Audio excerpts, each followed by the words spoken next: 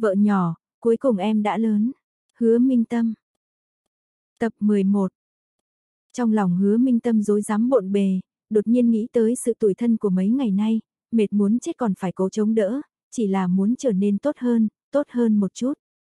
Nhưng cô vẫn chưa thành công, đã làm anh giận rồi. Thật thất bại. Quả nhiên, câu nói chim ngốc bay trước cũng là lừa người. Chim ngốc vẫn là chim ngốc, cả đời đều không bay lên nổi. Thời gian trôi qua từng giây từng phút, cố Gia Huy trong phòng sách căn bản không thể bình tĩnh được tâm trạng để làm việc, chỉ nghĩ đến hành vi mạnh bạn vừa nãy, anh lại không thể tha thứ cho bản thân. Anh thế mà lại đố kỵ đến phát điên, muốn chiếm lấy cô, như vậy sẽ không cần lo lắng người đàn ông khác thương nhớ cô. Trước đây anh khinh thường cách làm này đến mức nào, nhưng bây giờ anh choáng váng đầu óc, suýt chút nữa làm hại đến hứa minh tâm. Tâm tình anh hết sức nặng nề, huyệt thái dương nhảy lên giật giật, đau vô cùng. Anh nhìn thời gian, đã sắp 20 giờ rồi, cô nhất định đã tắm rửa xong lên giường rồi. Anh đẩy cửa bước ra, không ngờ hứa minh tâm lại dựa vào tường ngủ ngục. Cô vẫn chưa đi. Bên tay vẫn còn cốc sữa, sớm đã lạnh ngắt. Bây giờ vừa mới sang xuân không lâu, buổi tối rất lạnh, cô sẽ ốm mất. Anh vội vàng ôm ngang cô lên, đánh thức người đang trong giấc nồng.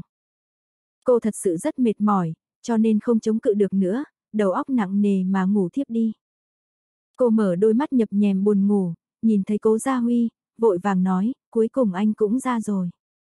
Không phải bảo em đừng đợi anh, ngủ sớm một chút sao? Anh đang giận em đúng không? Hôm nay em có chỗ nào làm không tốt sao? Là bởi vì em cùng người đàn ông khác đụng chạm sao? Nếu anh không thích, em sẽ nói với mẹ nuôi, quảng cáo này không nhận nữa là được. Dù sao bây giờ thân phận em đã rất tôn quý rồi, cũng không tiếc số tiền ấy, người đàn ông của em có rất nhiều tiền. Hứa Minh Tâm vội vàng nói, anh đừng giận nữa, em chỉ là muốn nỗ lực trở nên tốt hơn, xứng đáng với anh hơn mà thôi. Nếu anh không thích em như vậy, vậy em cố gắng có ích gì chứ? Hứa Minh Tâm rất sợ. Rất sợ sẽ có một ngày, anh sẽ trở ghi huy tâm của cuộc đời cô, sẽ trở nên mất đi chính mình. Nhưng ngày ấy vẫn là đến rồi. Sau khi cô rời khỏi cố gia huy, cũng có thể sống thật tốt. Nhưng trong tim khó chịu, ngày tháng cũng khó mà qua. Cô không muốn anh tức giận, cũng không muốn anh không vui.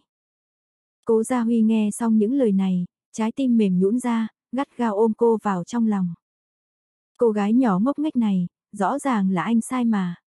Anh ôm cô trở về phòng ngủ, đặt lên giường, vuốt đầu cô nói, lúc ở trên xe, có phải đã dọa em sợ rồi không? Có một chút, nhưng, nếu anh thật sự muốn em, em sẽ không phản kháng đâu. Em vốn là của anh mà, em là vợ của chú ba cố, không phải sao? Đúng thế, em là vợ của anh, sao anh lại nỡ làm hại em được? Anh không giận em, anh giận bản thân mình không độ lượng, nhìn thấy em ngày càng tốt lên, ngày càng có nhiều người thích em ủng hộ em, anh ngược lại còn keo kiệt nữa. Em nói, có phải anh rất tệ không? Em trở nên tốt hơn, anh không thích sao? Thích chứ, em như nào anh cũng đều thích, anh thích, người khác cũng sẽ thích, anh biết như vậy đối với em là điều tốt, anh cũng nên ủng hộ em, nhưng anh không cách nào khống chế nổi bản thân. Cố Gia Huy khẽ nói, bây giờ thì tốt rồi, anh đã nghĩ thông rồi, em tiếp tục làm những việc em thích, cố gắng trở nên tốt hơn. Anh cũng sẽ không lo lắng nữa, bởi vì anh cũng tin rằng sẽ không ai đánh bại được anh. Anh nên có tự tin như vậy mới đúng, ở cùng với em, anh vốn luôn bày mưu tính kế, đều phải trở nên cẩn thận từng ly một rồi. Nếu truyền ra ngoài, anh sẽ bị cười mất. Anh cố ra vẻ thoải mái nói. Anh cũng sẽ sợ sao? Anh sợ em bị người khác cướp mất. Hóa ra, không phải chỉ có mình em sợ hãi, hai chúng ta cũng coi như công bằng rồi. Xem ra bây giờ em thật sự rất xuất sắc rồi, đều bắt đầu khiến chú ba gố lo lắng sợ sệt rồi. Ừ, em rất xuất sắc, anh nên vì em mà kiêu ngạo mới đúng. Người ưu tú như em, là do một tay anh bồi dưỡng ma. Nói câu này, có chút kỳ lạ, làm như anh là bố em ấy.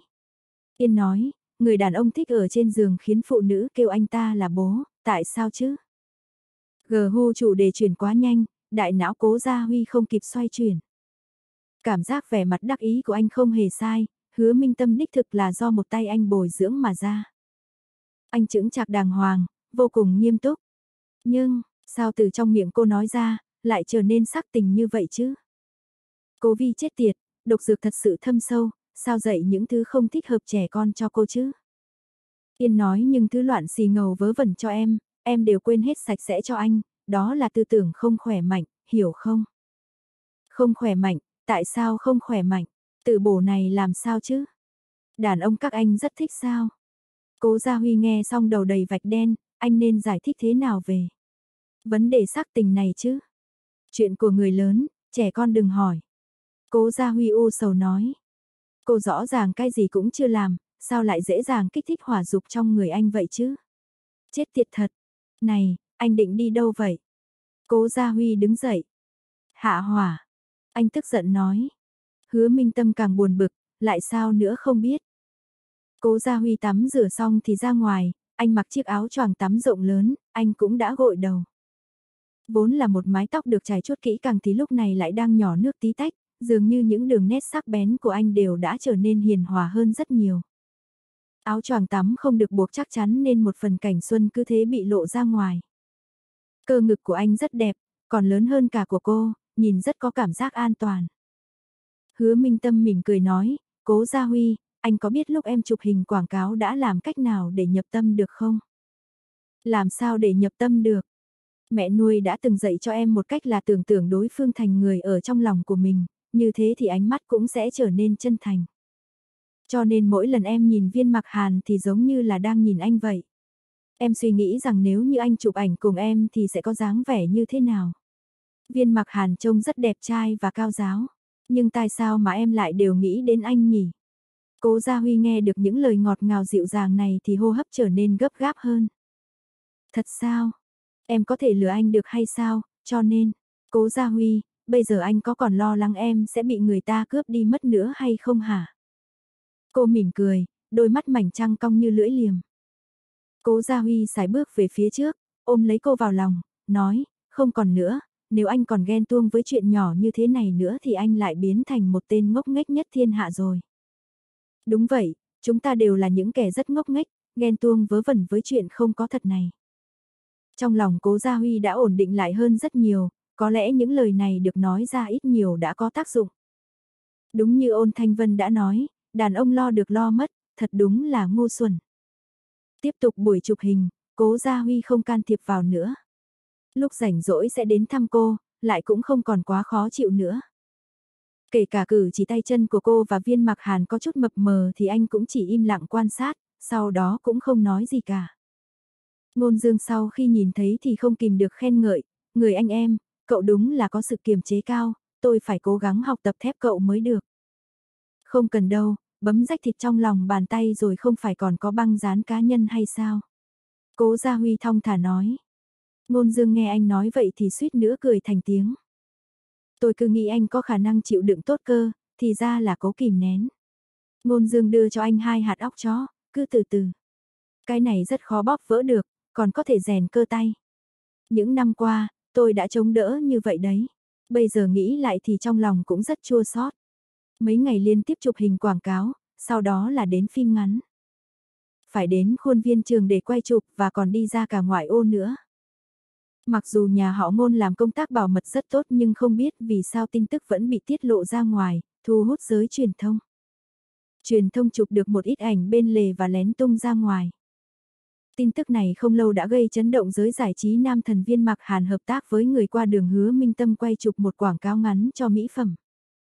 Mọi người trên mạng đá chửi bới một vùng nhỏ, nói nào là làm nhục viên Mạc Hàn, rồi muốn kéo viên Mạc Hàn làm đệm lưng, để hứa Minh Tâm thuận lợi leo lên.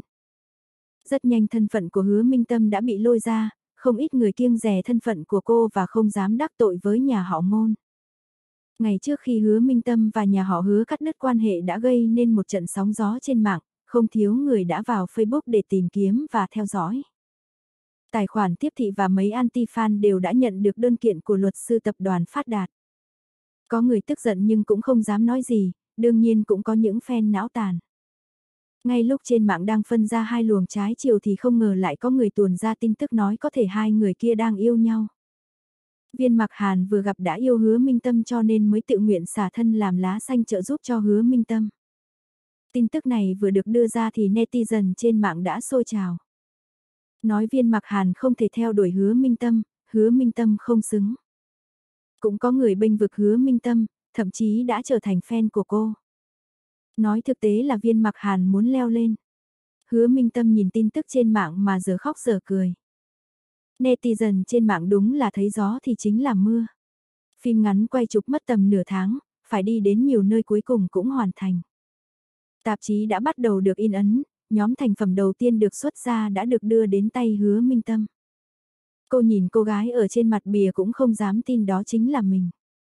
Mặc một bộ váy liền áo màu trắng, viên mặc hàn và cô ôm lấy nhau, trong lúc đó cánh môi để gần một lọ nước hoa. Hơi thở của mối tình đầu chính là kiểu trong sáng như vậy, tinh khiết nhàn nhạt. Nhìn thì giống như không có gì cả nhưng lại ở chính giữa lòng hồ ném ra một tảng đá. Đợi phim ngắn chỉnh sửa xong có thể công bố cùng lúc. Ngày 25 tháng 3, tạp chí bắt đầu được bán ra, nước hoa cũng bước vào thời kỳ phổ biến rộng rãi. Nhà họ ngôn đã mua một màn hình trình chiếu LED lớn nhất trong trung tâm thương mại để trình chiếu video. Hứa Minh Tâm đã chuẩn bị tinh thần bị netizen trên mạng mắng té tát, nhưng không ngờ tạp chí và video được phát ra thì lại thu được đánh giá tốt ngoài dự liệu. Lượng tiêu thụ của nước hoa cũng rất cao, nói khiến cho con người giống như được quay về thời kỳ thiếu niên cuồng nhiệt. Có ngượng ngùng, có điên cuồng, có bất cần mọi thứ. Mỗi người đều có tuổi 18, mỗi người đều có mối tình đầu, tới sớm hoặc muộn, đó đều là một buổi tiệc tuyệt vời của một thời tuổi trẻ. Độ hot của hứa minh tâm cũng nhờ đó mà lên cao, may là nhà họ ngôn đã sắp xếp người bảo vệ cô nên sinh hoạt thường ngày của cô cũng không gặp nhiều rắc rối. Chỉ có một điều rõ ràng. Cô chọn giờ học công chúng, mỗi lần đều không còn ghế trống. Trên bàn sẽ luôn có đồ ăn vặt thư tình linh tinh các kiểu. Thời gian này hứa minh tâm đã hoàn toàn nổi tiếng, nhưng cô không có tài nghệ gì nên cô biết rõ đó chỉ là khung cảnh nhất thời. Facebook của cô lúc mới tạo chỉ có mười mấy người hâm mộ, một phát đã tăng lên hơn một triệu người, hơn nữa độ hot không hề giảm. Nhà họ ngôn nhân cơ hội đó cho nên đã dùng tên của cô càn quét tất cả các mặt báo trong giới giải trí. Có người nói hứa minh tâm có bối cảnh rất lớn nên không ai dám đặt quy tắc ngầm với cô. Cũng không lâu lắm, cố gia bảo đã lên tiếng trên mạng nói mình vẫn luôn quý mến hứa minh tâm, trong lòng ông cô đã trở thành người trong nhà. Thì ra hứa minh tâm có đại thần bảo vệ hộ tống, nhà họ ngôn và nhà họ cố đều rất yêu ái cô. Thậm chí có người còn khám phá ra được, điểm lại bạn bè thân thiết trong vòng của cô cũng toàn là người không giàu thì cũng sang. Bạch Thư Hân là bạn tốt ở đại học của cô, nhà ba đời làm quân nhân, các chú các bác ở bên ngoài đều có nhiều chiến công lớn, tiếng tăm lừng lẫy. Tin tức này vừa được tung ra đã gây nên cú nổ lớn, ở phòng làm việc cũng không có ai dám bắt Bạch Thư Hân bưng trà rót nước, đi mua trà chiều nữa. Ngược lại từng người một đều cố lấy lòng nịnh hót. Người bạn thứ hai của hứa minh tâm là Cố Yên, cô tư của nhà họ Cố. Mặc dù gây ra sóng gió không tốt nhưng thân phận của người ta bày ra trước mắt kia, khiến cho người ta không thể chạm đến được. Tiếp theo là Ngôn Hải, anh trai trên danh nghĩa của cô. Ở trường tình cảm của hai người khá tốt, rất thân thiết với nhau. Mà Ngôn Hải còn là người thừa kế duy nhất của nhà họ Ngôn, thân phận này cũng rất nổi tiếng. Trước đây hứa minh tâm cũng không chú ý đến, bây giờ nhìn lại cô giống như đã quen biết một đám người khó lường. Thẩm thanh bắt cô phải tương tá nhiều với người hâm mộ, cho họ một vài video phúc lợi gì đó. Cuối cùng hứa minh tâm thật sự không nghĩ ra phúc lợi gì tốt nên đã làm một video hướng dẫn làm các loại bánh kem rồi đăng lên mạng. Sau khi được các netizen nhắc nhở, dứt khoát yêu cầu cô làm một blogger ẩm thực. Mắt hứa minh tâm sáng bừng lên, cảm thấy chuyện này rất được. Cô không thích làm ngôi sao, không thích bị hàng nghìn người nhìn chằm chằm. Nếu được thì cô thích được làm một chú tôm nhỏ, không muốn là một người xinh đẹp gọn gàng trước mặt người ta hay là làm một nhân vật lớn tổng tài bá đạo và cô vợ nhỏ thận trọng. Làm blogger ẩm thực thì có thể nấu ăn, cũng có thể giao lưu với bạn bè trên mạng, kiểu gì cũng một mũi tên trúng hai đích. Cô kể chuyện này với thẩm thanh làm thẩm thanh tức giận suýt chút nữa thì hộc máu. Bà đã trả một cái giá rất lớn để nâng đỡ hứa minh tâm trở thành một nghệ sĩ, vậy mà cô lại nhanh chóng thay đổi muốn chạy đi làm blogger ẩm thực. Con đợi chút, mẹ muốn uống chút nước để bình tĩnh lại đã. Cảm xúc của thẩm thanh hơi kích động, khiến ngôn dương rất đau lòng. Bà xã, em đừng nóng giận, anh xoa bóp cho em. Đứa nhỏ này, con cũng thật là, con không thấy mẹ con tốn bao nhiêu tâm tư công sức sao. Mẹ gì, anh mắng ai đấy, thẩm thanh không hề khách sáo chừng ông ấy một cái. Ngôn dương lập tức lúng túng, bà xã, anh đang dạy con, anh không mắng em. Minh Tâm, con nói cho bố xem, vì sao con lại không muốn đi con đường nghệ sĩ này. Nhà họ ngôn có tài nguyên tốt nhất, bố cũng có sức ảnh hưởng trong giới giải trí, nếu bố toàn tâm toàn ý dìu dắt con, không đến một năm sau, bố có thể giúp con đứng vững giới nghệ sĩ. Con biết điều này nghĩa là gì không? Đây chính là lối tắt nhanh nhất, đến lúc đó con công khai mối quan hệ với cố Gia Huy, người ta tuyệt đối sẽ không nói này nói nọ. Thẩm Thanh bình tĩnh nói, hy vọng cô không phải nhất thời xúc động. Hứa Minh Tâm nghe vậy, hô hấp trở nên khó khăn. Những điều Thẩm Thanh nói cô đều hiểu, chỉ cần một năm ngắn ngủi, cô liền có thể xứng đôi với cố Gia Huy. Nhưng, cô không thích làm diễn viên, và tin rằng cố Gia Huy cũng không muốn. Mẹ nuôi, bố nuôi có khuyên mẹ rời khỏi giới nghệ sĩ không? Tất nhiên ông ấy chỉ ước gì mẹ rời khỏi rồi. Vậy mẹ biết vì sao bố làm thế không? Điều này còn cần hỏi sao? Giới giải trí phức tạp, các nữ minh tinh có người tự phấn đấu nổi tiếng, cũng có người hoàn cảnh không thuận lợi. Hơn nữa bởi vì yêu cầu khi đóng phim, có cảnh hôn, có cảnh giường chiếu, ông ấy lại không phải người trong giới, làm sao mà chịu được. Đã nhiều năm như vậy trôi qua, tính tình ông ấy một chút cũng không thu bớt, làm mẹ tức chết đi được. Bà xã à, anh sai rồi, anh, anh không khống chế được bản thân mình. Ngôn dương đáng thương xin lỗi.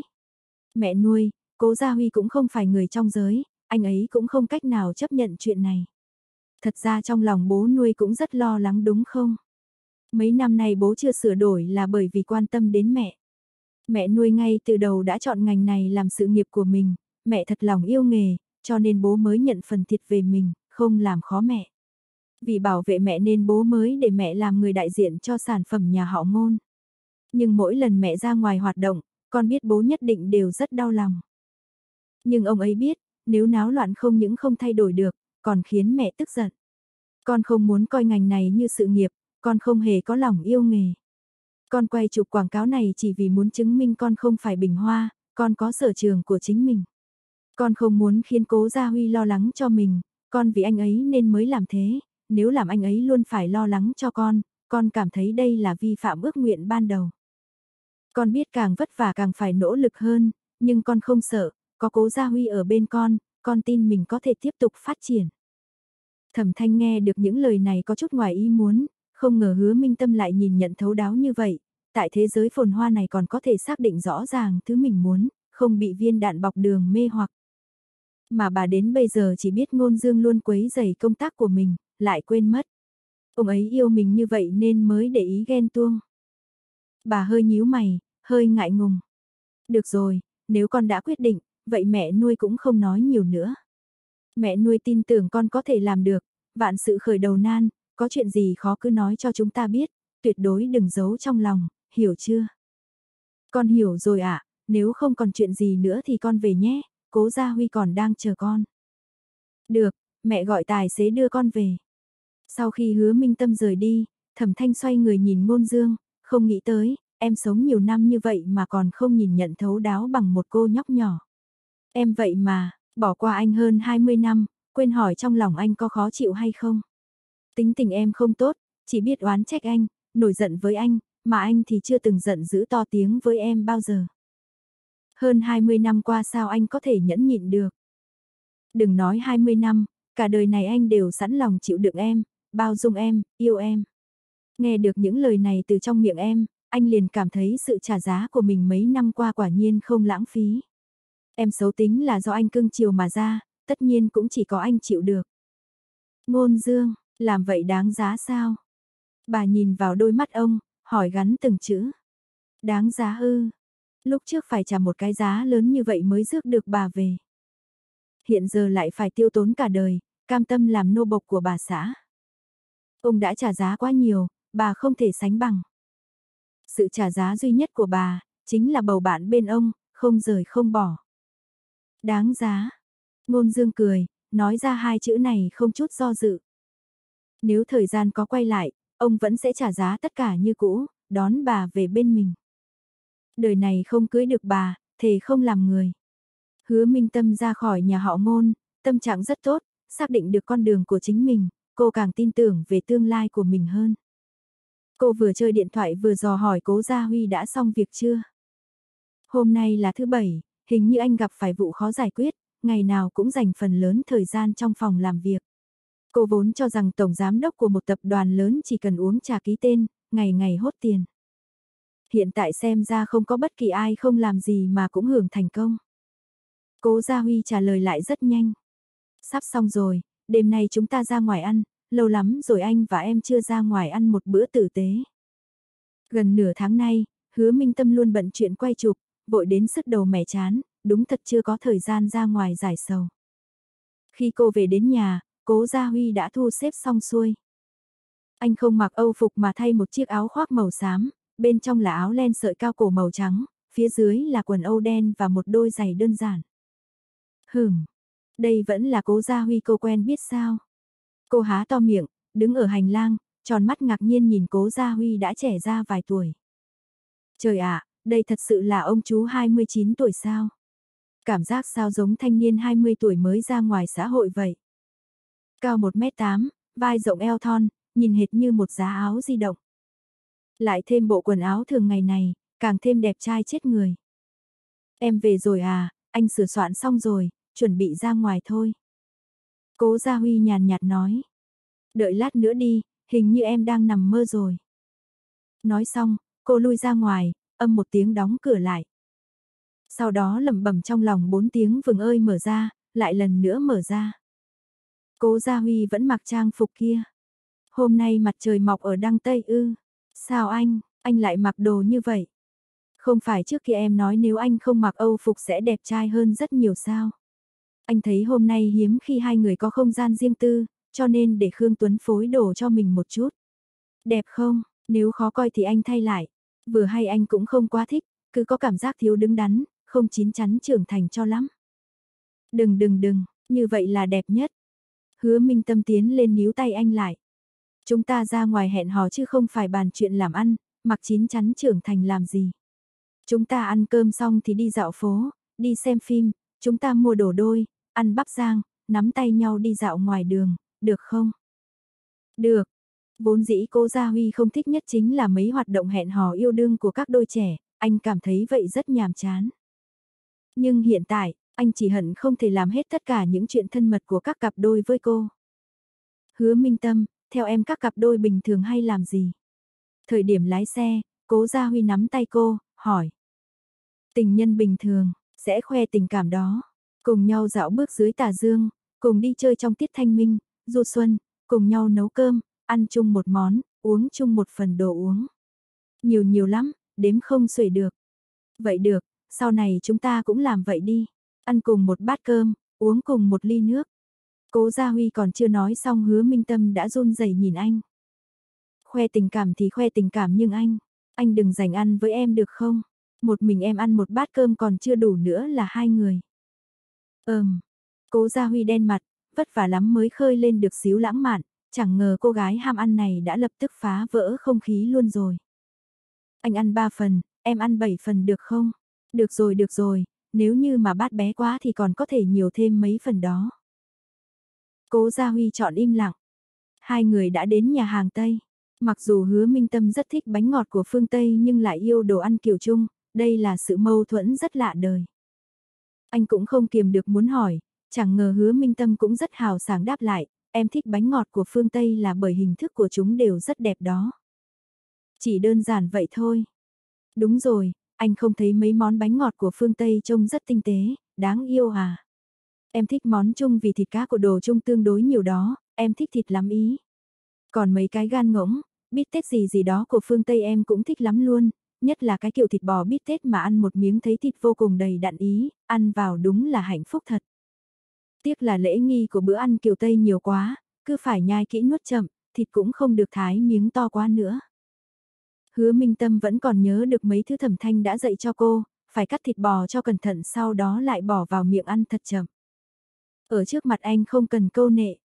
Là anh nói đấy nhé, đừng có mà chê nết ăn của em xấu. Đợi tí nữa em gọi thêm hai phần được không? Em muốn ăn phi lê với than bò. Được, lấy thêm cho em một ly nước ép tươi được không? Yêu anh chết đi được luôn đó. Hứa Minh Tâm hạnh phúc nói. Cố Gia Huy không nhịn được khẽ cười, cô đúng là dễ chịu thật đấy, chỉ có hai đĩa thịt với một cốc nước thôi đã khiến cô vừa lòng rồi. Sau khi ăn xong bữa, hứa Minh Tâm dẫn anh đi dạo phố. Bình thường quần áo của cố Gia Huy cũng chỉ có mỗi Âu phục vậy thì mua áo tình nhân là được rồi. Dù gì bọn họ cũng một là tổng giám đốc, một là ngôi sao nổi tiếng nên cả hai đều đeo khẩu trang. Vừa mua xong đồ đôi, cố Gia Huy đã muốn mặc vào ngay. Anh muốn cùng cô mặc áo đôi đi xem phim. Anh mặc một chiếc hoodie màu đen còn cô diện chiếc màu trắng. Cả hai vừa đến dạp chiếu phim lại tình cờ thấy cây FC bên dưới, niềm vui này đã làm hư hứa minh tâm luôn rồi. Cô không chỉ mua bắp rang bơ, Coca-Cola, khoai tây chiên mà còn mua thêm mấy đôi cánh gà nữa, nhất thời cảm thấy vô cùng hạnh phúc. Phim còn chưa bắt đầu hai bọn họ đã đến nghỉ ở khu chờ rồi. Hai người ngồi ở một góc khuất mờ sáng nên cũng không sợ bị ai nhận ra. Lúc này, hứa minh tâm ôm cầm nhìn cố Gia Huy, thật sự không nhìn ra anh đã 29 tuổi rồi, có phải thời gian đã thiên vị anh quá rồi hay không? Em nhìn anh làm gì? Sao không ăn đi? Anh đẹp trai ghê, anh đã nghe đến câu đẹp trai cũng có thể mài ra ăn chưa? Muốn ăn à? Đúng rồi, chồng ơi, cho em cắn miếng nhá được không? Cô cố tình nhìn anh với ánh mắt đầy quyến rũ. Cố Gia Huy đã có phần không chống cự nổi, thế mà cô gái này lại dám phóng điện với anh à? Anh quẹt đi vết thương cả bị dính đưa đến bên miệng cô, hứa minh tâm cũng chẳng chút ngại ngùng hé miệng ngậm lấy ngón tay anh. Sau khi liếm sạch tương cà, cố Gia Huy định thu tay lại nào ngờ hứa minh tâm lại nắm chặt tay anh. Chiếc lưỡi mềm ướt như thân rắn huyền chuyển vần quanh đầu ngón tay. Hứa minh tâm làm bộ chớp mắt mấy cái, nhìn ánh mắt đã dần tối lại của anh cô lại buông ra, rút giấy ướt giúp anh lau tay. Cô vươn tay chạm vào gò má anh, nóng thật. Cố Gia Huy, anh không nhịn được rồi à? Ai dạy em? Cố Gia Huy đen mặt hỏi. Google vạn năng đó, trên đó có cách chiêu chọc đàn ông đấy, em chỉ thử một cái mà thôi. Chú ba cố, sức đề kháng của anh kém quá đấy, mới đó đã không chịu nổi rồi. Nghe vậy, sắc mặt cố Gia Huy trở nên vô cùng khó coi. Thế mà anh lại bị cô nhóc này xem thường như thế, hóa ra người thống khổ không phải cô đúng không? Ngày nào em cũng xem cái vớ vẩn gì thế hả? Cố Gia Huy bất lực nói. Cô xem mấy cái đó để lấy mạng anh thật sao? Ngọn lửa dục vọng bùng lên trong lòng làm anh khó chịu phát điên, chỉ hận không thể đè luôn cô gái này ra đây xử phạt. Nhóc con, nếu em cứ tiếp tục như vậy thì anh dám chắc là sẽ tự mình hại mình đấy. Dù sao anh cũng chỉ là một người đàn ông bình thường mà thôi. Nghe vậy, hứa minh tâm lập tức rụt đầu lại nói, em sai rồi, em sẽ không chơi nữa, chỉ tò mò chút thôi mà. Phim sắp chiếu rồi, chúng ta nhanh vào đi. Cô vội vã chuyển chủ đề rồi trốn mất. Cố Gia Huy nhìn theo bóng lưng nhỏ của cô chỉ có thể cười một cái. Sớm muộn gì cô nhóc này cũng hại chết anh mất thôi, đúng là sắp bị cô chơi chết luôn rồi. Bộ phim này cũng không hay lắm, mà đây cũng là lần đầu tiên cố Gia Huy đi xem phim ở nơi đông đúc như vậy, dù sao ở nhà cũng có sẵn dạp phim mà đâu có cần chạy ra ngoài như vậy. Hơn nữa, chất lượng hình ảnh ở ngoài còn chưa chắc đã tốt bằng ở nhà. Nhưng lúc này anh lại thấy trước sau hơn phân nửa đều là người yêu, bạn bè đi chung, vậy nên bất chợt cũng thấy ra ngoài xem phim cũng là một chuyện rất hạnh phúc. Anh nắm chặt lấy bàn tay bé nhỏ của hứa minh tâm, cô vừa ăn vừa xem phim. Chẳng được bao lâu sau, đồ ăn đã hết sạch, hứa minh tâm lại tựa vào vai anh ngủ thiếp đi. Phim cũng đã chiêu hết rồi mà hứa minh tâm vẫn chưa tỉnh. Cố Gia Huy có chút bối rối, chỉ đành bế cô rời khỏi phòng chiếu phim. Hành động này đã thu hút không ít ánh nhìn xung quanh. Uầy, ngầu quá đi, bế công chúa kìa. Dù có đeo khẩu trang cũng thấy được vẻ đẹp của anh ấy luôn ý. Chồng ơi, em cũng muốn bế công chúa hầu Đừng làm loạn nữa, em nặng tận 90 kg, anh bế sao nổi. Em bế anh thì còn tạm nghe được FG hu ồn ghê. Hứa Minh Tâm dụi dụi mắt, mơ màng nhìn Cố Gia Huy, bọn họ đang nói gì vậy?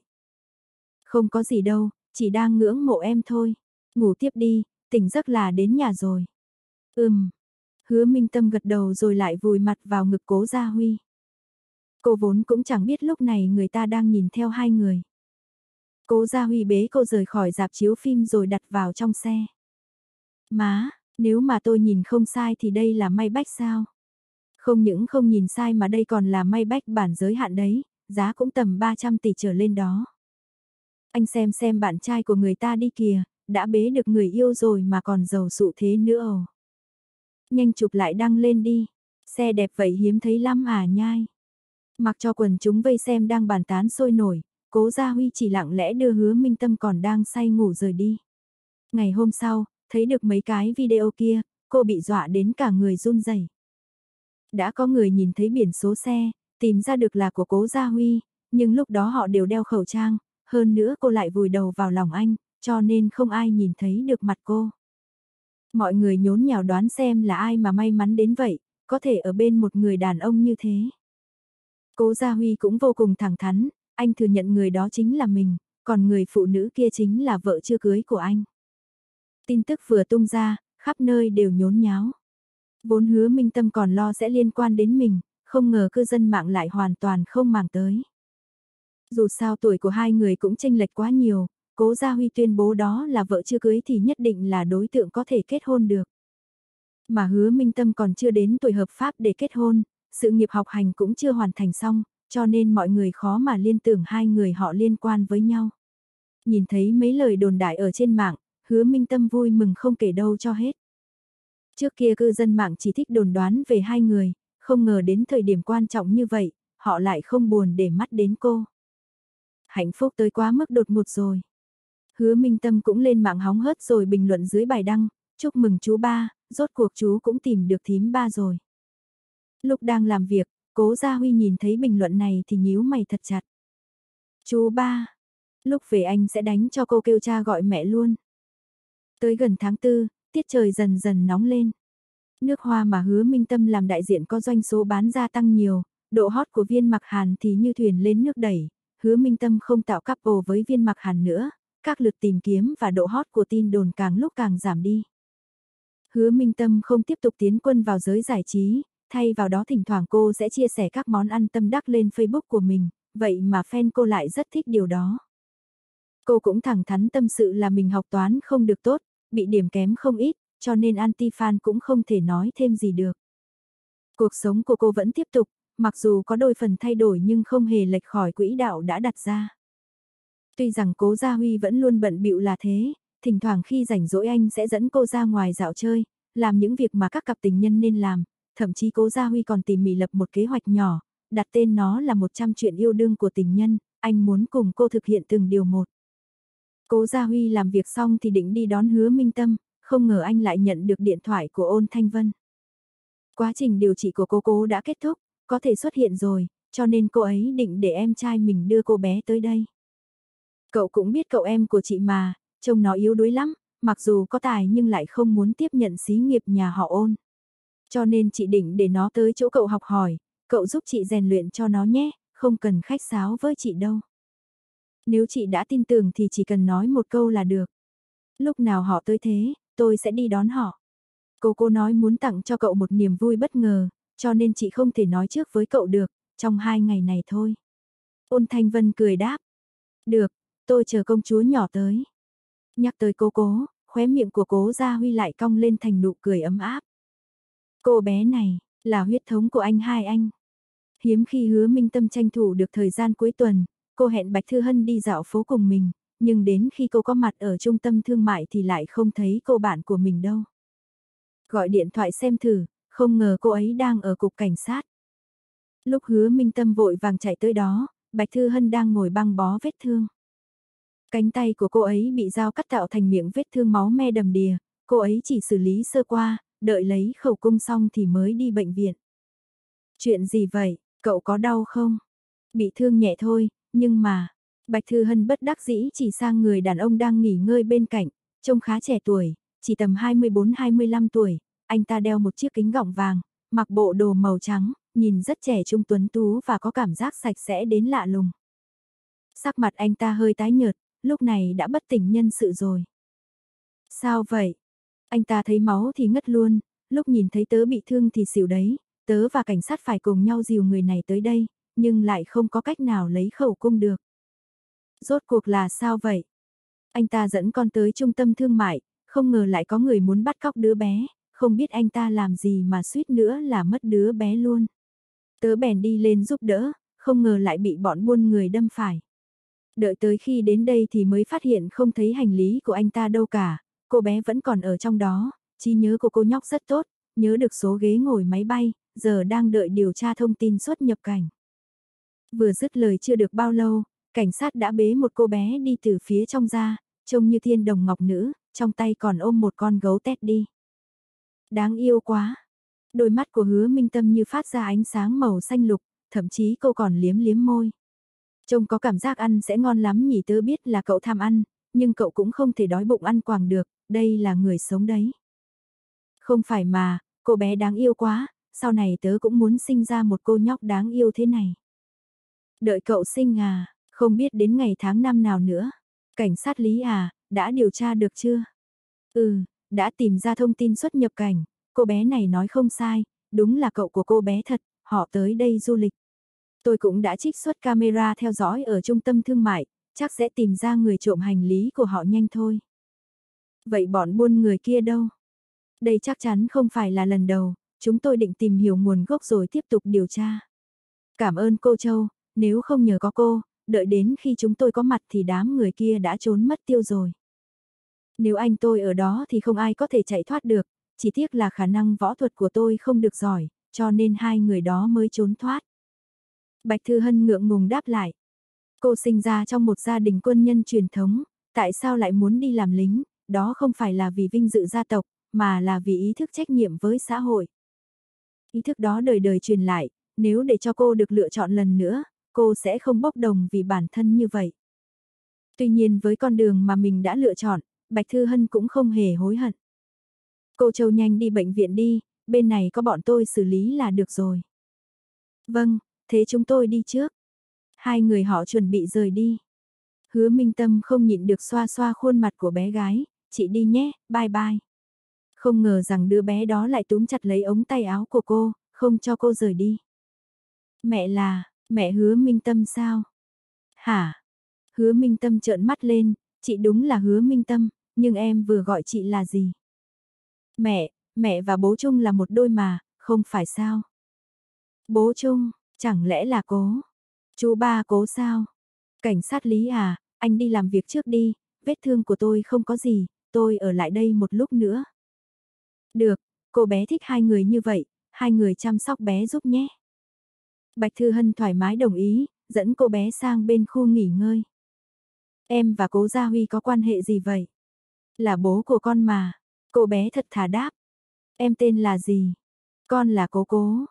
Hứa Minh Tâm, chẳng lẽ đây là con riêng bên ngoài của cố Gia Huy à? Bạch Thư Hân nghi ngờ nhìn hứa Minh Tâm. Đợi đã, lượng tin tức nhiều quá, mình cần tiêu hóa đã. Em, sao em lại biết chị? Bố chung cho con xem ảnh của mẹ mà, chỉ là con không dám nhận, không ngờ lại đúng là mẹ thật. Mẹ còn đẹp hơn trong hình gấp mấy lần. Cố cố ngọt ngào đáp. Vậy mẹ ruột của em đâu? Mẹ Thanh Vân ạ, ở nước ngoài rồi, mẹ bảo cậu mang con đến tìm bố. Hứa Minh Tâm nghe vậy thì đờ đẫn, cô chưa từng nghe nói ôn Thanh Vân có con mà. Lẽ nào, cố Gia Huy và ôn Thanh Vân? Không thể nào. Hứa Minh Tâm một mực phủ nhận, cố Gia Huy tôn trọng ôn Thanh Vân, cho nên hai người họ không thể nào vậy được. Cô tin rằng đây là đứa bé của ôn Thanh Vân và cố trường quân. Chỉ là cố Gia Huy chưa bao giờ nhắc đến. Đợi đã, chờ người kia tỉnh dậy đã, người lớn như vậy lại tự nhiên sợ máu, trông như thư sinh yếu đuối ấy, tay chói gà không chặt, một mình tớ đối phó với hai tên, mà anh ta không chống nổi một tên. Nếu không phải vì tên đồng đội như heo vậy, sao tớ có thể bị thương được? Bạch Thư Hân chừng mắt hung tợn nhìn người đàn ông đang hôn mê nào đó. Cố cố liên tục gật đầu, mẹ nói cậu là một con cọp giấy. Thật ra cậu ngốc lắm, đã mù đường thì thôi đi, lại còn sợ máu. Có lúc cậu gọt trái cây làm đứt tay mà cũng bị dọa ngất đi được. Cậu của em, không phải là gai chứ? Nhìn cơ thể anh ta gầy yếu như vậy, giống ghê cơ. Gai là gì, có thể ăn không ạ? Hứa Minh Tâm đánh Bạch Thư Hân một cái, trước mặt trẻ con cậu đừng có nói bậy, dạy hư con bé đó. Gai là từ để khen, khen một người rất giỏi giang đó. Hứa Minh Tâm cố gắng chữa cháy. Này, cậu còn quá đáng hơn tớ nữa, cậu bẻ cong sự thật đó. Tớ đang chữa lành vết thương trong lòng đứa bé. Đúng lúc này, người đàn ông đang hôn mê cũng dần dần tỉnh lại. Anh ta vừa nhìn thấy khung cảnh mới lạ thì cũng đờ đẫn ra, đến khi nhìn thấy cô cố thì mới lao vội tới, kiểm tra cô bé một vòng. Cô cố, cháu không sao chứ? Không sao ạ, à, cậu có sao không? Cậu cũng không có việc gì. Anh ta thở phào nhẹ nhõm, cô cố nói muốn cho cố Gia Huy một niềm vui bất ngờ, cho nên anh ta mới dẫn cô bé đi thẳng tới tập đoàn JNC. Mà tập đoàn lại ở bên cạnh trung tâm thương mại này, không ngờ đụng phải bọn buôn người, cũng may có Bạch Thư Hân ra tay giúp đỡ. Anh ta nhìn về phía Bạch Thư Hân, thấy cô chỉ tùy tiện xử lý vết thương, vết máu thấm ướt cả băng gạc. Anh ta ngượng ngùng nói, tôi tên là Ôn Ngụy Phong, là cậu của cố cố. May mà có cô ra tay giúp đỡ, nếu không tôi cũng không biết giải thích cố cố là cháu của tôi như thế nào. Không ngờ chỉ một mình cô gái như cô lại có võ nghệ tài giỏi đến vậy, thật là khiến người ta bội phục. Tôi cũng không ngờ một người lớn tổng ngồng như anh lại là một chiếc gối thêu hoa. Bạch Thư Hân nhận xét thẳng thừng, ôn ngụy Phong nghe xong lại thấy ngại ngùng hơn. Anh ta cũng biết rõ năng lực của mình, đúng là cơ thể của anh hơi yếu đuối, từ nhỏ đã không đánh thắng ai, thậm chí lại còn sợ máu. Anh ta lúng túng đẩy kính mắt một cái, nhất thời không biết nên nói tiếp cái gì. Đúng lúc này, cô cố kéo lấy bàn tay của anh ta, chỉ về phía hứa minh tâm. Cậu ơi, cháu gặp mẹ tâm này. Cô, cô là hứa minh tâm sao? Là tôi, anh là. Tôi là ôn ngụy Phong, là em trai của ôn Thanh Vân, chắc là cô chưa từng nghe thấy, chỉ là cảm giác tồn tại của tôi trong gia tộc không được cao lắm. Nhưng mà tôi biết về cô, trước khi ra ngoài chỉ tôi có cho tôi xem ảnh cô rồi, không ngờ lần đầu tiên gặp gỡ của hai chúng ta lại là ở nơi này. Cố cố là, con của ai? Cô ấy khá quan tâm đến vấn đề này đấy. Con bé là con của chị tôi và anh cố trường quân. Lần này tôi dẫn cô cố lại đây để tìm anh Gia Huy, đúng rồi, tôi còn chưa liên lạc với anh ấy nữa. Không cần đâu, cháu đã gọi điện thoại cho bố chung rồi, bố bảo chúng ta ngoan ngoãn đứng ở đây, đừng đi đâu cả, bố sẽ nhanh tới đón. cô cố đưa chiếc điện thoại di động trong túi nhỏ lên. Ôn Ngụy Phong mới thở phào nhẹ nhõm. Không lâu sau, cố Gia Huy lại đây, không ngờ lại còn gặp được hứa minh tâm ở đó, anh cũng thấy bất ngờ. Sau khi nghe đầu đuôi sự việc, anh cảm kích nhìn về phía Bạch Thư Hân, cảm ơn cô. Không cần khách sáo, anh là ông chủ của tôi mà, phục vụ ông chủ là bổn phận của tôi. Vậy người nhà các anh cứ tự nhiên, tôi không quấy giày nữa, đi trước nhé. Đợi chút đã, anh Gia Huy, vậy em giao cô cố cho anh trước, em đưa cô ấy đi bệnh viện đã. Dù sao cô ấy cũng bị thương vì em. Cũng tốt. Cố Gia Huy không từ chối. Sau đó anh đưa hứa Minh Tâm và cố cố rời đi, ôn ngụy Phong thì dẫn Bạch Thư Hân tới bệnh viện. Anh không cần tới đây làm gì, không phải là vết thương nghiêm trọng, tôi cũng đã băng bó rồi mà. Vậy thì không được, cô bị thương vì tôi, đương nhiên tôi phải chịu trách nhiệm với cô rồi. Ôn ngụy Phong cố chấp nói. Bạch Thư Hân không từ chối được, đành phải theo anh ta tới phòng khám. Trong phòng có một người vừa bị tai nạn khi lái xe gắn máy, cả người đều bị chảy ra, máu me be bét. Ôn Ngụy Phong vừa nhìn thấy thì ngay lập tức đồng tử đã co lại, sau đó cơ thể anh ta mềm nhũn đi, ngã vào lòng Bạch Thư Hân. Đột nhiên Bạch Thư Hân cũng không kịp chuẩn bị, thế là hai người cùng nhau ngã nhào. Bạch Thư Hân bị đè ở phía dưới, không ngừng kêu khổ. Có ai không, thật sự quá đáng mà. Bác sĩ chạy tới giúp đỡ đưa ôn ngụy Phong lên giường bệnh bệnh nhân sợ máu nên không chịu nổi những thứ này. Sau đó thì kéo màn giường che khuất giường ngủ lại. Đợi đến khi ôn ngụy Phong tỉnh lại lần nữa là đã nửa tiếng sau, mỗi lần ngất xỉu anh ta đều hôn mê nửa tiếng. Bạch Thư Hân đã rời khỏi bệnh viện từ sớm, cũng đồng thời trả tiền thuốc thang cho hai người. Ôn ngụy Phong lại xấu hổ không thôi. Anh có lòng mà lại thành chuyện xấu. Lúc này đây, ở biệt thự nhà họ cố, hứa Minh Tâm đang làm rất nhiều bánh ngọt đáng yêu, Cô cố thích thú, ăn đến mức không còn biết đâu là trời đâu là đất. Cô bé rất ngoan ngoãn, không khóc cũng không nháo, trong tay vẫn ôm chặt con gấu tét đi. Hứa Minh Tâm không kìm được tò mò, chú gấu này rất quan trọng với cô bé hay sao? Cô bước lên muốn cầm xem xem thử, không ngờ vừa mới chạm vào cô cố đã hoảng hốt hẳn lên. Mẹ Tâm, mẹ muốn làm gì vậy? Con gấu Teddy này trông cũ rồi, con rất thích nó sao? Cũ sao? Là vì con không chăm sóc nó tốt ạ? À? Cố cố lo lắng, bắt đầu ôm lấy con gấu kiểm tra một lượt. Cố Gia Huy bước lên trấn an, không có, cố cố chăm sóc nó rất tốt, trông nó rất đẹp mà. Vậy thì tốt. Cô cố khẽ cười, cố Gia Huy kéo hứa minh tâm sang bên cạnh, con gấu Teddy đó là quà mà sau khi con bé học được cách gọi bố, ôn Thanh Vân đã mua tặng, nói là quà anh hai tặng cho, thế là cô bé tin. Cô bé nói đây là món quà duy nhất mà bố tặng cho, nếu như bố về không nhìn thấy thì bố sẽ không vui. Cho nên hai năm nay nó vẫn xem đó là chân bảo, không thích cho người khác chạm vào. Con bé không biết anh hai. Có lẽ là biết, cũng có thể không biết, con bé rất ngoan, cũng không hỏi gì bọn anh cả. Từ nhỏ nó đã gọi anh là bố chung, mấy năm qua mọi người cũng quen rồi. Anh cũng không nói với em chuyện chị ôn Thanh Vân có một đứa bé. Sự ra đời của cô cố chỉ có một số người biết, em biết tại sao anh và anh hai gặp nạn không? Là, là vì cuộc chiến trong gia tộc sao? Hứa Minh Tâm cẩn thận hỏi.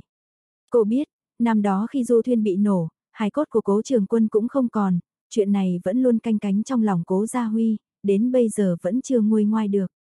Cố Gia Huy nghe vậy thì gật đầu, vẻ mặt châm ngâm.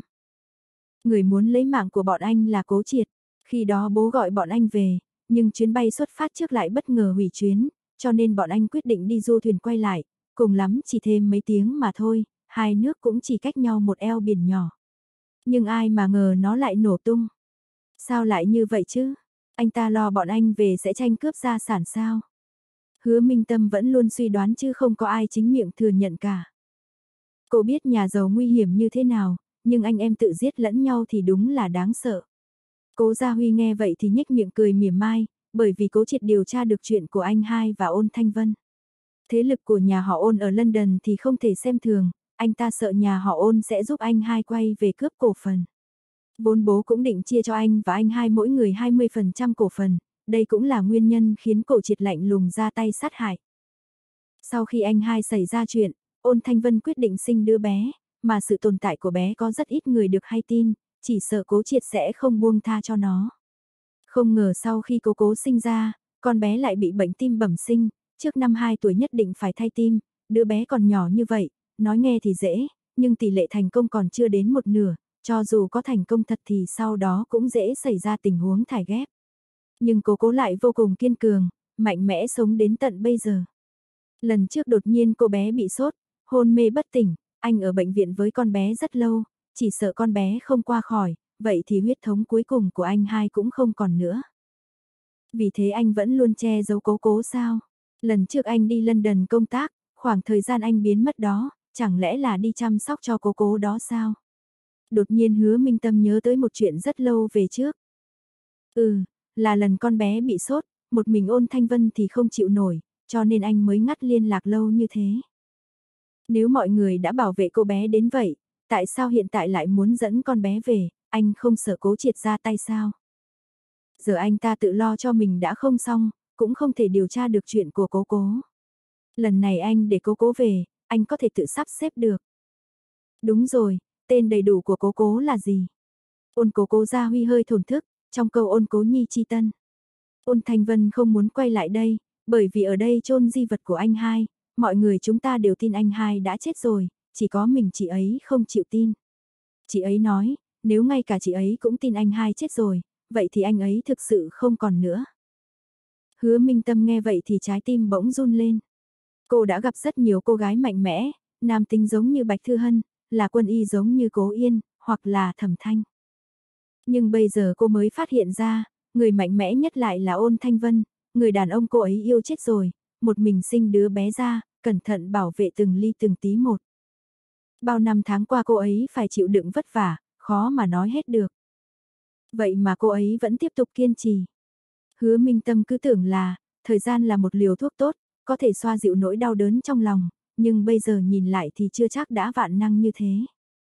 Nó không thể xóa nhòa được tình yêu của ôn thanh vân với cố trường quân, trái lại càng khiến cô ấy chìm đắm hơn. Tình yêu của ôn thanh vân tích lũy từng ngày, mãi mãi không khô cạn. Không biết vì sao, hứa minh tâm rất muốn chính miệng hỏi ôn thanh vân một câu nếu lần sau họ gặp. chị có hối hận không? Có đáng giá không? Yêu một người đã chết thì phải dũng cảm đến mức nào? Quên đi thì đau khổ, tiếp tục yêu lại càng khổ sở hơn. Đang nghĩ gì vậy? Cố Gia Huy nhìn cô thất thần thì hỏi lại. Không có gì, chẳng qua em cảm thấy chị ấy quá vất vả. Buổi tối chúng ta cùng nhau ăn cơm đi, em gọi cả Thư Hàn nữa nhé. Hôm nay Thư Hàn đã giúp đỡ rất nhiều, mình cũng nên cảm ơn cô ấy. Ừ, em cứ quyết định đi, em làm chủ nhà mình mà, không phải sao. Cố Gia Huy khẽ cười đáp lại. 2 giờ chiều, ôn ngụy Phong quay lại, tinh thần có vẻ không ổn lắm. Cố Gia Huy nhìn dáng vẻ anh ta cũng đoán được 8 phần là lại ngất xỉu do nhìn thấy máu. Còn chưa tỉnh lại à? Vốn em đã tỉnh rồi, kết quả đưa cô Châu tới bệnh viện rồi lại. Hôn mê tiếp. Từ nhỏ em đã có cái tật này rồi, chị em nghĩ bao nhiêu cách mà đều vô ích cả. Em có biết mục đích của chuyến đi lần này không? Em biết, ôn ngụy Phong nghiêm túc đáp, chị muốn em tới đây học tập Anh, học thì được. Nhưng em không muốn kế thừa gia nghiệp. Tại sao? Cố Gia Huy tò mò hỏi. Đây là chuyện riêng của nhà họ ôn, anh chỉ mới nghe ôn Thanh Vân nói qua nhưng lại không biết nguyên nhân ở bên trong. Đây là thứ chị em nên có được, nếu em trở thành người thừa kế, vậy thì địa vị của chị em trong gia tộc sẽ bị giảm xuống. Chỉ có một số ít người biết đến sự tồn tại của cố cố, còn trong mắt người ngoài, chị em vẫn độc thân, rất nhiều người muốn cưới chị em lắm. Nếu như em tiếp quản nhà họ ôn, nhất định bố sẽ sắp xếp cho chị lập gia đình. Huống hồ chị ấy còn thích hợp hơn em mà. Trong mắt em nam nữ không khác biệt gì cả, chỉ cần có năng lực mà thôi. Em thấy chị em giỏi giang hơn em sao? Cũng không phải vậy, những năm qua em đều nhường cho chị ấy thôi, ai bảo chị ấy là chị của em chứ? Ôn Ngụy Phong cười thật thà, anh khẽ đẩy gọng kính viền vàng trên mắt. Vậy em có nghĩ tới việc thay đổi một cách khác để bảo vệ cô ấy không? Đổi cách khác sao? Trở nên mạnh mẽ hơn cả bố của em, từ trên xuống dưới nhà họ ôn, mỗi lời em nói đều phải như thiên lôi sai đầu đánh đó, lúc ấy em muốn giúp chị em, bố em cũng không dám nói thêm gì cả. Em muốn từ chối thì đúng là có thể hiệu quả đấy, nhưng đó chỉ là chị ngọn mà không chị được gốc. Nếu em muốn bảo vệ chị em thì em phải trở nên mạnh mẽ hơn, mạnh đến mức không ai dám động vào em cả, hiểu không? Vượt qua bố em sao? Ôn Ngụy Phong khẽ nhíu mày. Rất khó hả? Muốn tự bỏ sao? Cố Gia Huy cũng nhíu mày, giọng nói từ tốn vang lên. Trong thư phòng yên tĩnh, giọng anh hơn cao nhưng lại nặng nề một cách lạ thường, giống như bắt bí trái tim người ta vậy. Trong lòng ôn ngụy Phong khẽ run lên, anh đáp, khó, nhưng em sẽ không từ bỏ, em biết nên bảo vệ chị, bảo vệ cố cố như thế nào. Cảm ơn anh, xem ra em đi đến đây chuyến này là đúng rồi. Anh sẽ không hướng dẫn em gì cả, em phải làm việc từ cơ bản làm lên, có được không? Được à? Biết uống rượu không? Biết. Vậy thì tốt. Cố Gia Huy gật đầu, ngoài năng lực ra, trong thương trường này, chuyện quan trọng nhất vẫn là xã giao. Có những việc phải tự mình đảm đương, cũng có rất nhiều chuyện phải tự mình làm lấy. Ôn Ngụy Phong trông hào hoa phong nhã là thế, nhưng suy nghĩ cẩn thận và cũng rất thông minh. Chỉ là, vóc người nhỏ quá, trông hơi gầy yếu. Cái này thì phải từ từ thôi. Ôn Ngụy Phong rời khỏi thư phòng đi xuống lầu, không ngờ lại bắt gặp Bạch Thư Hân. Chỉ trong nháy mắt, sắc mặt anh ta lại đỏ lên, ngượng ngùng và có phần bối rối. Lúc Bạch Thư Hân nhìn thấy anh ta, cô cũng cố nén không để bản thân trợn trừng mắt lên. Cái tên này giống như thư sinh thời cổ đại, tay chói gà không chặt, cô ghét nhất là loại đàn ông như thế này. Lần đầu tiên té xỉu hại cô bị vạch một dao. Lần thứ hai ngất xỉu làm gáy cô bị va sưng lên một cục to. Đúng là ngày giờ không tốt. Cái đó, ngại quá, lúc ở bệnh viện, đáng lẽ tôi nên trả tiền mới phải, bao nhiêu tiền vậy? Không bao nhiêu cả, xem như tôi hao tài thôi. Anh cứ ngồi đó đi, không nên cử động, trông anh yếu quá, tôi sợ một cơn gió thổi qua cũng làm anh ngã mất. Bạch Thư Hân mỉm cười ngoài mặt nhưng trong lòng thì không, cô nói tiếp, Minh Tâm à, không phải bảo tớ giúp cậu sao? Nhanh nào, cho tớ nếm thử bánh kem cậu làm với. Bạch Thư Hân nói chuyện không hề khách sáo, mặt ôn ngụy Phong cũng đỏ bừng lên. Cô cô đứng bên than thở, nhìn anh ta rồi lắc đầu, cậu ngốc, lớn vậy rồi mà không biết nói chuyện với con gái nữa, đáng đời. Ôn ngụy Phong nghe nói vậy thì vẻ mặt càng thêm bối rối hơn, hai tay cũng không biết nên để ở đâu. Trước giờ khi nói chuyện với con gái, anh cũng hay nói chuyện lắp bắp và đỏ mặt. Anh lúng túng đẩy kính mắt lên, bất lực nhìn cố cố. Nếu cháu còn cười cậu nữa, cậu sẽ không mang cháu ra ngoài chơi đâu. Cháu không cần đi ra ngoài với cậu đâu, cậu sẽ làm lạc cháu mất, bản thân cậu cũng lạc luôn. Ôn Ngụy Phong nghe lời nói thật thà đó thì càng thấy bất đắc dĩ. Anh liếc nhìn về phía phòng bếp, cảm thấy mình đúng là thất bại. Trong bếp, hứa minh tâm đang làm mấy món ngọt. Căn bản Bạch Thư Hân cũng không giúp được gì nên đang nghịch điện thoại. Cậu nói chuyện thẳng thắn quá, người ta nghe vậy chắc trong lòng cũng không thoải mái đâu. Anh ta không thoải mái á, tớ cũng không thoải mái đây này. Đi cùng anh ta xui xẻo lắm, hơn nữa cậu chưa nghe câu nói này sao? Tú tài và lính như nước với lửa. Nếu anh ta mà đứng trước mặt chú của tớ, nói chuyện ấp a ấp úng như vậy, chắc chắn chú tớ sẽ bảo anh ta về nhà học lại phát âm. Bạch Thư Hân lắc đầu một cái, cô không thích cảm giác nho nhã đó, vừa nghĩ tới là đã nổi da gà, không thoải mái chút nào.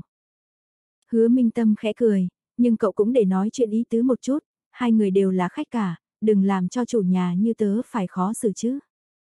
Ha ha ha, đã tự xưng mình là chủ nhà rồi đấy, xem ra cậu thích ứng với cuộc sống của nữ chủ nhân rồi nhỉ. Phú bà à, tớ muốn ôm đùi cậu. Đừng, cậu mới là đại gia giấu mình đấy. Hai người vừa nói vừa cười trong bếp, sau đó bưng một ít bánh ngọt ra, cố cố lại rất thích món này. Không ngờ cố cố cũng là cao thủ thích ăn đồ ngọt, nếu không phải cố gia huy sợ cô bé sâu răng thì có lẽ cô bé đã ăn sạch sành xanh rồi. Một bữa tối vui vẻ hòa thuận trôi qua. Sau khi cơm nước xong, Bạch Thư Hân chuẩn bị ra về. Ôn Ngụy Phong muốn tiễn cô về nhà để tỏ lòng ấy nấy, nhưng Bạch Thư Hân lại ngăn anh lại. Cháu gái anh nói anh mù đường kia mà, trời tối thì không nên ra ngoài, tôi có thể tự mình về được, cảm ơn anh nhiều. Cái đó, vậy cũng tốt, lúc nói chuyện với con gái, anh vẫn luôn nói lắp vậy sao? Bạch Thư Hân nghe anh ta nói chuyện mà cũng thấy đau đầu, cô bất đắc dĩ nói. Ôn Ngụy Phong đỏ bừng mặt mũi, không biết phải trả lời thế nào. Mặc dù anh ta không biết nói chuyện với con gái, nhưng cũng không đến nỗi nói lắp như thế này. Không hiểu vì sao, lúc đứng đối mặt với Bạch Thư Hân, anh lại cảm thấy bối rối và chật vật. Lần đầu tiên gặp mặt, đáng lẽ con trai nên ga lăng, anh lại bại lộ toàn bộ khuyết điểm của mình ra ngoài cả. Anh muốn làm gì đó bù đắp, nhưng càng bù thì lại càng tệ hại hơn. Ngay lúc ôn ngụy Phong không biết nên trả lời thế nào, Bạch Thư Hân đã phất tay, không hứng thú muốn biết nữa. Cô lái xe đi thẳng, ôn ngụy Phong lại thấy hơi nhục trí. Trong nhà đột nhiên có thêm hai thành viên, hứa minh tâm dọn dẹp lại một căn phòng ngủ sạch sẽ.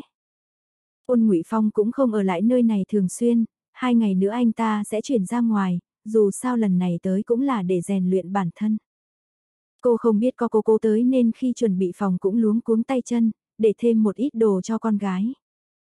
Đây là đồ mà chú An vội vàng mua được, không biết cô cô có thích hay không. Sau khi cố cổ bước vào phòng thì giật mình la to, cái này. Là phòng của con sao? Có thích không nào?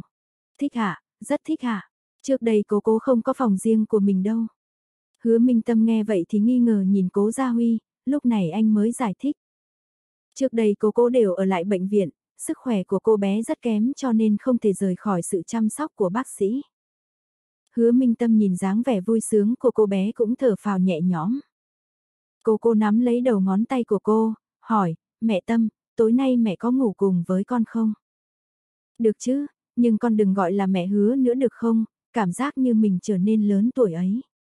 Con có thể gọi là gì, cũng có thể gọi là Minh Tâm, con thấy sao nào? Con có thể gọi tên của mẹ sao? Được chứ, mọi người cũng gọi gì là Minh Tâm hoặc là Tâm Tâm, con thích cái nào? Tâm Tâm.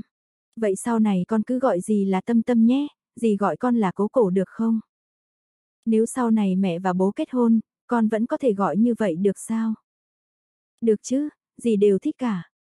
Thế tâm tâm có thể ngủ với con không? Đương nhiên là được rồi, nhưng con phải hỏi bố xem, hỏi xem bố có đồng ý không đã. Cổ cố nghe vậy thì quay lại nhìn cố Gia Huy ở phía sau, sắc mặt hơi âm trầm. Ơ, sao vẻ mặt của bố trông như mất hứng vậy, mình có làm gì sai sao? Cô bé bám vào ống quần của cố Gia Huy, nhìn cẩn thận. Bố Trung, có được không ạ? Cố Gia Huy hơi đau đầu, anh không nhẫn tâm từ chối cố cố được. Nhưng nếu hứa minh tâm ngủ cùng với cố cố thì anh phải làm sao bây giờ? Một mình trong phòng sao? Nếu không thì ba người chúng ta ngủ chung nhé.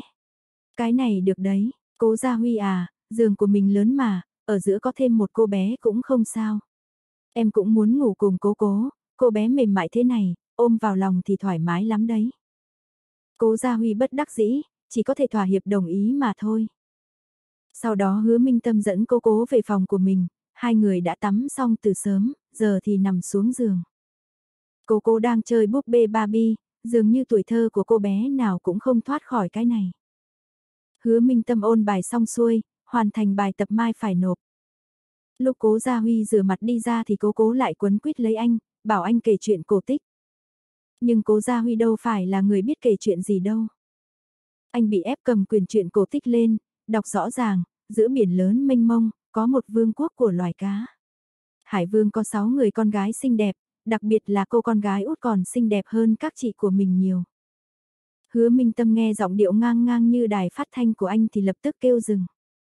Chú ba cô à, xem anh kể chuyện như thế kìa. Anh kể chuyện thì phải lên xuống, giạt rào tình cảm vào chứ. Giạt rào tình cảm. Cố Gia Huy hơi nhớn mày, cảm thấy mức độ này khá có tính khiêu chiến. Anh hắng giọng, bắt đầu thử lại. Giọng điệu có phần hơi khó chịu, làm hứa minh tâm phải nín cười. cố cố thì lại rất thích thú, ở bệnh viện cũng có y tá kể chuyện cho bé nghe, nhưng cô bé vẫn muốn người nhà kể chuyện cho mình hơn. Sau khi nghe xong chuyện nàng tiên cá, cô nhóc cũng mệt mỏi dã rời. Cô công chúa nhỏ đáng thương quá, cuối cùng lại biến thành bọt biển, không được ở bên hoàng tử. Không phải đâu, họ hạnh phúc ở bên nhau mà, là bố đọc sai rồi. Cố Gia Huy khẽ nói, anh vén mái tóc rối trên trán cô bé, nhìn khuôn mặt nhỏ nhắn chỉ bằng một bàn tay. Vậy, kết thúc câu chuyện đó là gì? Hoàng tử nhận ra người trước kia cứu mình chính là nàng tiên cá, họ cử hành hôn lễ trên bờ biển, cưới công chúa về làm vợ. Thế, thì thật tốt. Cuối cùng cô bé cũng ngủ say. Cố Gia Huy đắp kín chăn cho cô bé, anh ngước mắt lên thì chạm vào tâm mắt của hứa minh tâm, không nhịn được hỏi, em nhìn cái gì thế? Không ngờ anh lại có thể như thế này, em còn tưởng rằng trước giờ chú ba cố luôn ngang ngược, thỉnh thoảng dịu dàng là đã hiếm có lắm rồi. Không ngờ còn có lúc ân cần đến vậy, sao trước đây em không phát hiện ra nhỉ? Ghen à? Đúng đó, anh đâu có dịu dàng như thế với em đâu. Vậy lần sau anh cũng sẽ kể chuyện cổ tích trước khi ngủ cho em. Đừng, nghe xong chuyện anh kể, em sợ buổi tối em sẽ gặp ác mộng mất, khó cho cô cố quá, còn có thể nghe tiếp như vậy. Cô đau lòng xoa đầu cô bé. Em đang cười trình độ kể chuyện của anh đây à? Gan quá nhỉ? Cố Gia Huy hơi nhíu mày, đang định giữ lấy bờ môi cô, không ngờ cô bé trong lòng lại ư a một tiếng, lật người lại. Hứa Minh Tâm cũng giật mình lo lắng, vội đẩy Cố Gia Huy ra, có cô bé ở đây, anh đừng có làm bừa, để cho bé ngủ. Cô tắt đèn, ôm cố cố đi ngủ. Cô cố cũng thuận thế chui vào lòng cô, thế là... Cố Gia Huy thành một người cô đơn, rõ ràng là ba người cùng giường cùng gối, sao anh lại không cảm giác được mình cũng được yêu thương. Cố Gia Huy cảm thấy hơi buồn bực, còn định nhích lại gần hứa minh tâm nhưng lại bị cô ngăn lại không khách sáo chút nào. Chú ba cô à, anh đừng lấn tới nữa, cẩn thận ép phải cố cố đó. Hay là đặt con bé ra ngoài đi, em sang đây ngủ với anh. Không muốn, thế này tốt mà, mau ngủ đi, thời gian không còn sớm nữa, mai em còn phải đi học đấy. Cô oán trách, cố Gia Huy lặng lẽ thở dài một hơi, cả đêm không cách nào ngủ được. Ngày hôm sau, các cô thì ngủ đủ giấc, nhưng tinh thần của cố Gia Huy lại không được tốt lắm. Cô cố nghiêng đầu, nghi ngờ nhìn anh, bố ơi, bố là sao vậy, bố bị gấu mèo đánh sao? Hứa Minh Tâm nghe vậy thì không nhịn được phải bật cười thành tiếng. Đúng là một con gấu mèo có công phu. Cố Gia Huy nghe vậy, đôi mắt phượng sâu thăm thẳm vô thức híp lại, chỉ muốn kéo cô bé tàn nhẫn phách lối này lại dạy dỗ cho một trận. Hứa Minh Tâm ỉ có cô cố ở đây, chắc chắn cố Gia Huy sẽ không dám ra tay, thế nên cô không hề sợ hãi. Sáng sớm cô có thiết nên trời vừa sáng là đã phải đi rồi, cố Gia Huy dẫn cô cố đến tập đoàn cố thị. Mọi chuyện kết thúc ở đây. Lúc này đây, ở tập đoàn cố thị, cố Gia Bảo đã xác định ngay phải rời khỏi tập đoàn, giao hết cổ phần lại cho cố triệt.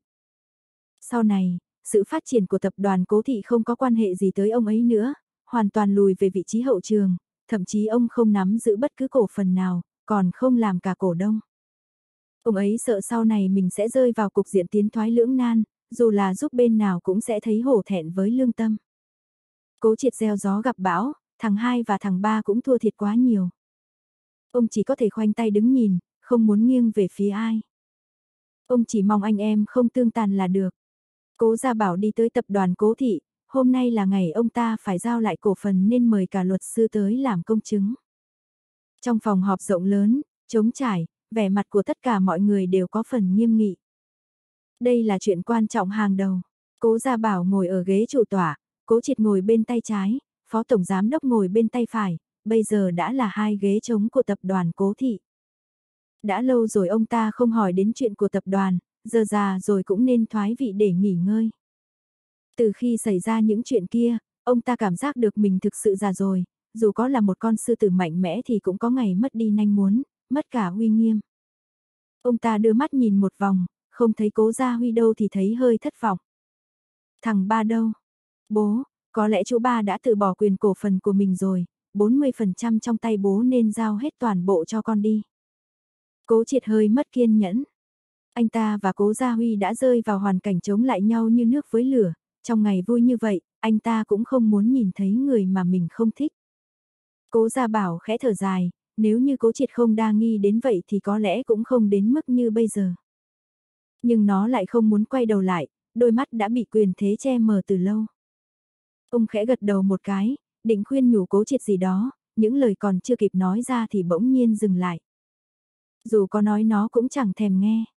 Nếu đã vậy thì cứ bắt đầu đi. Hôm nay, tất cả thành viên lão làng và các cổ đông của tập đoàn cố thị đều có mặt, cũng có luật sư làm chứng cho quá trình chuyển nhượng cổ phần. Đợi đã. Đúng lúc này, ngoài cửa bỗng vang lên giọng nói vừa trầm vừa dày của cố Gia Huy, khàn khàn rung động như đánh vào lòng người. Không biết vì sao, cơ thể mọi người bỗng run lên. Mọi người đều nhìn về phía cửa, thấy cố Gia Huy ôm một đứa bé trong tay đi vào phòng. Cô bé nhỏ trông rất ngoan ngoãn, trong lòng là chú gấu Teddy, bên tay còn cầm một cái bánh gato nhỏ, ăn từ tốn. Lúc nhìn thấy cố Gia Bảo ngồi ở ghế chủ tọa, cô bé còn nghiêng đầu quan sát hồi lâu. Sao chú lại tới đây? Cố triệt nhìn thấy cố Gia Huy thì có vẻ không vui, anh ta nói. Chuyện quan trọng như vậy, sao em lại không đến được chứ, anh cả xem em là người ngoài sao. Cố triệt nhếch miệng cười gắn, đôi mắt phượng thâm thúy, như mực đen thăm thẳm. Hàng mi dài rậm che đi vẻ khó hiểu tối nghĩa trong ánh mắt. Anh để cố cố xuống rồi chỉ về phía cố gia bảo, anh nói, con có biết gọi ông ấy là gì không? Ông nội. Cô bé ngọt ngào đáp. Cái này, đây là... Cố gia bảo vô cùng khiếp sợ, ông nhìn cô cố một hồi lâu, càng nhìn càng thấy dáng vẻ của cô bé rất quen, cực kỳ giống một người. Cô cô đi tới trước mặt ông, kéo ống tay áo của ông rồi nói, ông nội, con tên là ôn cố, mẹ con là ôn thanh vân, bố con là cố trường quân. Cái gì? Cố gia bảo hoảng sợ không thôi, ông vội vàng ôm lấy cố cố, để cho cô bé đứng trên bàn hội nghị, còn mình thì nhìn chăm chú, cẩn thận. Ông có thể loáng thoáng nhìn thấy dáng vẻ của thằng hai. Chỉ là thằng hai đã ra đi quá lâu, từ nhỏ không ở bên cạnh ông, bây giờ chôn cất cũng đã 4 năm rồi. Ông mừng phất khóc, xoa nắn cánh tay nhỏ nhắn mềm mềm của cô bé rồi nói, cháu gọi ông là gì, ông lớn tuổi rồi, tai nghe không rõ, cháu nói lại cho ông nghe đi. Ông nội, ôn cố hơi sợ người lạ, dù sao những người này cũng rất xa lạ với cô bé. Trước khi tới đây, ôn Thanh Vân đã giải thích cho cô bé kỹ càng. Audio điện tử võ tấn bền. Từ nhỏ đến lớn, cô bé chỉ biết là mình có ông ngoại, không ngờ mình vẫn còn một ông nội nữa. Xem ra ông nội rất giống bố chung, có lẽ dáng vẻ của bố cô bé cũng thế này. Thằng hai có con sao, sao những năm qua con không nói với bố? Cố gia bảo mừng rỡ rơi nước mắt, ông run rẩy nói. Với người già mà nói thì đây đúng là chuyện đáng vui mừng nhất. Cố triệt thấy thời của có biến thì lập tức đứng dậy, đập bàn tức giận chỉ về phía cố gia huy. Đôi mắt nham hiểm, híp lại, giống như thể muốn lột ra rút gân cố gia huy. Cố gia huy, chú tùy tiện tìm một đứa bé rồi nói là của thằng hai, không phải là hoang đường quá sao. Đây là giấy khai sinh của cố cố, từ lâu em đã chuẩn bị sẵn. Nếu bố không tin thì có thể tới bệnh viện kiểm tra. Không, không cần kiểm tra, là con của thằng hai, bố nhận ra được. Cố gia bảo vuốt ve cánh tay cô bé, ông không dám sờ mạnh quá, chỉ sợ mình sờ mạnh thì cô bé sẽ vỡ như búp bê bằng sứ. Thằng ba à, rốt cuộc chuyện này là thế nào? Nói nhanh lên. Cố gia bảo thúc giục. Cố gia huy mới kể hết đầu đuôi sự tình, đương nhiên anh không nói đến chuyện cố triệt có liên quan tới cái chết của anh hai. Món nợ này từ từ anh sẽ đòi lấy. Cố Gia Bảo biết được sau khi cố trường quân tạ thế, ôn Thanh Vân không hề bỏ đứa bé mà còn kiên trì sinh dưỡng, ông dưng dưng nước mắt. Ông không ngờ cố cố còn nhỏ đã phải chịu khổ như vậy, may mà phẫu thuật thành công, đứa bé bình an. Đợi lát nữa về nhà ông nội ăn cơm có được không? Được à, bố Trung cũng nói như vậy, nói ông nội nhất định sẽ chuẩn bị rất nhiều, rất nhiều món ăn ngon cho cố cố. Cháu tên là ôn cố thật sao? Tên rất hay, thật là một cái tên hay, không cần đổi, cứ gọi như vậy đi, ông nội rất thích. Ông dán vào khuôn mặt nhỏ của cố cố, tâm trạng kích động vô cùng. Cố Gia Huy mở lời, bố à, trong tay bố có ít nhất 15% cố phần giao cho anh hai, bây giờ anh hai không có ở đây thì vẫn còn cố cố, cố cố có quyền được hưởng phần đó của anh hai. Cố Gia Huy, lúc đó chú đã nói sẽ không tranh quyền thừa kế, chú lật long à. Em đã nói rồi, em không cần tập đoàn cố thị nhưng em chưa bao giờ nói sẽ giao cổ phần lại cho anh. Em định lấy phần của anh hai đưa cho cố cố, làm đồ cưới cho cố cố sau này không được à. Cố triệt nghe vậy thì trong lòng lại thấy hơi hồi hộp. Đúng là cố Gia Huy chưa từng nói muốn cho anh ta số cổ phần đó. Đồ cưới. Con bé mới lớn từng đó, giờ mà đã chuẩn bị đồ cưới à. Chú muốn làm khó dễ anh chứ gì. Cố triệt giận không nhịn nổi. Vốn anh ta đã tính xong cả rồi, không ngờ cuối cùng lại còn một chiêu này. Anh ta mất vợ, con trai thì tàn tật, thậm chí còn không tìm được con riêng để kế thừa. Anh ta chỉ có tập đoàn cố thị này mà thôi. Không ngờ cố Gia Huy lại muốn lấp kín con đường này, đúng là khinh người quá đáng. Cho dù con bé bao nhiêu tuổi thì nó cũng là con của anh hai, là người thừa kế của nhà họ cố. Chẳng lẽ anh muốn bắt nạt cô nhi quả phụ nhà họ sao? Chú, cổ triệt còn muốn nói tiếp nữa nhưng lại bị cố gia bảo ngăn lại. Ông vỗ mạnh xuống bàn, một tiếng vang nặng nề giật này. Cô cô cũng giật mình kinh ngạc nhìn ông. Chỉ trong nháy mắt, cố gia bảo mới mềm lòng vội vàng ôm cô bé vào lòng. Ông nội đang dạy dỗ hai chú, cô cố có bị dọa sợ không nào? Ông nội thật là dữ, cô cô đáng thương nói. Ông nội rất hiền, không tin cháu cứ xem, ông nội cười nói, giảng đạo lý cho họ này. Ông cụ nhếch môi, cười vô cùng thoải mái. Sau đó nhìn về phía hai người, ông nói, hội nghị hôm nay đến đây là kết thúc, bố phải suy nghĩ lại, khi có kết quả sẽ thông báo cho mọi người, giờ cứ về trước đi. Bố, cố triệt không cam lòng, anh ta còn muốn dẫy dụa không buông nhưng lại bị ánh mắt của cố gia bảo uy hiếp. Cố triệt đành phải ngoan ngoãn câm miệng lại. Hội nghị lần này cứ thế giải tán. Cố gia bảo ôm cố cố rời đi, để lại mấy thành viên hội đồng quản trị tụm năm tụm ba ra ngoài. Cuối cùng, trong phòng họp lớn chỉ có hai anh em bọn họ.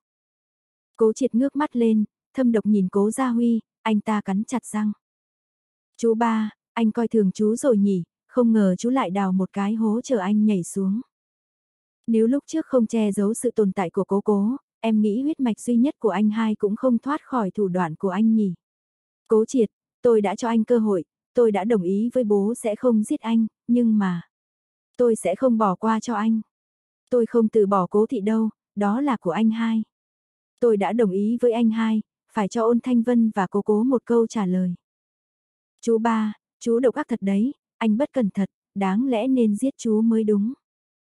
Cố triệt biết vậy đã chẳng làm. Anh ta cho rằng cố gia huy bị hủy mặt thì không thể làm nên sóng gió gì, nhưng không ngờ anh lại ngấm ngầm phát triển đến mức độ đó. Đợi đến khi anh ta ý thức được, muốn phản kháng lại thì đã không đánh lại từ lâu. Anh ta từng bước ủ mưu, cuối cùng mình lại chìm vào trong vũng bùn đó.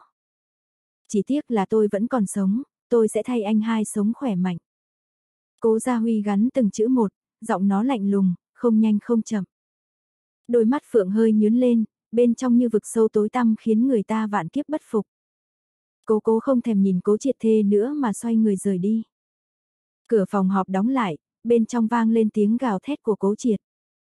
Cố triệt thua rồi, tiếp đến là Lucia, cố ra bảo dẫn cố cố về lại nhà cũ, ông vui mừng như một đứa trẻ, không ngừng chuẩn bị. Mua cho cô cô món đồ chơi tốt nhất, bảo người ta chuẩn bị cho cô bé những món ăn ngon nhất. Cô bé muốn đi đâu thì tới đó, muốn cái gì thì có cái đó.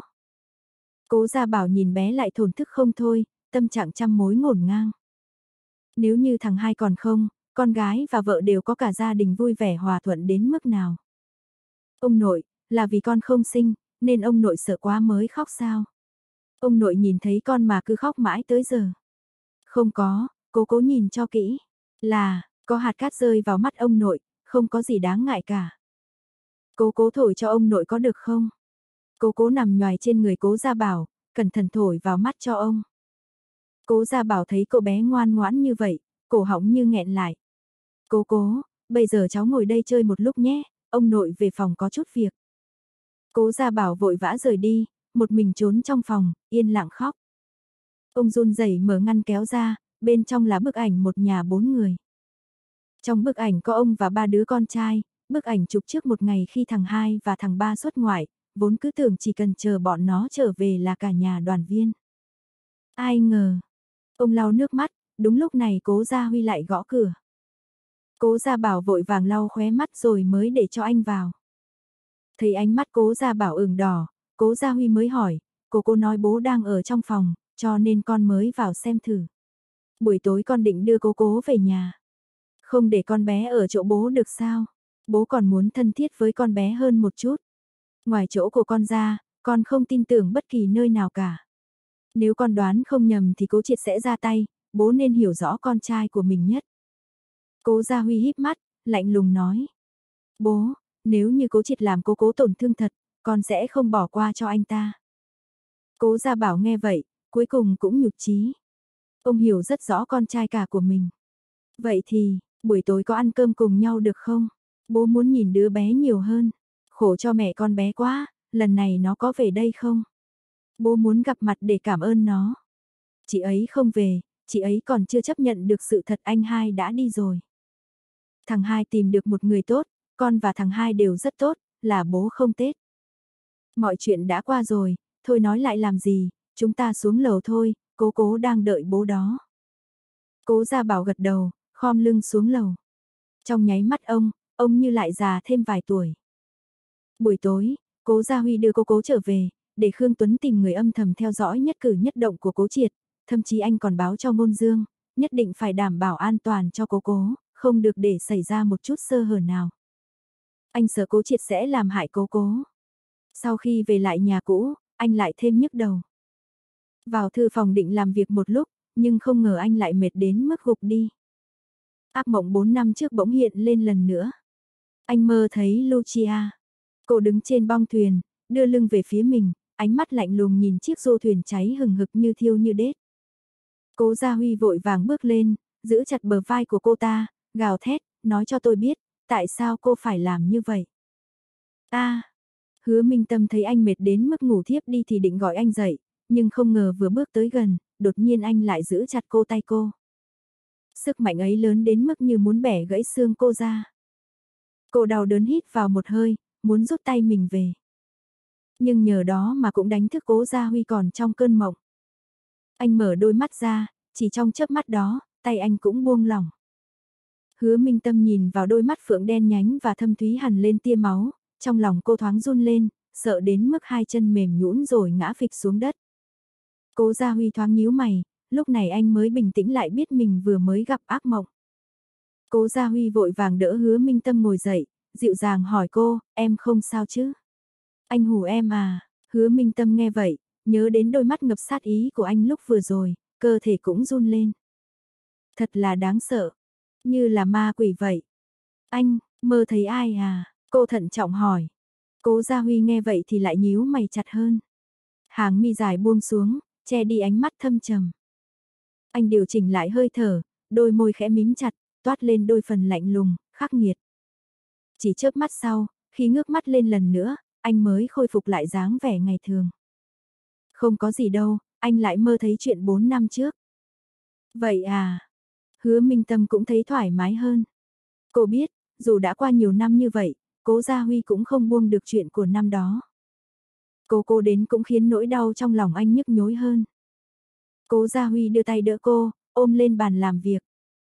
Cô đông đưa chân, nhìn thấy khuôn mặt mệt mỏi của anh thì lại hơi đau lòng, nếu anh mệt thì nên đi ngủ đi, cố cố tắm xong thì đã lên giường rồi. Anh còn mấy việc chưa xử lý xong, cũng nhanh thôi. Anh thản nhiên nói, nhức đầu xoa xoa huyệt thái dương. Huyệt thái dương căng chặt, nảy lên thình thịch, giống như một quốc vương bất lực không thể nào dẹp loạn. Hứa Minh Tâm thấy vậy thì vươn tay ra, nhẹ nhàng để lên huyệt thái dương của anh, vuốt ve rất có nghề. Bàn tay nhỏ bé ấm áp của cô thực hiện từng động tác nhẹ nhàng, nhưng lại như có một thứ ma lực thần kỳ, chỉ trong nháy mắt đã xoa dịu toàn bộ cơn đau trong người anh. Hỗn loạn trong lòng cũng bị quét đi sạch sành xanh. Cố Gia Huy nhìn dáng vẻ nghiêm túc của cô, khóe môi vô thức cong lên cười nhẹ, chút lạnh lùng cuối cùng cũng bị hòa tan hết. Cô bé này, chính anh cũng không thể nào chống đỡ được. Hứa Minh Tâm chú ý đến ánh mắt thâm thúy của anh đang chăm chú nhìn mình, trong đôi mắt phượng như có một màn đêm trong suốt có thể hút cả bản thân vào. Cô bị anh nhìn đến ngượng ngùng, chớp mắt vô tội nhìn lại anh, anh nhìn em như vậy làm gì chứ? Em xinh mà, không nhịn được muốn nhìn lâu hơn nữa. Anh cũng đẹp trai lắm, chẳng lẽ mỗi ngày em đều phải nhìn anh như vậy à? Hứa Minh Tâm không vui hỏi lại. Em biết nếu mà em cứ nhìn như vậy thì sẽ xảy ra chuyện gì không? Chuyện gì? Hứa Minh Tâm không hiểu, nhìn anh. Cô nhìn vào mắt anh khoảng độ vài giây. Cố Gia Huy đã dùng hành động trả lời cho cô biết. Anh tiến lên phía trước, đôi môi mỏng hơi lạnh, nhẹ nhàng phủ lên bờ môi cô. Lần này lại dịu dàng đến lạ, đầu lưỡi miêu tả viền môi cô, chậm rãi công thành chiếm cứ. Cơ thể hứa minh tâm thoáng run lên, rồi nghiêng ngả. Hai tay cô vô lực để trước ngực anh, cố Gia Huy đứng dậy, một tay chống trên mặt bàn, một tay ôm lấy eo thon, sợ nửa người cô nghiêng ngả, thể lực không thể nào chịu nổi. Mỗi lần anh đều tỉ mỉ như thế này. Nụ hôn càng lúc càng sâu. Đúng lúc đó, cánh cửa vang lên một tiếng động, có người đẩy cửa bước vào. Anh kia Huy, cô cô nói là muốn. Tìm, tìm anh. Ôn Ngụy Phong nhìn thấy cảnh tượng bên trong, phản ứng đầu tiên là vội vàng che mắt cố cố lại. Cái đó, quấy giày rồi. Ôn Ngụy Phong vội vàng đóng cửa lại cô cố chỉ thấy cố Gia Huy và hứa Minh Tâm đang tựa vào nhau rất gần, môi kể môi, sau đó. Cô bé còn chưa kịp nhìn cẩn thận đã bị cậu kéo ra rồi. Cậu ơi, bố Trung đang đói sao? Tại sao lại gặm môi của Tâm Tâm? Chuyện này, ôn ngụy Phong giờ khóc giờ cười, anh ta cũng ngốc trong chuyện tình cảm lắm. Mà trong phòng, hứa minh tâm đỏ bừng mặt mũi, vành tai cũng như bị ứ máu. Cố Gia Huy thì bất đắc dĩ cười khổ, anh trêu, xem ra lần sau anh phải khóa trái cửa, nếu không họ cứ tùy tiện xông vào thấy cái không nên thấy thì phiền lắm. Thật là mất mặt. Hứa Minh Tâm che mặt, gò má nóng hừng hực, giống như thể máu khắp người đều xông lên đầu vậy. Chúng ta là vợ chồng chưa cưới, hành động này có sao đâu. Em về phòng trước đi, hết bận anh sẽ về. Ừm, vậy anh nghỉ sớm nhé, em chuẩn bị một ly sữa cho anh. Hứa Minh Tâm ảo não rời đi. Ôn Ngụy Phong giao cố cố lại cho cô, cũng báo mình đã tìm được phòng, ngày mai sẽ rời ra ngoài, chỗ đó cách tập đoàn không xa, đi làm cũng tiện. Hứa Minh Tâm dẫn cô cố về phòng, cố Gia Huy không có ở đây nên cô đành phải kể chuyện cho cố cố. cố cố nghe chuyện cổ tích xong thì không hề buồn ngủ một chút nào, cô bé hỏi, tâm tâm, lúc nãy bố Trung đang làm gì vậy ạ? À? Cái đó, hứa minh tâm đỏ mặt, không biết nói thế nào. cố cố đột nhiên nghĩ đến cái gì đó, cô bé kích động hỏi, là hôn phải không ạ, lúc mẹ đến thăm cũng hôn con, mà là hôn trên má. Mẹ nói, gặp người mình thương mới được hôn. Nếu như, nếu càng thích hơn nữa thì sẽ hôn lên miệng. Hứa Minh Tâm ấp úng giải thích. Cô cố nghe vậy thì vừa hiểu vừa không sau đó cô bé vươn người lên, khuôn miệng nhỏ nhích lại gần, hôn cái bẹp lên môi hứa Minh Tâm. Cô cố vừa mới uống sữa xong, còn mang theo mùi sữa nhẹ nhàng. Cô cố cũng rất thích tâm tâm, sau này cô cố sẽ hôn như vậy có được không? Gò má vừa mới giảm nhiệt độ của hứa minh tâm lại bừng cháy lần nữa. Trời, cô bé đáng yêu này lại trêu chọc người khác như vậy. Cô bị một cô nhóc trêu đùa rồi. Cô cố đi ngủ sớm đi, sáng sớm mai gì nấu đồ ăn ngon cho con. Được ạ, à, ngủ ngon. Cô cố chui vào ổ chăn. Hứa minh tâm võ nhẹ sau lưng bé, chờ đến khi cô bé ngủ rồi, cô cũng mệt mỏi ngủ thiếp đi. Cố Gia Huy kết thúc công việc quay trở lại thì thấy hai người đã ôm nhau ngủ rồi, hình ảnh đó ấm áp vô cùng. Anh bước lên đắp chăn lại cho hai người, nhếch môi cười ấm. Đây là hai người mà anh phải bảo ngày hôm sau, ôn ngụy Phong tới công ty nhưng hơi chậm một chút. Anh bất ngờ gặp được Bạch Thư Hân cũng tới trễ như mình. Hay quá, tình cờ. Ôn ngụy Phong tiến lên bắt chuyện, trong lòng cố gắng tìm từ, nhưng nhầm đi nhầm lại không biết bao nhiêu lần đến thuộc lòng lòng. Vậy mà lời vừa ra khỏi miệng, chỉ ba chữ ngắn người lại lắp ba lắp bắp chẳng thành câu. Trước đây nói chuyện với con gái, anh cũng không nói lắp đến mức ấy, nhưng không biết tại sao, nói chuyện với Bạch Thư Hân anh lại không bình thường như vậy. Sao anh lại ở đây? Tôi, tôi thực tập ở đây, cô cũng làm. Ở công ty này sao? Làm ở, bộ phận nào? Bạch Thư Hân nghe anh ta nói thì lại thấy kích động muốn quật ngã người này. Một câu mà anh đã có thể nói hết một phút liền. Không xong rồi, cô sắp trễ giờ làm rồi, tới trễ là không đặt chuyên cần đấy. Trễ rồi, em đi trước đây. Tôi, tôi vừa mua bữa sáng, em ăn đi. Em bị thương phải bồi bổ cho khỏe. Còn, còn nóng. Anh còn chưa nói xong thì Bạch Thư Hân không chờ nổi mà từ chối. Trở về luyện tiếng phổ thông đi, tạm biệt. Cô ta tranh thủ thời gian đi nhanh nhưng, vẫn tới muộn. Trễ một phút, tức chết mà. Biết vậy đã không nghe anh ấy lắp ba lắp bắp nói xong câu kia. Tháng này xem như bỏ. Cô ta ngồi trên ghế thức đến nỗi muốn băm ôn mạc ngôn thành trăm mảnh. Cuối tháng và đầu tháng là khoảng thời gian phòng tài vụ bận rộn nhất bởi nhân viên công ty cũng trên dưới mấy ngàn, đều cần phải thống kê từng người cũng như hạch toán tiền lương. Cô ta bận đến sức đầu mẻ chán, mãi đến giờ cơm trưa mới có thời gian nghỉ đi ăn cơm với đồng nghiệp. Kể từ khi các đồng nghiệp biết cô là đời thứ ba trong gia đình có công với cách mạng đã trở nên khách sáo với cô ta khá nhiều, chắc có lẽ bởi kiêng rẻ thân phận. Lúc ăn cơm, hai bên cách vách đều đang thảo luận về một anh chàng đẹp trai vừa mới đến phòng kế hoạch. dáng vẻ chính chắn, nhã nhặn, đẹp trai hơn người. Bạch Thư Hân còn đang tò mò người đó là ai thì đồng nghiệp bên cạnh chọc cánh tay cô ta, chỉ ở phía trước, mau nhìn kìa, trai đẹp tới, chính là anh ấy. Bạch Thư Hân ngước mắt nhìn, cô ta không ngờ người đó là ôn mạc ngôn nên nhíu chặt mày. Vừa nhớ anh ấy mang vận xui là cô ta tranh thủ chuồn trước. Tôi ăn xong rồi, mọi người cứ dùng bữa tiếp nhé. Cô cúi đầu bưng suất cơm muốn rời đi, hy vọng ôn mạc ngôn sẽ không phát hiện ra cô ta. Không ngờ ôn mạc ngôn là tìm cô ta, trông thấy cô ta sắp rời đi nên cũng tăng tốc độ đi đến. Nhưng anh ấy bị trượt chân, thế là theo quán tính, anh ấy đẩy người phía trước ngã xuống. Bạch Thư Hân lại trở thành đệm lưng cho người ta thêm một lần nữa. Mẹ nó. Khoảnh khắc Bạch Thư Hân ngã xuống, cô ta chỉ kịp thốt ra hai từ này. Cái mông đập mạnh xuống đất đau muốn chết. Ôn mạc ngôn nằm trên người Bạch Thư Hân, tay, đặt trên ngực cô ta. Anh thấy vậy liền hoảng hốt, anh nhanh chóng bỏ tay ra rồi chống tay ngồi dậy. Cái kia, anh xin lỗi, em có sao không? Anh kéo em dậy. Ôn mạc ngôn muốn đỡ Bạch Thư Hân đứng dậy nhưng cô ta nhanh chóng từ chối.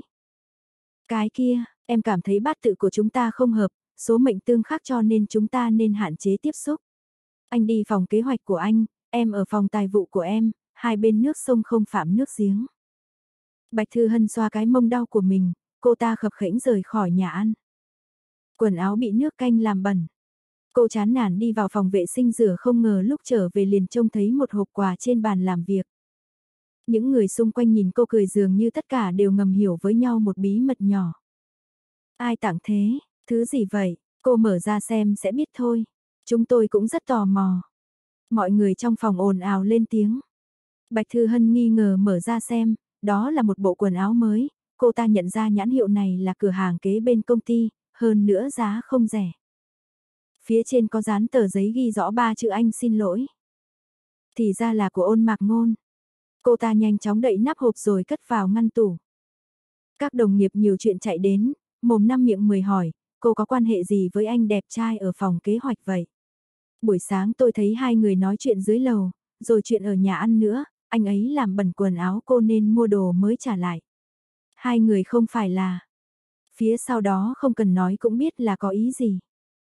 Bạch Thư Hân nghe vậy liền đau đầu. Hai người rất xứng đôi, trai tài gái sắc, cũng không biết ra cảnh anh ấy thế nào, nếu ổn thì cô có thể suy nghĩ đấy. Bạch Thư Hân liên tục lắc đầu rồi trả lời. Tôi hoàn toàn không có quan hệ với anh ấy, chỉ cần thấy là gặp chuyện xui xẻo. Hơn nữa anh ấy cũng không mẫu chồng tương lai của tôi, tôi ghét nhất là loại đàn ông yếu đuối giống như con gái vậy. Nếu như một ngày nào đó ôn mạc ngôn căm ao, thì chắc chắn sẽ là thủ. Thật sao, cô xác định không có gì với anh ấy à? Nếu vậy chị em chúng tôi ra tay đấy, khó khăn lắm mới gặp anh đẹp trai thế mà, chúng tôi sẽ không bỏ qua. Các cô cứ làm đi, đừng khách sáo với tôi. Vậy thì tốt, lỡ cô muốn thì sao chúng tôi có cửa giành lại với cô đây. Tôi thấy anh ấy, tám phần là chim non, nhìn thấy con gái sẽ xấu hổ, chắc chắn là xử nam rồi. Thật à, em thích lắm đấy, chị dạy tụi em đi mà. Mặc dù chúng ta không cùng phòng nhưng hai phòng kế hoạch và phòng tài vụ rất gần nhau. Có đôi khi xã giao nhiều, họ còn mượn người ở phòng tài vụ chúng ta đi giúp, nói không chừng chúng ta sẽ nhanh có cơ hội tiếp xúc với anh đẹp trai nha. Bạch Thư Hân nhìn các cô sôi nổi bèn im lặng rời đi. Cô ta gọi điện thoại cho hứa Minh Tâm hỏi vì sao ôn mạc ngôn lại xuất hiện trong công ty. Hình như anh ấy đến học lấy kinh nghiệm, tớ cũng không rõ lắm, anh ấy gặp cậu rồi à. Đừng nói nữa, anh ấy khác với tớ. Bạch Thư Hân than thở. Đúng lúc này, quản lý tới thông báo phòng kế hoạch lại tới mượn người. Phòng kế hoạch nam nhiều nữ ít, lúc xã giao sẽ cần phái nữ ra mặt, mà đó là người có thể uống rượu. Hai phòng ở gần nhau nên thường xuyên đến mượn người. Bạch Thư Hân ngồi ở góc hẻo lánh, dù sao việc cũng không tới tay cô. Nhân viên nữ có thể uống rượu tốt, còn cô chỉ tầm trung mà thôi. Không ngờ quản lý hỏi một vòng lại phát hiện tối hôm nay mọi người đều không rảnh. Không dẫn con về nhà thì cũng vừa mang thai không thể uống rượu. Cuối cùng, ánh mắt quản lý va trúng Bạch Thư Hân. Thư Hàn, cô qua đây. Trái tim của Bạch Thư Hân lục bục một tiếng, thầm kêu không ổn. Tớ không nói với cậu nữa, tớ nghĩ ngày chết của tớ tới rồi. Cô ta vội cúp điện thoại, bị quản lý gọi vào phòng. Vốn quản lý đang trong thời kỳ mãn kinh nhưng nhìn thân thế của Bạch Thư Hân nên cũng không dám la lối om sòm. Dù sao hiện tại Bạch Thư Hân đã là nhân viên chính thức, biểu hiện cũng rất xuất sắc. Thư Hàn à, 4 giờ chiều này cô đi xã giao với người ở phòng kế hoạch, phòng đó có tận hai tiệc nên cân một nhân viên nữ biết uống rượu. Làm xong sẽ trích phần trăm cho cô, tôi sẽ thông báo cho bên kia. Cái này, tôi có thể từ chối không? Cô khó khăn nói. Khó lắm tôi mới nhờ cô một lần, chẳng lẽ cô không cho người quản lý này chút mặt mũi sao? Xem như tôi xin cô, tôi sẽ tăng lương cho. Vậy được à? Bạch Thư Hân nhận mệnh. Cô ta nghĩ ôn mạc ngôn là con ông cháu cha được cưng chiều từ nhỏ nên chắc hẳn anh ấy sẽ không đi loại tiệc xã giao này đâu. Dù sao với quan hệ của anh với cố Hàn Châu, tuy là nhân viên bình thường thì quản lý ở bên trên sẽ hiểu mà không ép buộc anh. Ôn mạc ngôn không thể uống rượu, ở bữa cơm hôm đó cô đã phát hiện. Cố Hàn Châu còn uống hai ly, trong khi anh ấy không đụng một giọt nên chắc là tử lượng khá tệ. Mà hôm nay lại có hai tiệc xã giao, cô ta nghĩ bản thân cũng không xui tới nỗi sẽ gặp ôn mạc ngôn. Nghĩ như vậy nên lòng nhẹ nhõm hơn. 4 giờ chiều, cô ta chuẩn bị xuất phát cô ta mặc quần áo bẩn, bởi thời gian quá gấp nên không kịp mua đồ mới thay. Cô ta chỉ có thể dùng đồ của ôn mạc ngôn, không ngờ nó vừa người. Mắt thẩm mỹ cũng không tệ, chiếc đầm trắng nhìn rất đẹp. Vì bộ đồ này mà em sẽ tha thứ cho anh đấy. Cô xuống dưới lầu tập trung, khi không nhìn thấy ôn mạc ngôn liền thở phào nhẹ nhõm. Cảm ơn trời đất, may mà không có anh ấy nếu không cô ta sẽ xui mất. Mọi người nhanh chóng lên xe thương vụ nhưng người lái xe không phải trưởng phòng phòng kế hoạch. Đúng lúc này, ôn mạc ngôn vừa chạy vừa thở hồng hộc, thì ra anh ấy đi mua sữa chua. Anh lau mồ hôi trên trán, nói, mọi người hãy ăn lót dạ, đợi khi vào tiệc sẽ khó có thời gian ăn, mà uống rượu lúc bụng đói sẽ hại dạ dày. Sữa chua có thể giải rượu, nếu lát nữa ai không thể chịu nổi hãy ăn miếng sữa chua cho tỉnh. Cảm ơn anh đẹp trai từ sau khi ôn mạc ngôn tới thì chất lượng cuộc sống của chúng ta được nâng cao. Ôn mạc ngôn thật cẩn thận, ai mà có bạn trai như anh thật có phúc. Mọi người trêu chọc, ôn mạc ngôn cười xấu hổ. Anh ấy đưa cho từng người, bước vào trong xe thương vụ liền trông thấy Bạch Thư Hân đang trốn tránh. Nhìn bộ đồ cô đang mặc, anh ngạc nhiên vô cùng, hoàn toàn không thể tin Bạch Thư Hân cũng ở trên xe. Chào em, thật đúng dịp. Giống y hệt lời thoại buổi sáng anh bảo mình ở lại. Bạch Thư Hân ngoài cười nhưng trong không cười nhích miệng. Sao có thể trùng hợp như vậy, ở cùng một chỗ với học trò. Cái này, là của em, sữa chua, vị đào, em có thể, có thể ăn không? Được à? Cô chọn đại một hộp rồi cất vào túi. Không phải vừa nãy anh nói chuyện lưu loát lắm mà. Sao gặp cô lại ấp a ấp úng thế? Ôn mạc ngôn thấy cô không quan tâm mình nên cũng không muốn chuốc lấy nhục bèn ngồi ngoan ngoãn ở ghế trước. Chớp mắt đã đến khách sạn 5 sao. Phòng kế hoạch có 3 nam 3 nữ, đối phương có 4 người, tổng giám đốc mang theo ba cô thư ký. Trưởng phòng sắp đại vị trí cho mọi người. Bạch Thư Hân thở phào nhẹ nhõm khi ngồi ở chỗ xa nhất. Vừa chuẩn bị ngồi thì bị ôn mạc ngôn ngăn lại. Em ngồi, bên cạnh anh đi, vị trí này không? Không tốt. Bạch Thư Hân nghe vậy bèn ngẩng đầu nhìn một vòng, cô ta chợt nhận ra vị trí này đối diện với tổng giám dốc. Hoàn toàn không ổn, không ngờ ôn mạc ngôn có thể cẩn thận như vậy. Có dáng vẻ của một ông chú thật mệt mỏi. Lần này Bạch Thư Hân không do dự ngồi kế bên anh. Cô ta không phải người của phòng kế hoạch nên không cần liều mạng, chỉ cần đến cho đủ mặt là được. Bạch Thư Hân không ngờ rằng người đàn ông gầy gò yếu ớt như vậy chớp mắt như phá kén trở nên mạnh mẽ, khả năng uống rượu rất tốt. Trên bàn rượu là người khiêm tốn, ăn nói nhã nhặn. Cô vốn cho rằng phòng kế hoạch vừa vào sẽ sắn tay áo uống rượu. Bây giờ tận mắt chứng kiến thì có vẻ không tệ, không mục nát đến thế. Tổng giám đốc là tên mê gái, ông ta mời rượu cả ba người phụ nữ. Bạch Thư Hân uống hai ly, nồng độ rượu hơi cao làm cổ họng cô ta cảm thấy nóng bừng. Cô ta ho khan một tiếng, một giây sau đã thấy ôn mạc ngôn gắp thức ăn vào trong chén để cô ta ăn lót dạ. Trên xe vì mãi suy nghĩ nên cô ta vẫn chưa uống sữa chua anh đưa. Đúng là bụng rỗng uống rượu thật tệ. Bạch Thư Hân cảm ơn nhìn anh, lần đầu tiên cảm thấy cái con người trước mặt cũng không quá kém như tưởng tượng. Qua ba tuần rượu, mọi người đã có men say. Có người chưa đủ trình đã chạy vội vào nhà vệ sinh nôn thốc nôn tháo. Ngược lại Bạch Thư Hân không đến nỗi nào bởi phần lớn đã vào bụng ôn mạc ngôn.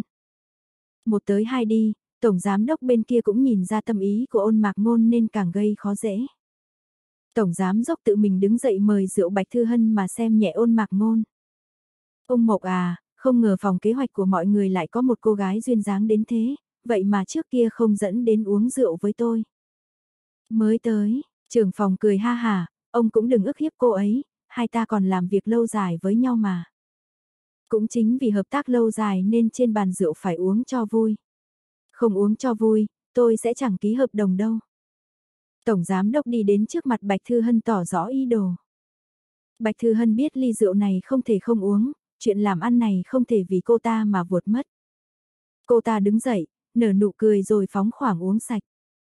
Từ nhỏ đến lớn, Bạch Thư Hân chưa từng biết sợ ai, huống chi là một ly rượu thôi mà. Tổng Giám Đốc Lưu à, tôi là một cô gái, ông là một người đàn ông. Tôi uống một ly thì ông phải uống ba ly nhé. Cô gái này thật biết nói chuyện, tôi uống hết. Tổng Giám Đốc vui vẻ ngửa đầu uống ba ly. Vừa uống một ly nhưng bụng của Bạch Thư Hân như bị lửa thiêu. Tử lượng của Tổng Giám Đốc tốt nên đòi uống nữa. Cứ như vậy, Bạch Thư Hân bị chuốc rượu. Ngay lúc cô ta sắp không chịu nổi thì ôn mạc ngôn chợt đứng dậy cô tay làm rớt ly. Rượu đổ lên váy khiến cô ta la lên. Anh không cố ý. Ôn mạc ngôn đứng dậy, xấu hổ nói. Không sao không sao, để hình tiêu dẫn cô ấy vào phòng vệ sinh. Trưởng phòng thuận tay dẫn Bạch Thư Hân đi khỏi. Bạch Thư Hân biết ơn, không ngờ ôn mạc ngôn lại đáng tin đến thế. Chỉ là cô hình gì đó có thái độ rất khó chịu. Đẩy cô ta vào phòng vệ sinh, còn mình đứng bên ngoài nói, cô nhanh lên đi, tôi không có thời gian. Đầu óc của Bạch Thư Hân choáng váng, cô ta cũng lười so đo. Cô ta rửa mặt nôn hết rượu, rồi ăn sữa chua, ăn xong liền cảm thấy cơ thể tốt hơn. Cô ta ở trong nhà vệ sinh hết 10 phút, lúc ra ngoài đã không còn bóng dáng của hình tiêu mà cô ta cũng mặc kệ, ngẩng đầu bước đi.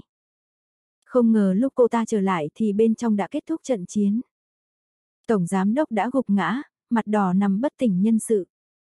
Trưởng phòng cũng thuận lợi ký được hợp đồng, mọi công lao đều thuộc về ôn mạc ngôn. Anh ấy quá đỉnh. Trong khi cô ta khó khăn tiếp rượu thì anh đã dùng tốc độ nhanh nhất hạ gục tổng giám đốc. Dù uống rất nhiều rượu nhưng mặt chỉ hơi đỏ, lúc đi đường vẫn rất vững vàng, không nhìn ra anh đã uống nhiều đến mức nào. Chỉ khi đứng cạnh anh mới ngửi được mùi rượu nồng khủng khiếp. Cô ta vừa tỉnh táo một chút, chớp mắt đã muốn say tiếp. Sau khi kết thúc, trưởng phòng cho xe đưa các cô trở về. Sau khi Bạch Thư Hân lên xe, đang chuẩn bị để tài xế lái xe thì ôn mạc ngôn cũng bước vào xe. Trưởng phòng cảm thấy mệt tim. Tôi cùng đường với cô ấy, hai chúng tôi sống cùng nơi. Sau đó, ôn mạc ngôn để tài xế lái xe rời đi. Bạch Thư Hân khó chịu nói, nhà anh cũng ở khu chung cư Phú Thành sao? Không phải. Vậy sao anh lại lên xe? Đây không phải cố tình để người khác hiểu lầm sao? Em, một phụ nữ như em uống rượu vào ban đêm về nhà. Sẽ không an toàn, anh đưa em về. Ôn mạc ngôn nghiêm túc nói, sốn lưng thẳng tắp, hoàn toàn không dám liếc nhìn Thư Hàn bởi sợ mình càng nói lắp hơn. Đúng lúc này, tài xế ở phía trước cười nói, em trai à, tôi quen một thầy thuốc trung y rất giỏi về việc chữa nói lắp, có cần tôi giới thiệu để đi khám không? Không, không cần. Ôn mạc ngôn hoảng hốt đáp, Bạch Thư Hân nghe xong liền cười, cô ta cũng không để ý đến anh nữa. Ôn mạc ngôn đưa Bạch Thư Hân về nhà, cô lên lầu tắm rửa, trong chốc lát cảm thấy tỉnh táo hơn rất nhiều. Cô nằm trên giường chuẩn bị vào giấc ngủ thì đột nhiên điện thoại thông báo có tin nhắn đến. Cô mở lên xem thì lại thấy một số máy lạ. Em uống rượu rồi thì nghỉ ngơi sớm đi. Nếu như em không muốn uống canh giải rượu thì có thể để một ly nước ở đầu giường, đến đêm dễ khát nước. Chuyện hôm nay ở nhà ăn thật sự rất xin lỗi, anh thật sự không cố ý, xin lỗi em. Bạch Thư Hân buồn bực, vì sao ôn mạc ngôn lại có được số điện thoại của cô nhỉ? Cô không trả lời lại, cô hoàn toàn không muốn có quan hệ thân thiết gì với người này. Nhưng cô vẫn đi xuống nhà rót một cốc nước để ở đầu giường. Đến gần khi tốt nghiệp, cô xin giám đốc nghỉ phép một tháng để trở về chuẩn bị luận văn tốt nghiệp và việc bảo vệ khóa luận. Cô đi báo cáo với người phụ đạo rồi đi tìm hứa minh tâm. Cô vừa lên lớp chuyên ngành xong và đang làm bài tập. Bạch Thư Hân nhìn qua thì thấy cô làm cũng khá tốt. Cố Gia Huy dạy cậu à? Không có, là tớ tự làm đấy, có phải rất giỏi không? Giỏi, giỏi, hứa minh tâm là giỏi nhất. Đúng rồi, tối thứ sáu cậu rảnh không, đi xem mắt cùng mình. Gì vậy, cậu muốn đi xem mắt sao? Hứa Minh Tâm nghe thấy thông tin này thì kinh ngạc đến mức mắt chữ không mồm chữ A. Bạch Thư Hân gõ vào đầu của hứa Minh Tâm, cười và nói, sao? Tớ không được đi xem mắt à? Có phải là chú cậu ép cậu không? Hứa Minh Tâm cảm thấy hơi lo lắng. Nhìn thấy Bạch Thư Hân khẽ lắc đầu thì cô hình như hiểu ra được chuyện gì đó. Là, do bác sĩ Doanh đúng không? Cô hỏi hơi buồn bã. Bạch Thư Hân nghe vậy thì rũ mắt nhìn xuống, che đi sắc màu ảm đạm trong mắt. Không phải, vì bản thân tớ thôi. Tớ muốn nhanh chóng tìm một nửa của mình, thử một mối tình mới, tớ không muốn dừng lại trong quá khứ và không tiến lên phía trước. Cô Yên có dũng khi bước ra từ mối tình trong quá khứ thì tớ cũng không kém cạnh gì cô ấy, tớ cũng làm được vậy. Cậu không cần phải so sánh mình với cô Yên, chuyện tình cảm không phải là một trò đùa. Cô vẫn còn chưa nói xong thì đã bị Bạch Thư Hân ngắt lời. Cậu không cần phải lo lắng cho tớ, tớ chỉ đi xem mắt thôi mà. Có thành được không vẫn còn do bên kia quyết định nữa. Người tớ đi xem mắt là con trai của một chiến hữu cũ của chú tớ. Nhân cách, gia thế đều bảo đảm, nghe nói cũng khá đẹp trai, vừa mới đi lính xong, đang quay về để nghỉ ngơi. Tớ không làm bộ đội thì đương nhiên phải tìm một anh lính mới đúng. Cơ bắp này, tứ chi phát triển mới là gu của tớ. Bác sĩ Doanh không phải rất tốt sao? Tính tình hiền hòa, thâm trầm bình tĩnh, không giống như một người thô lỗ. Những người thân thể cường tráng đâu phải đều là những người thô lỗ, cậu đừng thấy anh trai của tớ hào hoa phong nhã, giống một quý ông như vậy nhưng trong bộ đội anh ấy anh ấy là người rất nghiêm khắc đấy. Ở nhà của chú tớ, ngoài hai người đàn ông đó ra hình như không còn ai nữa. Lúc ăn cơm cũng vô cùng nghiêm túc, không được có tạp âm. Bạn trai mà tớ tìm ít nhất phải lợi hại hơn anh trai của tớ, nếu không thì làm sao có thể khiến cho anh ấy yên tâm được. Lợi hại hơn bác sĩ doanh thì, khó lắm. Hứa Minh Tâm ôm đầu. Sẽ có thôi. Bạch Thư Hân cũng không chắc chắn nên chỉ có thể nói ra ba chữ đó. Thật sự tồn tại người đàn ông tài giỏi hơn lệ nghiêm sao? Hay là cô đang tự lừa mình dối người, cứ tưởng tiếp xúc với nhiều người đàn ông khác là có thể hoàn toàn quên được lệ nghiêm sao? Cho dù hiệu quả rất thấp thì cô cũng muốn thử. Cô không thể cứ lún sâu trong bùn lầy như vậy được. Nếu như đã hứa với anh ấy thì cô không thể nuốt lời, đây là lời hứa của một người em gái với anh trai.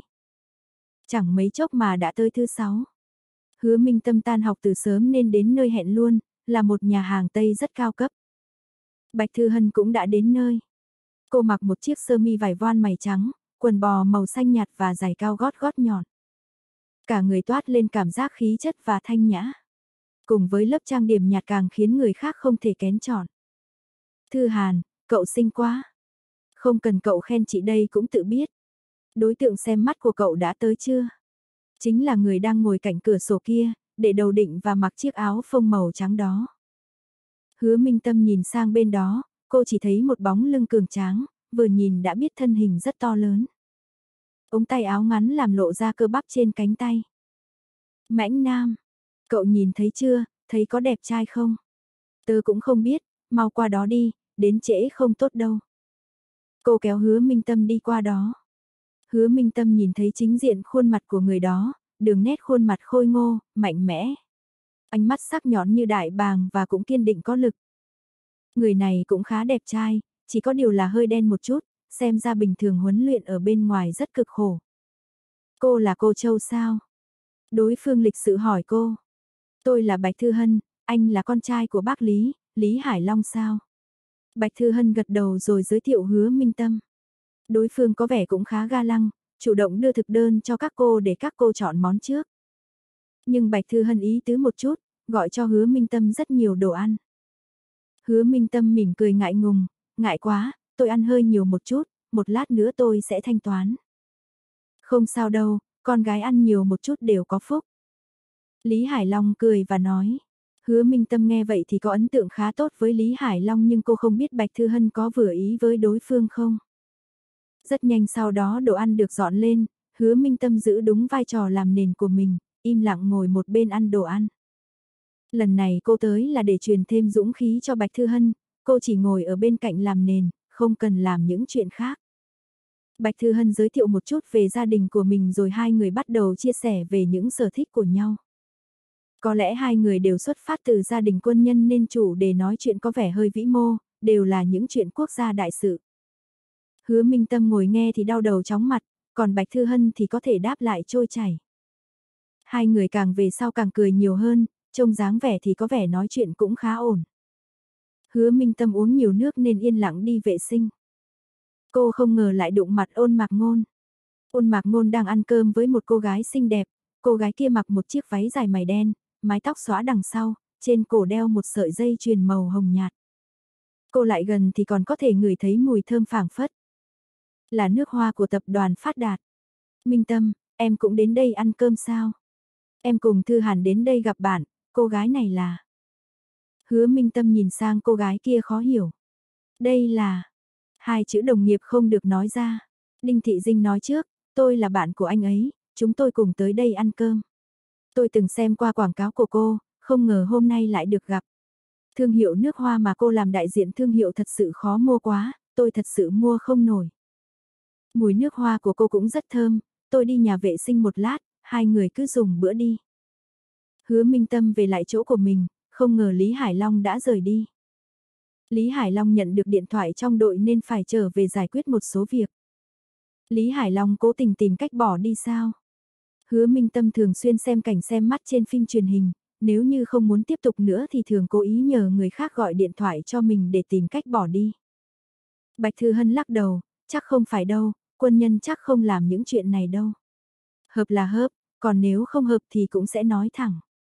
Anh ấy thật sự có chuyện phải rời đi, trước khi đi còn thanh toán rồi, thậm chí còn tiếp thêm cho nhân viên một khoản nữa, sợ chúng ta sẽ gọi thêm đồ.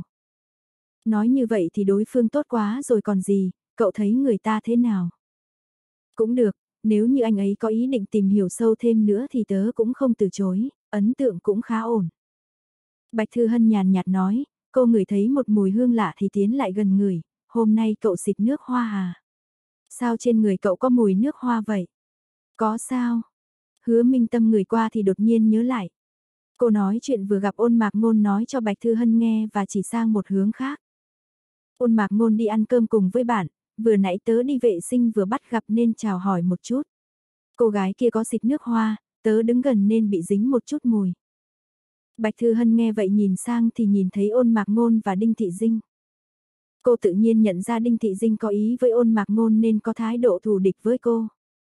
Chẳng trách tối hôm trước lúc uống rượu, Đinh Thị Dinh lại mất kiên nhẫn với cô như vậy.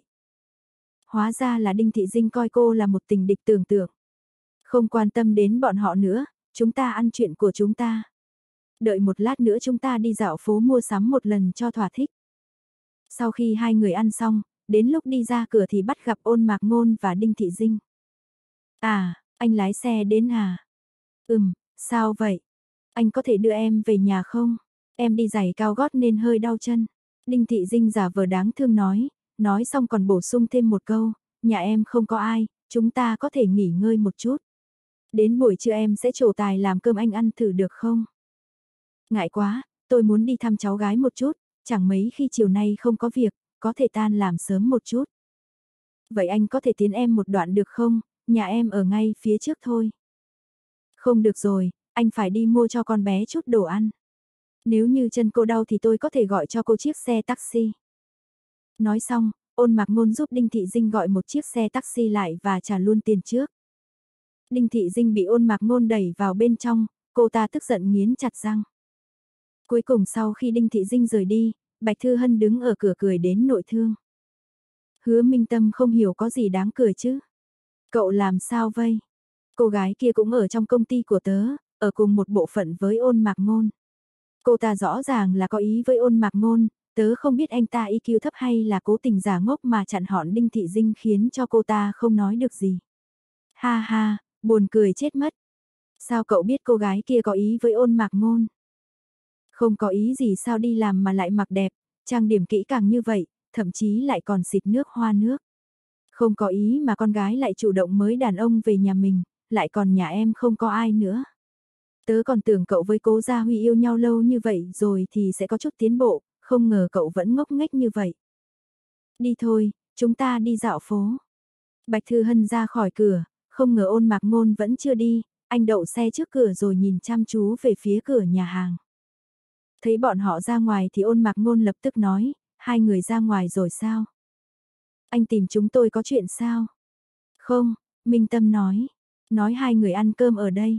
Vừa nãy anh không kịp tới chỗ hai người để chào hỏi. Anh muốn, anh muốn hỏi, sao em, em, không đi làm. Ôn mạc ngôn khó khăn lắm mới nói ra được một câu. Ôn mạc ngôn liếc mắt nhìn thấy nụ cười trong mắt của Bạch Thư Hân, hai má anh khẽ đỏ lên. Vì sao mỗi lần đứng trước mặt Bạch Thư Hân, anh lại luôn mất mặt thế này? Ôn mạc ngôn, anh nói lắp giữ vậy hả? Hứa minh tâm vô tình khiến ôn mạc ngôn càng mất mặt hơn. Có lẽ trông tơ giữ tận độc ác quá nên anh ấy cứ nhìn thấy là lắp bắp như vậy. Khôn, không phải như vậy, ôn mạc ngôn vội vàng nói, hôm nay em, em rất đẹp. Bạch Thư Hân nghe được câu này thì không nhịn được mà bật cười. Tôi vẫn chưa tốt nghiệp, phải về trường làm luận văn tốt nghiệp nên không đến công ty nữa. Cô gái vừa nãy là bạn gái của anh à? Không, không phải, em cũng gặp rồi. Chỉ là, chỉ là đồng nghiệp thôi. Bạch Thư Hân nghe vậy thì gật đầu, xem ra ôn mạc ngôn không phải đang giả vờ ngốc nghếch mà thật sự là một người IQ hạn chế, không còn thuốc nào để chữa. Vậy thôi, anh làm gì thì cứ làm đi, tôi đi dạo phố đã. Em có cần, cần sức lao động miễn phí, miễn phí không? Ôn mạc ngôn biết con gái đi mua đồ nhất định sẽ sách về túi to túi nhỏ. Hơn nữa, một lát nữa anh cũng phải về biệt thự, anh có thể, có thể đưa Minh Tâm về. Hứa Minh Tâm nghe vậy thì gật đầu, đúng vậy, anh ấy có thể thuận đường đưa tớ về luôn. Hay là để ôn mạc ngôn đi cùng luôn đi. Đưa một người đàn ông cùng đi mua sắm ư, chúng ta sẽ không vui mất. Không, không đâu, anh ngoan lắm. Ngoan lắm. Cái quỷ quái gì vậy? Bạch Thư Hân đen mặt. Cũng được, anh đi cùng cũng được nhưng đừng nói gì, cảm ơn anh. Ôn mạc ngôn nghe vậy thì cảm thấy hơi xấu hổ, anh đúng là bị người khác ghét bỏ. Anh nhìn thấy Bạch Thư Hân thì luôn cảm thấy mắc nợ nên luôn muốn làm chút gì đó để bù đắp. Anh đi theo phía sau bọn họ, thật sự không nói một lời nào. Bọn họ đi siêu thị, anh đi phía sau đẩy xe, đến khi thanh toán anh cũng chủ động chi tiền. Mua xong thì nhanh chóng chuyển xuống xe rồi lại quay lại. Bọn họ đi mua quần áo, hứa minh tâm có vẻ không hứng thú lắm. Mỗi tháng cô Gia Huy đều bảo chú An đưa quần áo mới đến cho cô. Giá cả của những món để cũng không rẻ nên cô cố mặc nhiều một chút thì mới không cảm thấy mình đang lãng phí. Bây giờ đầu tháng 4, sắp vào mùa hè nhưng thời tiết đã vô cùng nóng nực. Bạch Thư Hân muốn mua một chút đồ mùa hè, hứa Minh Tâm cũng giúp cô lựa chọn một chút. Cái này thế nào? Đẹp lắm, đẹp lắm. Thư Hàn mặc cái gì cũng đẹp. Hứa Minh Tâm gật đầu liên tục. Ây, xem ra tớ đi cùng sai người rồi.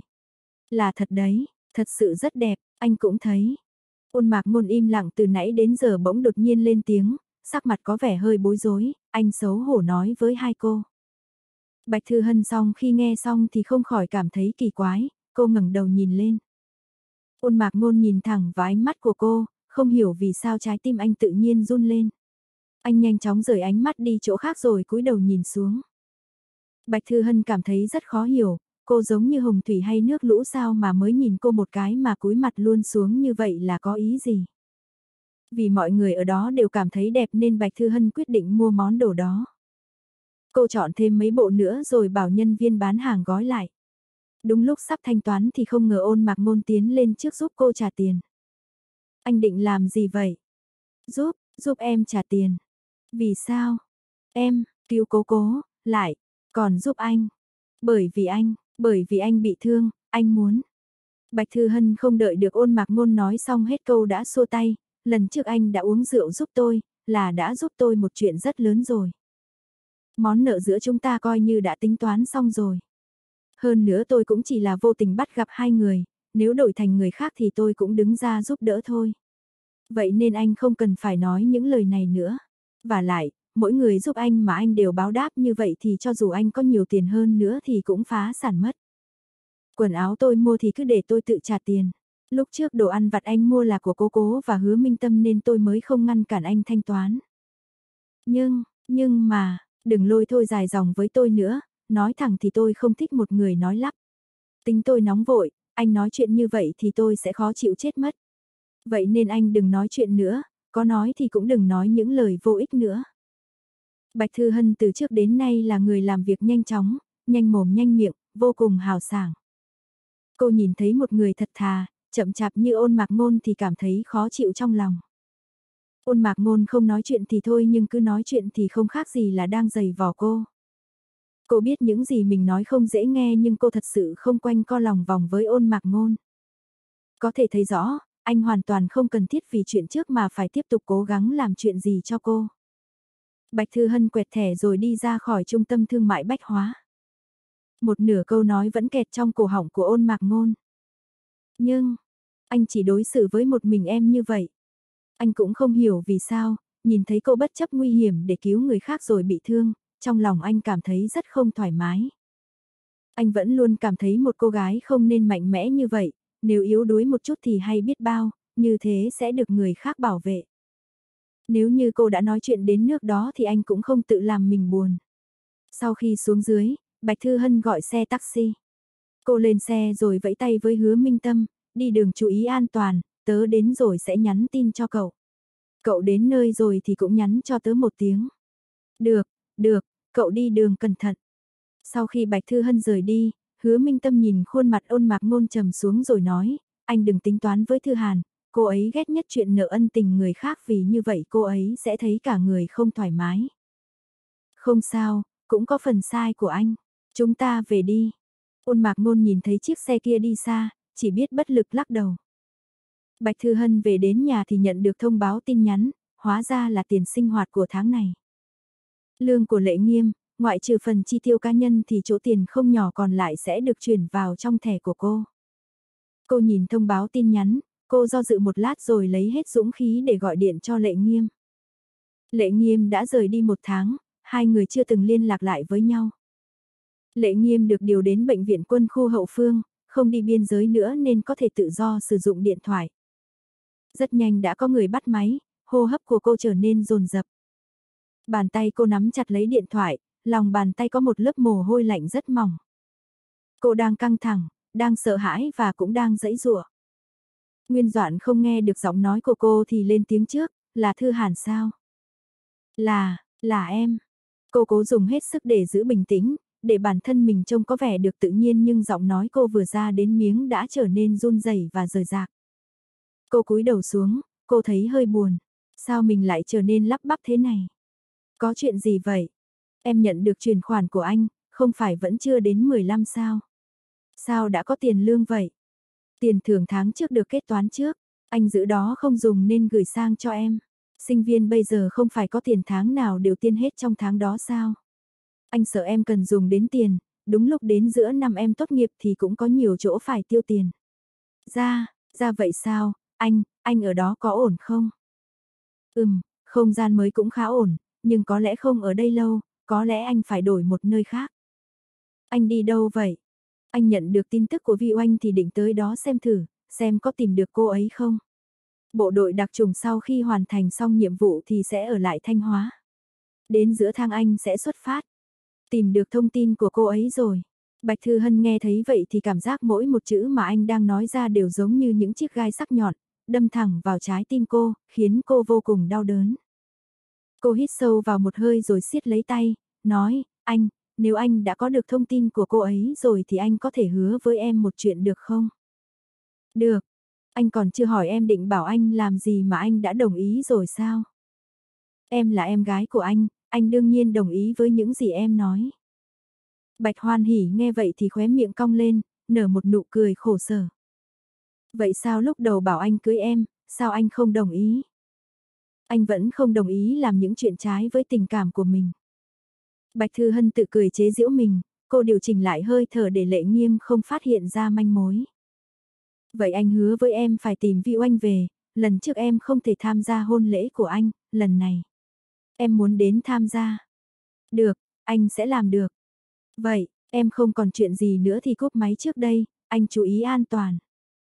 Em cũng phải chăm sóc cho bản thân mình thật tốt. Vội vàng nói xong, Bạch Thư Hân cúp điện thoại. Cô còn tưởng mình sẽ nước mắt đầm đìa nhưng không ngờ đến khi sờ khóe mặt, một giọt lệ nào cũng không có, đến lông mi cũng không hề ướt. Mắt cô vẫn khô, cô hoàn toàn không rơi được một giọt nước mắt nào cả. Nhưng trái tim cô vẫn cảm thấy đau, cô không còn tìm lại được cảm giác thiêu thân lao đầu vào lửa như trước đây nữa. Thiêu thân lao đầu vào lửa, người bị thương chỉ có là chính mình. Nhưng hiện giờ cô đã làm liên lụy đến lệ nghiêm và vi oanh, cả ba người đều không có những kết thúc tốt đẹp. Vậy thì cô cần gì phải vì chấp niệm mà không chịu buông tay. Bọn họ lớn lên bên nhau từ nhỏ, cô đã có được thứ đẹp nhất rồi, làm sao cô còn có thể vọng tưởng đến chuyện có thể độc chiếm cả cuộc đời đây. Bạch Thư Hân đứng dậy, cô nhìn chiếc số pha một cái rồi để lại lời nhắn cho công ty chuyển nhà. Nếu như cô đã quyết định buông xuống thì chiếc số pha này cũng không cần giữ lại nữa. Cô không hề hối hận về chuyện hoang đường buổi tối hôm đó, mọi chuyện đều là cô cam tâm tình nguyện. Cho dù đã biết trước kết cục nhưng nếu cho cô một cơ hội làm lại thì cô vẫn sẽ làm như thế. Cô đã từng yêu, đã từng tranh giành, đã từng hy sinh. Cho dù đến cuối cùng phải thất vọng rút lui nhưng cô cũng không cảm thấy có gì phải nuối tiếc hay oán trách. Ngày hôm sau hứa Minh Tâm muốn đến thư viện mượn sách nên đến buổi chiều cô đi một chuyến đến trường. Cô nhận được điện thoại của Bạch Thư Hân nói sắp chuyển nhà. Đến khi hứa Minh Tâm đến nơi thì công ty dọn nhà đã dọn sạch đồ. Căn phòng trống trải, chỉ còn một mình Bạch Thư Hân ở bên trong. Sao tự nhiên câu lại quyết định chuyển nhà? Tớ ở đây cảm thấy không vui, phòng ốc cũng không tốt nên định đổi sang một nơi khác. Tớ đã tìm được một chung cư ở gần công ty, bây giờ chỉ cần sách đồ vào ở, rất thuận tiện. Buổi sáng tớ đã trả tiền và ký hợp đồng nên gọi bên công ty dọn nhà tới luôn. Vậy tiền thuê nhà ở đây thì sao? Không phải vẫn chưa đến hạn sao? Thì cứ để đây thôi, chìa khóa tớ đã trả lại cho chủ nhà rồi, cô ấy sẽ tiếp tục cho người khác thuê. Cô đi cùng Bạch Thư Hân xuống lầu, nhìn thấy chiếc sofa được đặt riêng trên một chiếc xe khác thì không hiểu hỏi, sao cậu không để chung? Sofa này cũ rồi, tớ cũng không muốn dùng nữa. Đợi sắp xếp xong nhà mới thì sẽ đến cửa hàng nột thất xem thử một chiếc mới. Hứa Minh Tâm gật đầu, cô không biết đằng sau chiếc sofa này vẫn còn có một câu chuyện khác. Bạch Thư Hân chăm chú nhìn nó một cái rồi cuối cùng cũng thu lại ánh mắt. Cô vuốt ve trái tim của mình, hình như, cũng không đau đớn như trong tưởng tượng của cô. Một lát sau hai người đã đến chung cư mới, Bạch Thư Hân thu dọn qua đồ đạc. Bên trong nhà cũng có sofa nhưng không được đẹp lắm. Cô đi mua một chiếc cho một người ngồi. Hứa Minh Tâm cảm nhận được cảm giác không thiếu tiền, thiếu cái gì sẽ mua được ngay đồ để thêm vào. Không cần nhìn giá cả, chỉ cần đó là đồ mình thích thì sẽ mua cả. Đợi đến khi cô có thể mua đồ mà không nhìn giá thì chắc còn phải rất lâu nữa. Khá nhất chắc là cô đi siêu thị mà không còn lăn tăn mấy nghìn tiền rau nữa. Đến khi Bạch Thư Hân dọn nhà xong thì đã là gần tối. Hai người đều mệt mỏi dã rời và cùng xuống nhà ăn cơm. Ăn cơm xong, trên đường về không ngờ còn đi qua một quán bar. Bạch Thư Hân cảm thấy kinh ngạc, cô không ngờ cách chung cư một quãng không xa lại còn có một quán bar. Đúng lúc đó tâm trạng cô cũng không vui nên định uống một ít rượu giải sâu. Cô dẫn hứa minh tâm vào trong, ở đây cũng không phải là quán bar quá cao cấp, cũng chỉ đèn đỏ rượu xanh. Âm nhạc được mở rất to, đến mức định tại nhức óc. Ở chính giữa có một sàn nhảy hình tròn, có người công khai đứng trên đó cởi đồ, cởi đến khi trên người chỉ còn nội y thì bắt đầu múa cột. Hứa Minh Tâm chưa từng nhìn thấy những thứ này, cô cũng từng đi làm thêm ở quán bar trong trường học nhưng đến đó đều là học sinh nên chỉ có uống một chút rượu. Cô chưa từng nhìn thấy những trò như thế này, trong giây lát cô kinh ngạc mắt chữ không mồm chữ A. Thư Hàn, ở đây có vẻ không tốt lắm đâu. Nếu muốn uống rượu thì chúng ta có thể mua bia về uống được không? Không sao, chúng ta chỉ uống một ít rồi về. Nếu đã vào đây rồi thì làm gì có chuyện đi về chứ? Bọn họ chọn một góc có vẻ khá yên tĩnh rồi chọn loại cốc tai nổi tiếng nhất của quán này. Bạch Thư Hân uống hết ly này đến ly kia như đang uống nước. Cô đang cảm thấy không vui. Hứa Minh Tâm ngây người ra từ nãy tới giờ đến bây giờ mới phản ứng lại được. Chuyển nhà trong một đêm rồi lại tự nhiên muốn uống rượu, làm sao có chuyện không có gì được. Cô gõ vào đầu mình, trí tuệ của cô đúng là chưa bao giờ đạt mốc trung bình. Thư Hàn, cậu, có phải có chuyện gì không? Nếu được thì nói tớ nghe thử. Tối hôm qua, tới gọi điện cho Lệ Nghiêm, anh ấy tìm được tin tức của Vi Oanh rồi. Thật sao, Vi Oanh có được bình an không? Có lẽ là cũng được bình an, nếu không thì giọng nói của anh ấy cũng không bình tĩnh được như vậy. Vậy nên, cậu buồn đúng không? Cô cẩn thận nói khẽ. Bạch Thư Hân nghe vậy thì động tác trong tay tự nhiên dừng lại, chất lỏng màu xanh nhạt trong chiếc ly lắc lư qua lại, dưới ánh sáng đèn phản chiếu ra một màu sắc rất kỳ lạ. Buồn sao? Cô tự hỏi chính lòng mình. Cuối cùng, khóe miệng cô nhếch lên, như có như không nở một nụ cười đau khổ rồi nói, không buồn là nói dối, nhưng... Tớ có thể chịu đựng được, không biết từ bao giờ, chỗ này trở nên kiên cường không thể lay đổ được nữa. Cô chỉ vào trái tim của mình. Rồi cô lại ngẩng đầu và một ly rượu nữa lại đi xuống bụng. Hứa Minh Tâm nhìn thấy cô uống rượu đầy đau khổ thì trong lòng cũng cảm thấy buồn. Từ cổ chí kim, mượn rượu giải sầu chỉ càng làm sầu thêm sầu. Tớ gọi điện CHP cố Gia Huy trước, để anh ấy đến đón bọn mình. Tớ sợ bọn mình uống say, đến lúc đó không phân biệt được Đông Tây Nam Bắc. Tớ sẽ uống cùng cậu, hôm nay tớ uống cùng cậu một trận cho đã, tớ vừa gọi một ít đồ ăn, để bụng không uống rượu thì rất có hại cho dạ dày. Bụng đói uống rượu hại dạ dày. Câu nói này rất quen thuộc, hình như có người nào đó cũng từng nói với cô như vậy. Rượu cồn làm đầu óc cô mơ hồ, cô không thể tập trung để suy nghĩ được nữa. Hứa Minh Tâm nói vị trí của hai người cho cố Gia Huy biết, cô không dám nói mình đang ở quán ba mà chỉ nói số nhà cho anh biết. Từ trước đến giờ cô vẫn rất dành chuyện tiền trảm hậu tấu. Cuối cùng cô uống cùng với Bạch Thư Hân. Vị của cốc tai không quá nặng, uống vào có vị ngọt ngọt và có cả vị thanh của hoa quả. Cũng khá là ngon. Hứa Minh Tâm nếm thử một ngụm rồi lập tức trở nên có tinh thần, cô lại uống thêm một ly nữa. Ngon thật đấy, chúng ta gọi thêm. Được, hôm nay tớ chủ chi. Hứa Minh Tâm hoàn toàn không biết là sau khi uống loại cốc tai này xong thì sẽ không có cảm giác gì nhưng một lúc sau thì cơn say mới thật sự ập tới. Hai người uống vô cùng vui vẻ, nhưng chưa đến 20 phút sau thì bắt đầu không còn nhìn rõ hình người nữa. Thư Hàn, cậu, cậu đừng di chuyển nữa, tớ hoa mắt rồi. Tớ đâu có di chuyển. Không được rồi, tớ, tớ không uống được nữa, tớ đi thanh toán, tớ phải về nhà rồi. Đừng, đừng đi, để cố thành đi. Trung đưa cậu về. Tớ không thèm làm cục pin nam phù, một cục còn dài hơn 6 cục. Chị đây, muốn về nhà. Bạch Thư Hân đứng dậy, bước thấp bước cao rời đi. Cô đến quầy ba, lôi vài tờ tiền trong ví ra rồi đập trước mặt người thu ngân. Rồi cô cứ thế đi ra cửa. Vừa bước ra ngoài, gió lạnh thổi đến khiến cô cảm thấy hoa mắt chóng mặt. Bạch Thư Hân đứng ở cửa, hai mắt mơ màng. Cô nhìn thấy chiếc thùng rác màu xanh. Tốt thật. Dạ dày của cô vận động dữ dội, không nhịn được nữa, cô lắc lư qua lại đi về phía đó, rồi đứng cạnh thùng rác không ngừng nôn ra. Cô uống nhiều rượu nên bây giờ dạ dày bị ảnh hưởng, cô nôn đến mức nôn cả da mật xanh mật vàng. Cô nôn một lúc rồi mới từ từ đỡ hơn, cô lại tiếp tục đi về phía trước. Cô không phân biệt được đâu là xe riêng đâu là xe taxi, nên cứ thế chặn một chiếc xe lại. Bác Tài, tôi muốn về nhà. Trong xe có ba người đàn ông, bọn họ định đến đây uống rượu. Nhìn thấy Bạch Thư Hân say khướt như vậy thì cùng quay sang nhìn nhau, thấy những nụ cười không mang ý đồ gì tốt đẹp. Ba người hiểu rõ suy nghĩ của nhau nhưng không nói ra. Lái xe xuống xe nói, được, được, mỹ nữ mau lên xe. Nói xong, anh ta tiến lên phía trước đỡ Bạch Thư Hân, còn tiện thể đục nước béo cò. Cô gái nhỏ này có thân hình thật đẹp. Hí hí hí. Anh ta không kìm được mà kêu lên.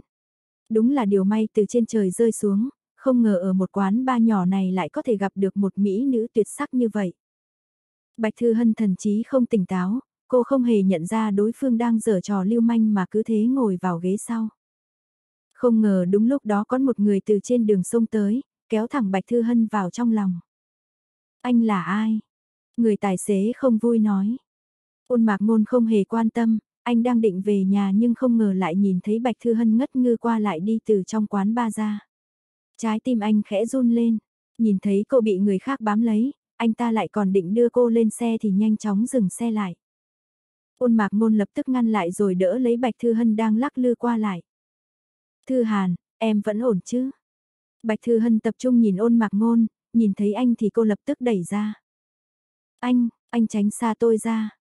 Sao cô lại gặp đúng con quỷ xui xẻo này vậy, gặp anh ta thì đúng không có chuyện gì tốt đẹp.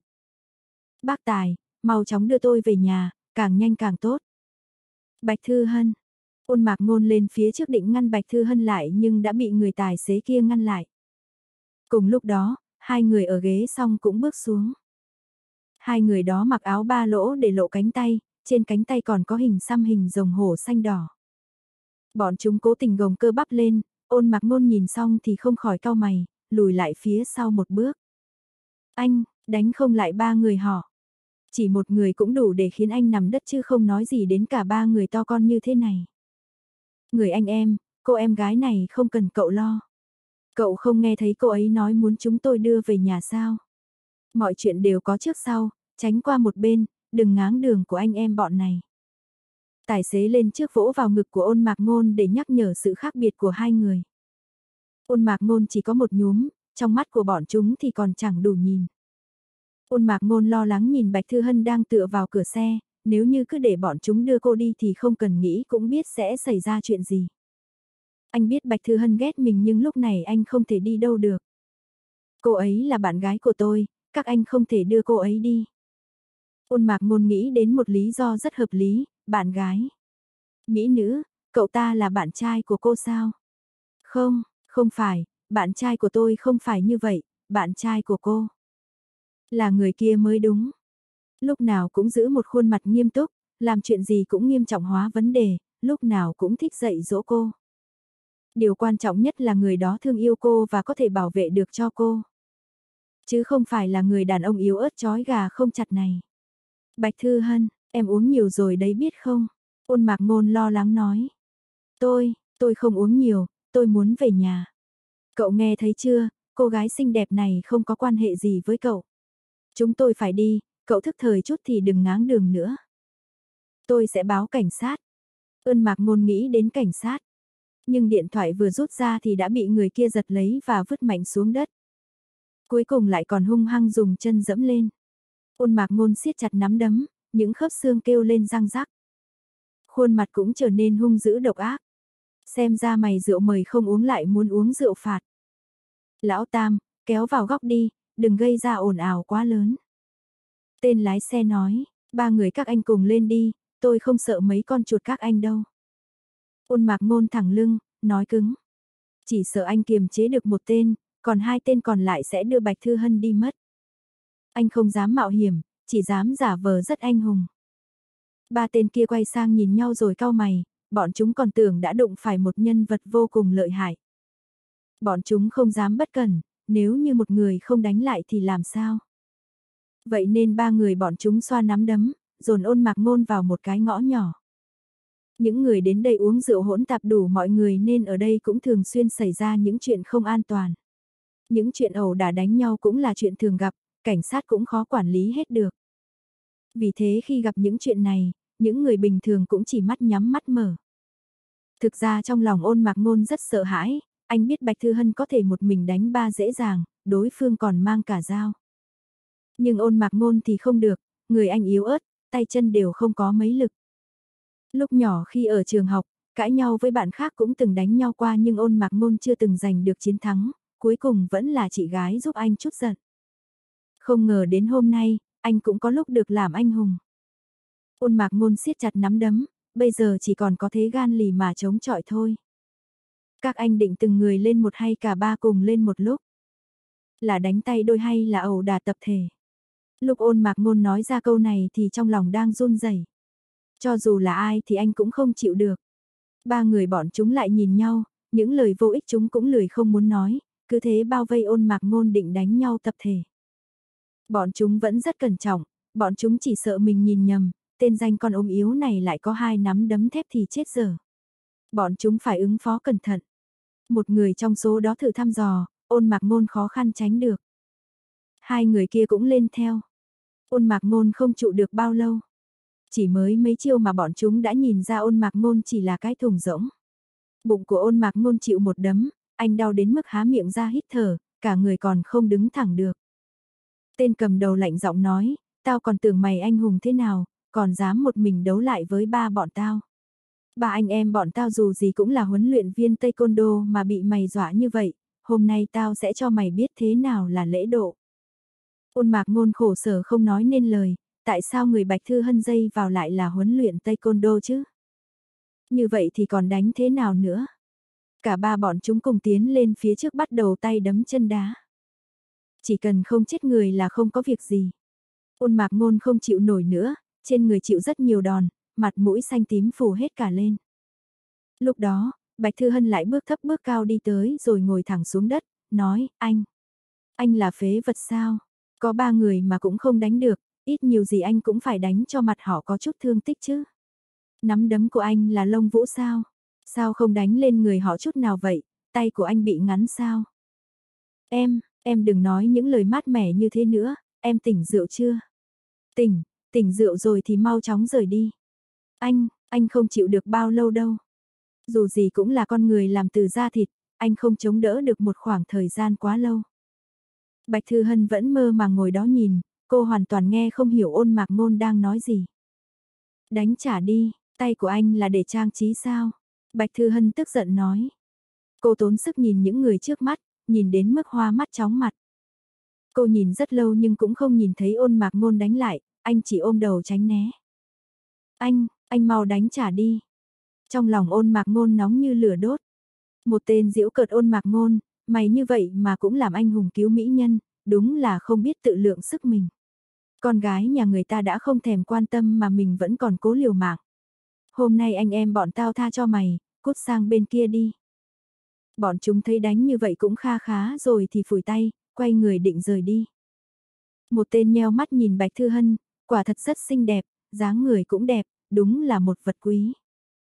Bọn chúng thật có phúc, thường nghe thấy trên báo nói có những người dở trò với những cô gái uống say, nhưng không ngờ hôm nay vận may lại rơi chúng vào người bọn chúng.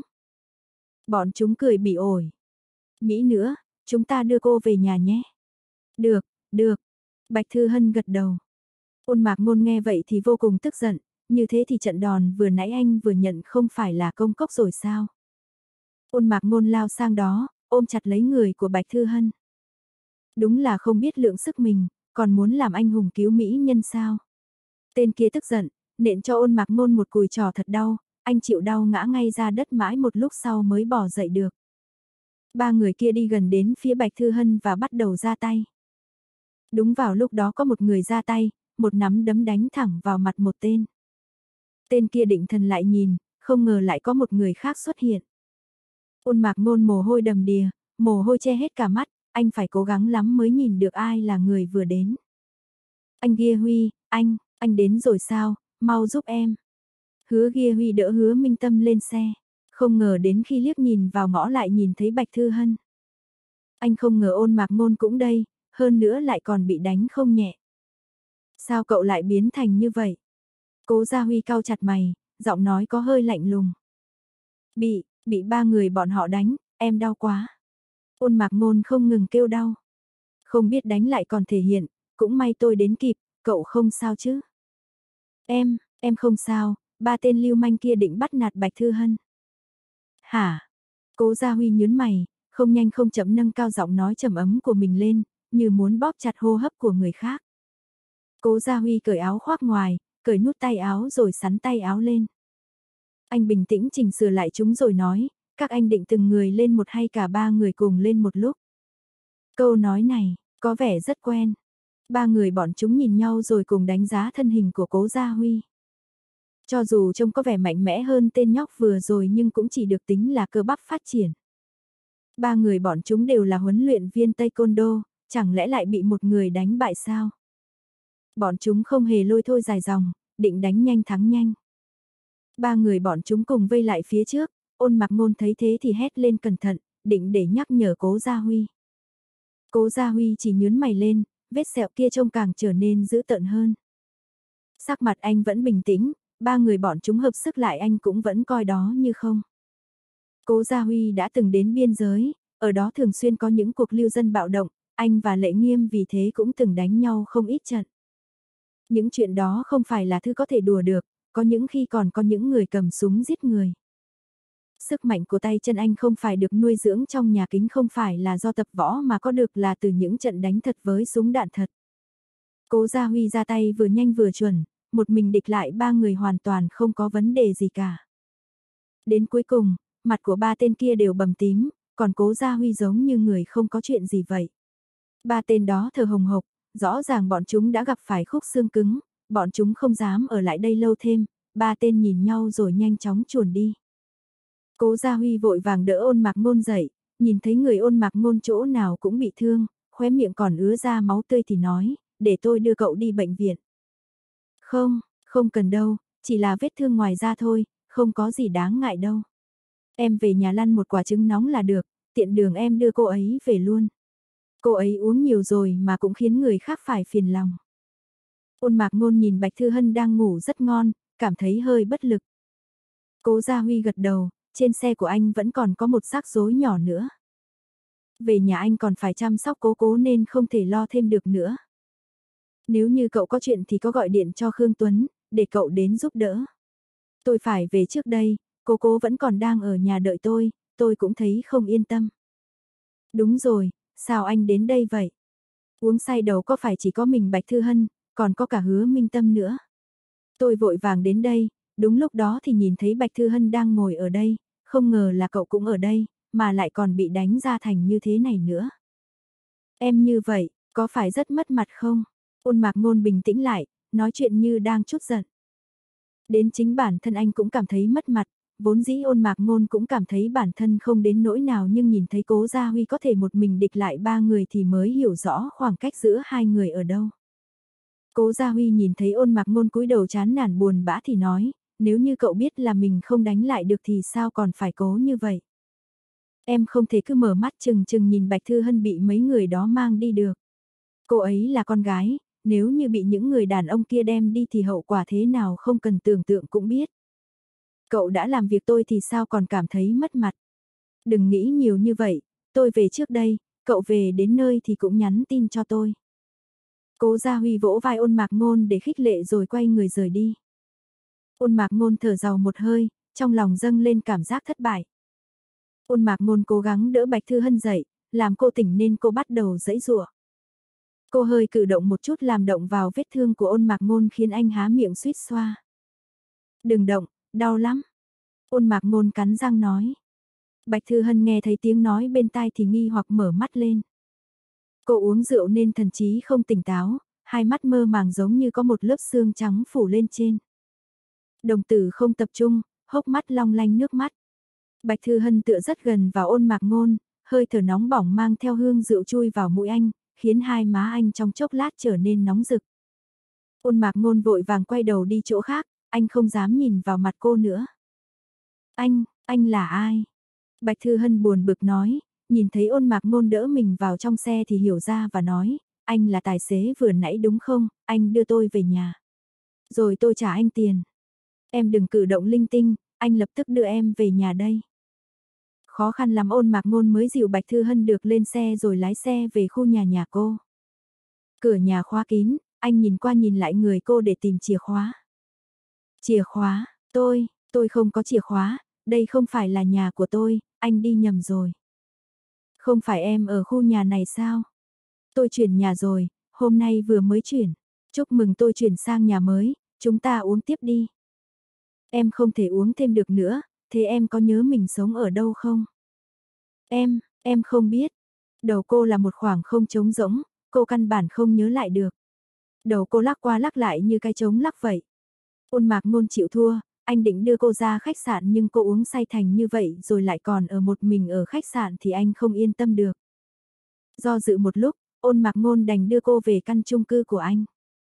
Bên trong nhà rất gọn gàng, sạch sẽ, khi bước vào lại còn người được hương bạc hà dịu dàng thanh khiết. Bạch Thư Hân mở to mắt, nhìn trang trí trong căn nhà rồi nói, đây. Đây không phải là nhà của tôi. Giường, giường đâu, tôi muốn đi ngủ. Ôn mạc ngôn đanh dìu cô đi vào trong phòng ngủ, cô nằm xuống giường rồi thì cũng yên tĩnh hơn rất nhiều, bây giờ ôn mạc ngôn mới thở phào yên tâm. Ôn mạc ngôn thấy cả người mình chỗ nào cũng đau. Ôn mạc ngôn đi vào trong nhà vệ sinh, nhìn dáng vẻ mình trong gương, thật sự vô cùng thảm hại. Chiếc áo sơ mi trắng dính đầy vết bẩn, khuôn mặt sưng phù, bầm xanh bầm đỏ, trên miệng vẫn còn lại dấu máu. Cởi áo sơ mi ra, trên người anh cũng chỗ xanh chỗ tím.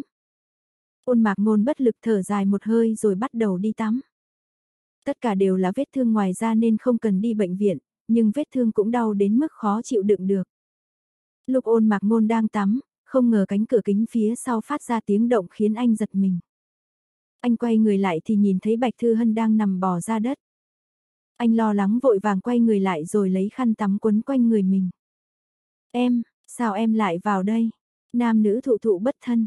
Phi lễ vật thị, những gì không hợp lễ thì không nhìn. Hai mắt anh đỏ rực, máu trên khắp cơ thể hình như trong phút chốc đều dồn lên đầu, hai mắt nóng đến mức dọa người. Tôi, tôi muốn uống nước, dạ dày khó chịu quá, tôi muốn. Cô còn chưa nói xong thì đã bắt đầu nôn, trên người cô, trên mặt đất, chỗ nào cũng có vết nôn. Sau khi nôn xong, cô cảm thấy thoải mái hơn rất nhiều. Ôn mạc ngôn nhìn thấy vậy thì nhanh chóng kéo cô vào phòng tắm, bắt đầu lau nền nhà. Sau khi lau xong bãi nôn trên nền nhà anh nhìn sang Bạch Thư Hân đang nằm bò ra đó cảm thấy đây mới là thách thức thực sự. Vết bẩn trên nền nhà còn dễ xử lý nhưng còn chỗ bẩn trên người Đỗ Thư Hàn thì biết làm thế nào đây. Tầm nhìn của ôn mạc ngôn rơi xuống ngực của Bạch Hoan Hoan, hai má anh càng trở nên nóng hơn. Nghĩ đến chuyện lần trước ở nhà ăn, anh của anh hình như. Vẫn chưa kịp suy nghĩ sâu xa, ôn mạc ngôn bị tiếng quát của chính mình làm đứt đoạn suy nghĩ. Ôn mạc ngôn, mày đang suy nghĩ lung tung gì vậy? Anh dùng nước lạnh rửa mặt rồi hít sâu vài cái. Bây giờ xuống nhà mua đồ nữ cho cô có vẻ không thích hợp lắm, anh lấy một chiếc sơ mi trắng từ trong tủ quần áo ra. Anh nhìn khuôn mặt đỏ rực của Bạch Thư Hân, cảm thấy hơi quẫn bách. Anh nắm lấy mái tóc ngắn của mình, nói, phi lễ vật thị, phi lễ vật thính, anh. Anh cũng không phải cố ý đâu, anh chỉ sợ em phải ngửi mùi này suốt cả đêm thì không tốt. Anh tuyệt đối không hề có bất cứ suy nghĩ nào không đúng đắn, nếu như có thì sẽ bị xét đánh. Hay thôi đừng thề độc như vậy, hình như vừa rồi anh cũng có suy nghĩ lung tung. Anh, anh hứa anh sẽ không bắt nạt em, anh chỉ giúp em thay áo thôi. Bạch Thư Hân mặc một chiếc áo tê sớt, nếu như cứ cởi ra như vậy thì nhất định sẽ làm mặt và tóc của cô bị bẩn. Ôn mạc ngôn đành dùng kéo, từ từ cắt áo ra. Chiếc kéo đưa lên trên một phân thì làn da trắng bóc của cô cũng lộ ra thêm một phân. Cắt được áo ra, anh nhìn thấy chiếc áo lót màu trắng có viền gen của cô. Tiết hầu anh không kìm được mà chuyển động lên xuống. Ôn mạc ngôn, mày, mày là chính nhân quân tử, không, không thể suy nghĩ linh tinh được. Ôn mạc ngôn thấy đầu lưỡi mình khô khốc nhưng vẫn không quên tự nhắc nhở bản thân mình. Anh hơi quay đầu đi, rồi kéo chiếc áo bẩn đi và mặc chiếc áo sơ mi trắng lên người cho cô. Lúc anh đóng khuy áo cho cô, ngón tay cũng có chút ma sát. Anh chạm vào da thịt của cô, cơ thể cô nóng rực, mùi rượu tỏa ra, cả người cô đều là mồ hôi. Nhưng ôn mạc ngôn vẫn ngửi thấy được mùi nước hoa như có như không, mùi nước hoa chỉ hơi nhàn nhạt, nhạt. Hình như không phải là mùi nước hoa mà là mùi thơm của dầu gội đầu và sữa tắm. Tóm lại là rất thơm. Giây phút ngón tay anh chạm vào người cô, cả người anh như có một dòng điện chảy qua, cả người hơi run lên. Ôn mạc ngôn vội vàng rụt tay lại. Cả người Bạch Thư Hân đều là mồ hôi, nóng đến mức không thể chịu được. Tự nhiên có một thứ mát như băng chạm vào người cô nên không nhịn được vươn tay ra bắt lấy. Tay của cô rất mềm, lòng bàn tay cũng có một lớp mồ hôi. Cô vội vàng nắm chặt lấy tay của ôn mạc ngôn rồi áp má của mình vào. Thoải mái quá, viên đá, Đừng đi mà. Cô tự nói với mình, cả người ôn mạc ngôn cứng đờ, không dám động đậy, chỉ ngồi yên như khúc gỗ. Ôn mạc ngôn ngây người ra nhìn Bạch Thư Hân, cô giống như một đứa con nít, đang ôm chặt món đồ chơi mình yêu thích nhất, không chịu buông tay. Anh khẽ dẫy ra một chút, cô cảm nhận được nên chua môi thể hiện sự bất mãn. Em, quần áo của em, vẫn, vẫn chưa. Tật nói lắp của anh hình như càng nghiêm trọng hơn, đến một câu hoàn chỉnh cũng không nói ra được, đầu lưỡi giống như bị đông lại vậy. Bên trong cổ họng giống như bị nhét bông, âm thanh không thể nào phát ra được. Uống, tôi muốn uống nước. Em, em không buông ra, anh làm sao? Đi rót nước cho em được. Anh, anh đi một lát, được không? Vậy anh đi nhanh lên. Bạch Thư Hân cuối cùng cũng buông tay ra. Ôn mạc ngôn ôm ngang người cô, định bế cô lên giường cho cô nghỉ ngơi. Nhưng áo của cô vẫn còn chưa được cài nút xong, ba nút áo ở cổ áo vẫn chưa cài xong.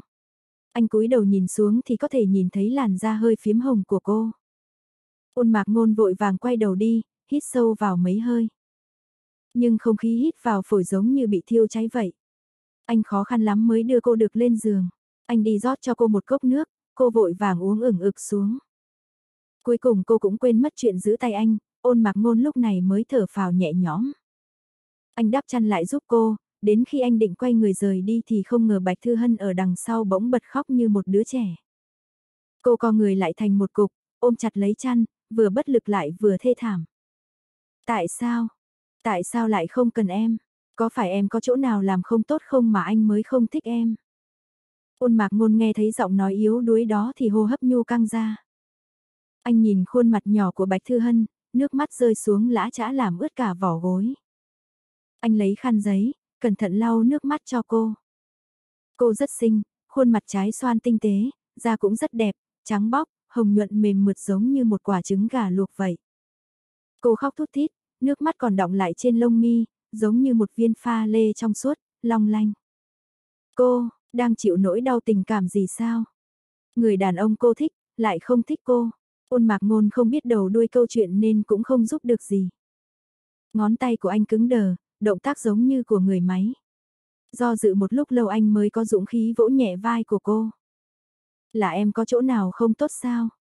Bạch Thư Hân cố chấp hỏi lại câu hỏi này, giống như không có được đáp án thì cô sẽ không cam lòng vậy. Ôn mạc ngôn suy nghĩ một lát rồi nói, anh, anh không cảm thấy em có gì, có gì không tốt cả. Em, em xinh đẹp, lại giỏi giang, ai, ai cũng sẽ thích em thôi phải không? Dối trả, anh chưa từng thích em, anh chỉ coi em như em gái. Dối trá. Ôn mạc ngôn biết rõ câu nói này không phải là nói với anh nhưng anh vẫn không kìm được giải thích. Anh, anh không có lừa em, anh khẳng định là có rất nhiều người thích em. Có lẽ câu nói này có tác dụng an ủi, Bạch Thư Hân dần dần yên tĩnh trở lại. Ôn mạc ngôn nhìn thấy cô đã chìm vào giấc ngủ thì mới thở phào một hơi.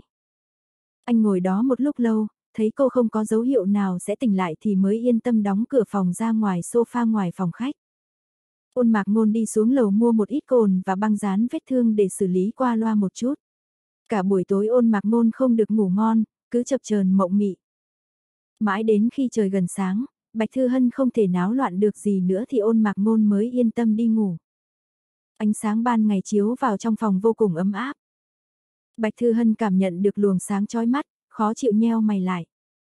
Đau, đau quá. Đầu cô vô cùng đau, giống như có 100 người tí hon đang đánh nhau trong đấy vậy. Đôi mắt mơ màng ngủ của cô mở ra, nhìn quang cảnh xung quanh phòng. Hả? Cô khẽ thốt lên một tiếng kêu kinh ngạc, đây là nhà của cô sao? Sao bố cục của nhà này giống hệt với nhà cô vậy? Không đúng, không giống. Cái chăn không giống, trang trí không giống đến cả mùi hương bạc hà này cũng rất lạ lùng. Đẩy rõ ràng không phải là phòng của cô. Cô đột nhiên trở nên kích động rồi nhanh chóng trèo ra khỏi giường. Quần vẫn còn trên người cô, còn áo phía trên. Áo sơ mi trắng, đây rõ ràng là áo của đàn ông, chiếc áo rất rộng, mặc trên người cô không khác gì một chiếc váy vậy. Cô chỉ có nhớ được một ít chuyện của tối hôm qua nhưng không rõ ràng lắm. Cô đi từ quán ba ra ngoài, lên xe về nhà, gặp được mất người định đỡ cô vào trong xe. Không lẽ, không lẽ cô bị mấy người đó làm nhục sao? Đồng từ của cô co lại, trái tim đập thình thịch. Cô đẩy cửa ra, trên tay còn cầm chiếc đèn ở đầu giường.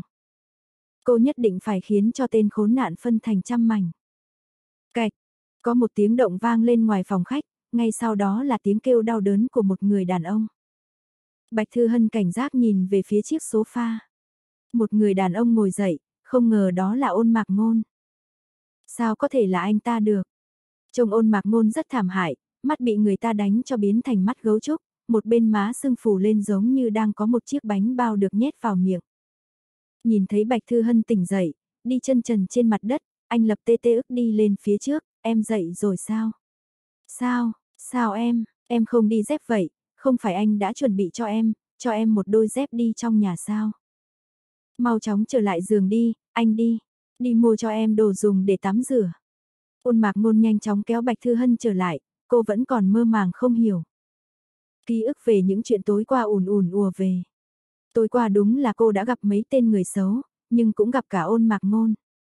Ôn mạc ngôn đánh nhau với ba tên bọn chúng, và bị đánh. Đến mức không ra hồn người. Ôn mạc ngôn cầm lấy chiếc đèn bàn trong tay cô rồi để vào vị trí cũ. Anh đi mua, đi mua cho em ít đồ để tắm rửa, em muốn ăn gì không? Để anh, anh mua ít đồ ăn sáng về. Mặt của anh. Bạch Thư Hân cảm thấy hơi xấu hổ. Không, không sao, anh chịu đựng khá được đấy. Với lại, lần này anh không bị chóng mặt vì thấy máu, nhưng có lẽ đau quá tinh thần căng thẳng, nên chắc nguyên do là không để ý. Ôn mạc ngôn chỉ cảm thấy tinh thần minh căng thẳng cao độ, thêm vào chảy máu cũng không nhiều nên anh vẫn có thể khắc phục được. Anh nói như vậy là để muốn nói với Bạch Thư Hân rằng anh cũng không phải là một người đàn ông vô dụng. Ôn mạc ngôn quay người rời đi, Bạch Thư Hân xoa huyệt thái dương rồi nhìn xung quanh. Không gian rất giống căn chung cư của cô, nhưng sạch sẽ, gọn gàng hơn rất nhiều. Đen trắng kết hợp, gọn gàng sạch đồ đạc đều được sắp xếp gọn gàng, không hề hỗn loạn. Cô ra khỏi phòng ngủ nhìn về phía phòng khách. Có một giá sách để dựa vào ban công, bên trên để đầy sách. Phạm vi ôn mạc ngôn đọc rất rộng, có những tác phẩm kinh điển trong và ngoài nước, có những sách tài chính kinh doanh, cũng có những tạp chí linh tinh. Cô ngồi trên sofa, ánh sáng ở đây rất tốt, ngồi đây vừa đọc sách, vừa tắm nắng cũng không phải là một lựa chọn tôi. Ngoài ban công thoang thoảng hương bạc hà, cô không nhịn được qua đó nhìn thử, phát hiện có một chậu bạc hà lớn. Tháng 3 tháng 4 đúng là thời điểm cây ra lá mới. Ôn mạc ngôn không chỉ trồng bạc hà mà còn trồng nhiều cây khác, cây nào cũng tươi tốt, béo mập, nhìn vào trông rất đáng yêu. Một người đàn ông tỉ mỉ, sạch sẽ như vậy so với một người cầu thả như cô thì đúng là không hợp. Lúc cô còn đang xung quanh thì ôn mạc ngôn mua đồ về. Anh mua những đồ dùn một lần, lại mau cả một số đồ nữ, trong đó có cả nội y. Anh, anh mua những thứ này làm gì? Tối hôm qua em, chưa tắm mà đã đi ngủ, bây giờ nhất định cả người đều có mùi rượu. Nếu cứ như thế mà ra ngoài thì không hay, em. Em là một cô gái mà. Tôi biết rồi, cảm ơn anh. Cô biết ôn mạc ngôn định nói gì nhưng không đợi được cắt ngang lời anh luôn. Bạch Thư Hân nhìn qua một chút, không ngờ kích thước nào cũng có, có lẽ ôn mạc ngôn không biết vòng ngực của cô bao nhiêu. Bây giờ vẫn có người đàn ông không biết số đo vòng ngực của phụ nữ sao? Đàn ông bây giờ không phải đều dùng mắt để ước lượng sao? À, thế quần áo của tôi. Cô thấy hơi xấu hổ khi mở miệng hỏi vậy. Không cần nghĩ thì cũng biết là do ôn mạc ngôn thay, nhưng cô vẫn không chịu, nhỡ đâu có chuyện gì bất ngờ thì sao? Ôn mạc ngôn nghe thấy vậy thì đầu đột nhiên nóng rực, sắc mặt cũng vì thế mà đỏ theo. Ôn mạc ngôn đứng nguyên ở vị trí cũ, hai tay để ngang eo, giữ chặt lấy nhau không phát ra âm thanh gì. Bạch Thư Hân thấy ôn mạc ngôn như vậy thì cũng hiểu ra quần áo của mình chính là do anh thay hộ. Ôn mạc ngôn cũng là có lòng tốt. À, không xảy ra chuyện gì chứ. Tối hôm qua tôi uống nhiều, không làm chuyện gì quá đáng chứ. Yên tâm, em ở chỗ anh, thì tuyệt đối, tuyệt đối an toàn, cho dù, cho dù em cởi, cởi hết quần áo, thì anh cũng, cũng không làm bừa, em yên tâm, yên tâm 120% đi.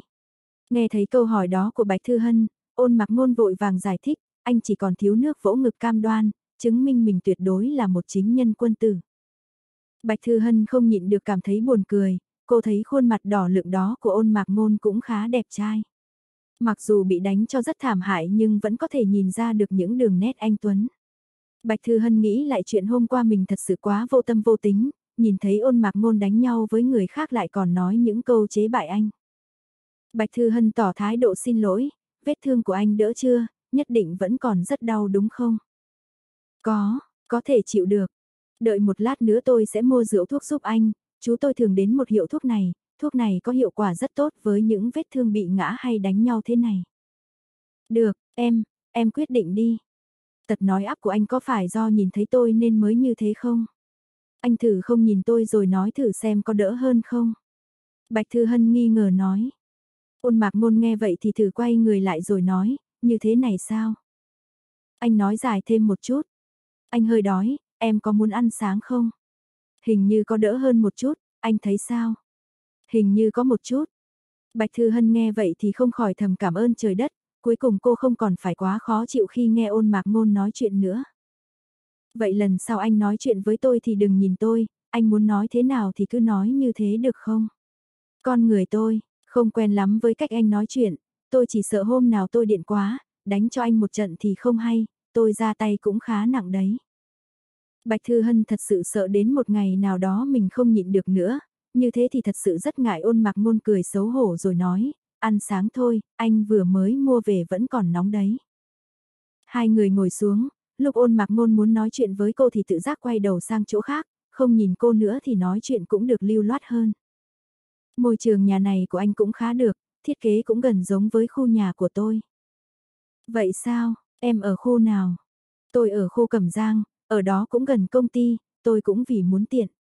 Vì dù sao sau khi tốt nghiệp xong cũng phải đi làm luôn và có lẽ công việc cũng khó đổi nên tôi muốn chọn một nơi gần một chút.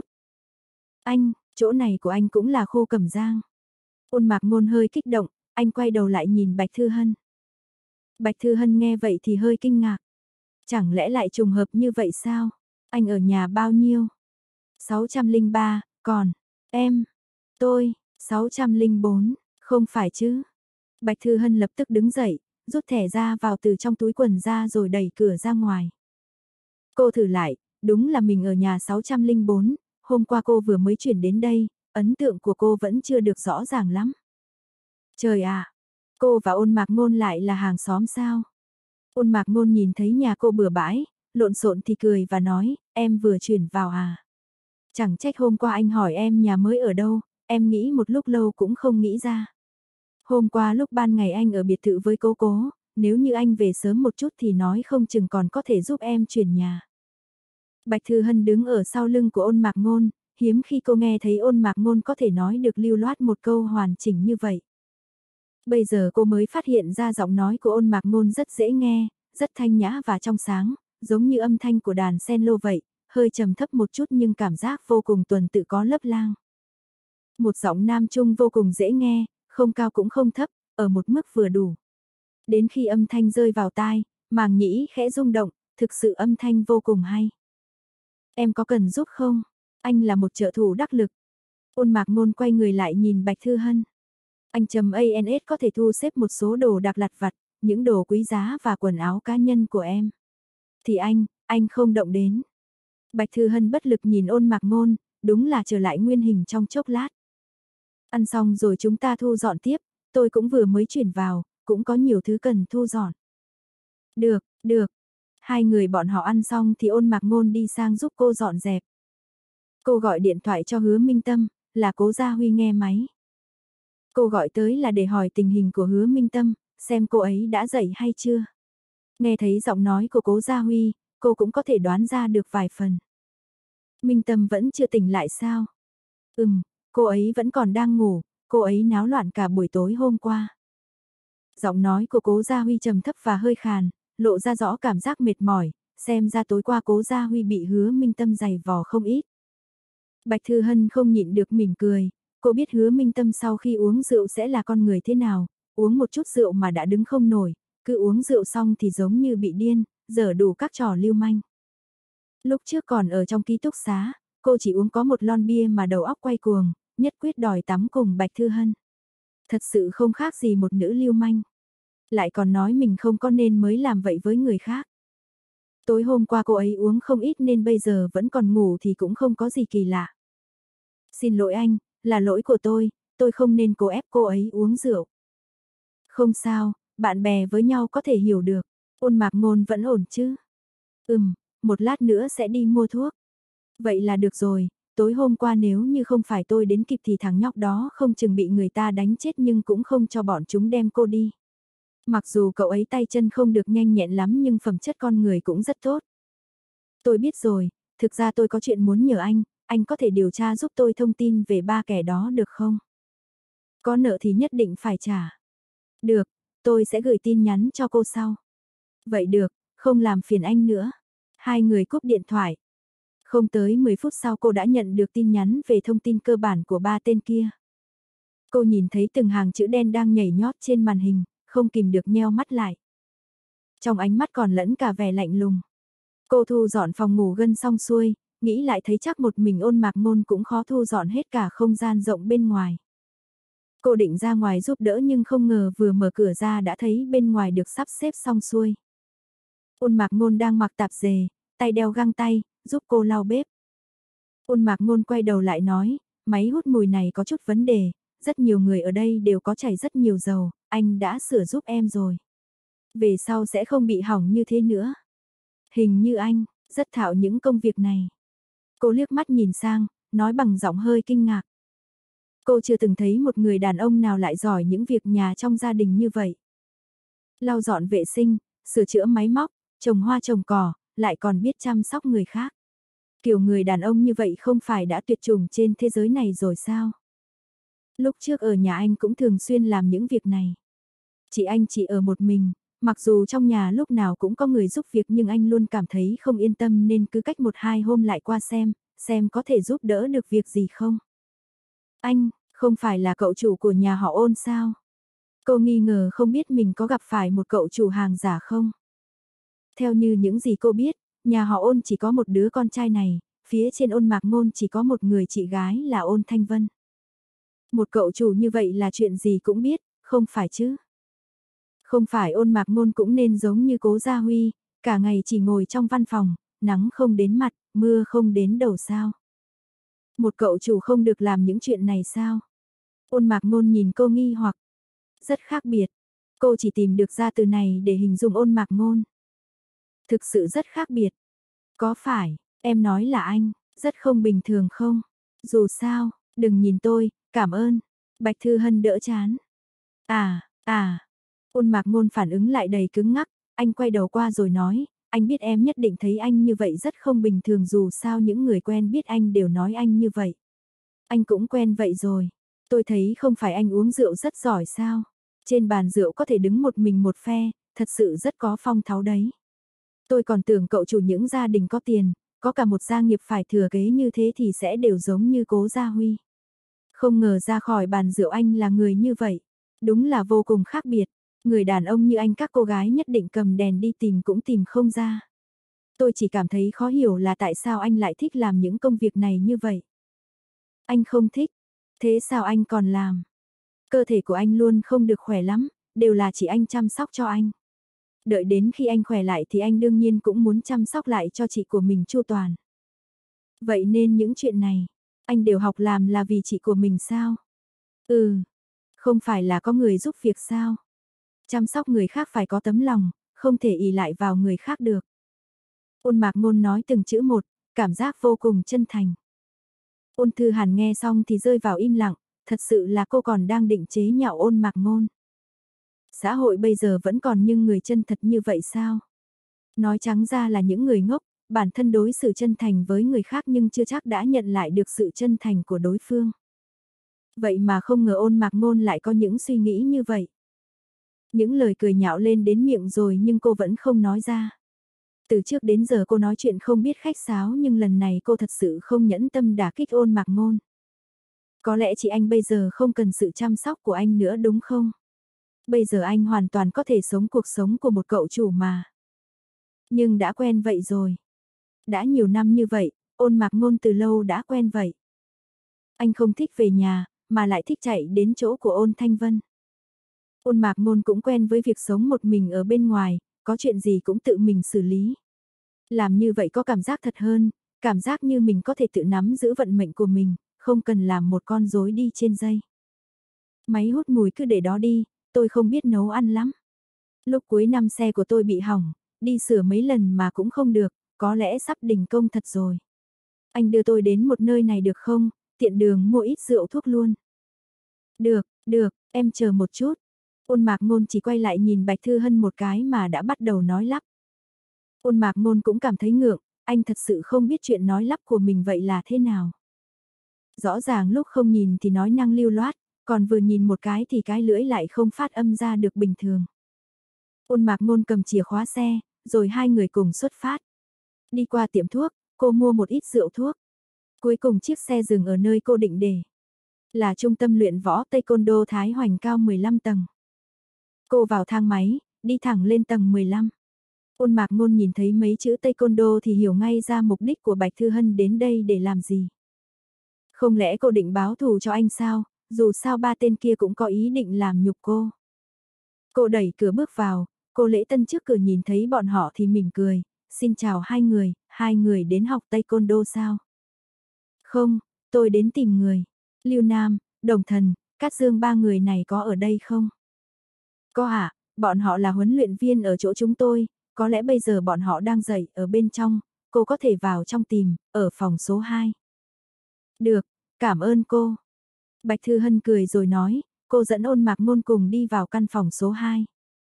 Ba người bọn chúng là huấn luyện viên trong cùng một tổ, thường xuyên dạy chung một lớp nên thường xuyên đi cùng nhau. Bây giờ đang là giờ nghỉ ngơi, ba người bọn chúng đang ngồi tán dóc, chủ đề nói chuyện đương nhiên là về chuyện hôm qua. Ba người bọn chúng đều đang cảm thấy hối hận, biết thế không rằng co với tên nhãi con kia nữa, miếng thịt đến mồm rồi mà còn để rơi. Dù sao thì cô gái đó cũng uống say rồi, là cưỡng ép hay tự nguyện thì cũng không ai biết được, bọn chúng cũng không cần phải chịu trách nhiệm pháp lý gì, đúng là quá tốt. Hay là tối nay chúng ta vẫn đến đón thử vận may đi. Nói không chừng sẽ nhặt được một em ngon đấy. Ấy, đại ca, cô gái kia không phải là cô tối hôm qua sao? Ai cơ?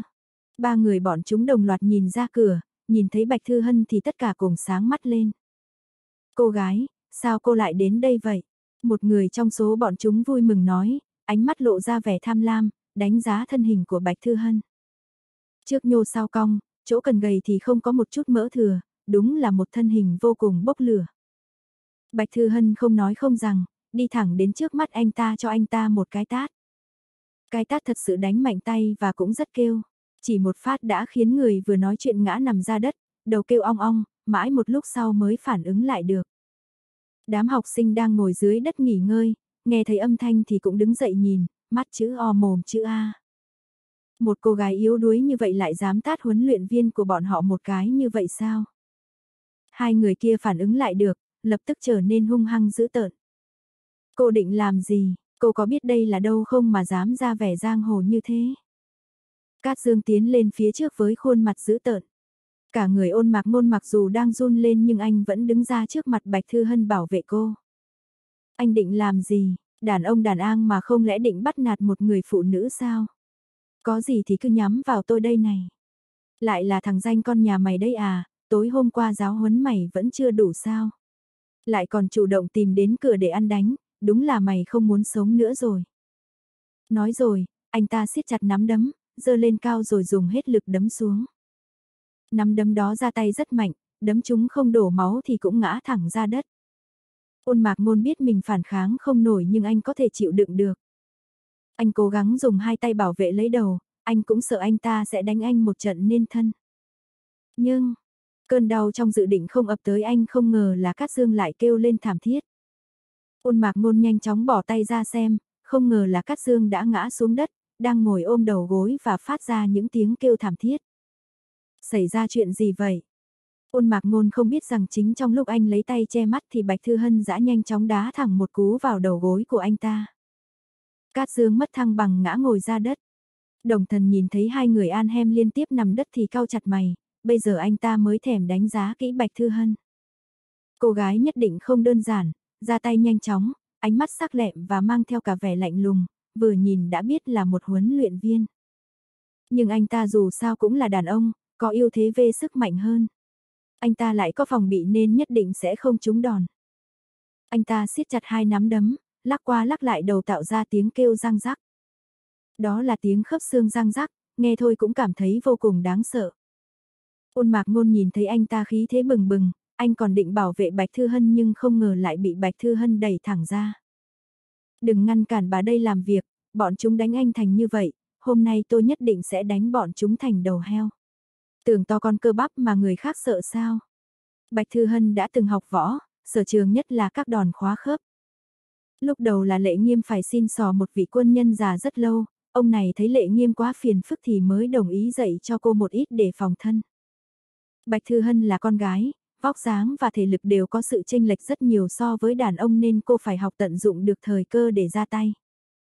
Bạch Thư Hân né nắm đấm của đối phương, những chiêu tiếp theo đều nhắm vào những điểm yếu của đối phương như tim, khuỷu tay, đầu gối hoặc cổ.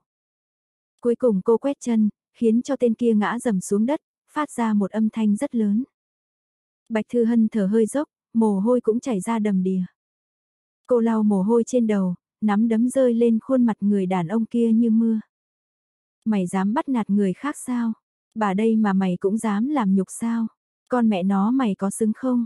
Hôm nay bà mày nhất định phải cho mày hối hận, nếu như mày về đến nhà, mẹ mày còn nhận ra mày thì tao đổi họ tao sang họ mày luôn.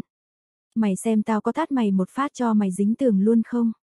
Đồ rác rưởi, người của tao mà mày cũng dám động vào sao? Khốn nạn, phế vật, đi chết đi. Ôn mạc ngôn nhìn thấy Bạch Thư Hân hiện tại, hết tay trái rồi đến tay phải ra đòn, cảm thấy không có gì vui hơn. Vừa nãy cô còn thở không ra hơi mà bây giờ giống như rồng hổ còn sống vậy.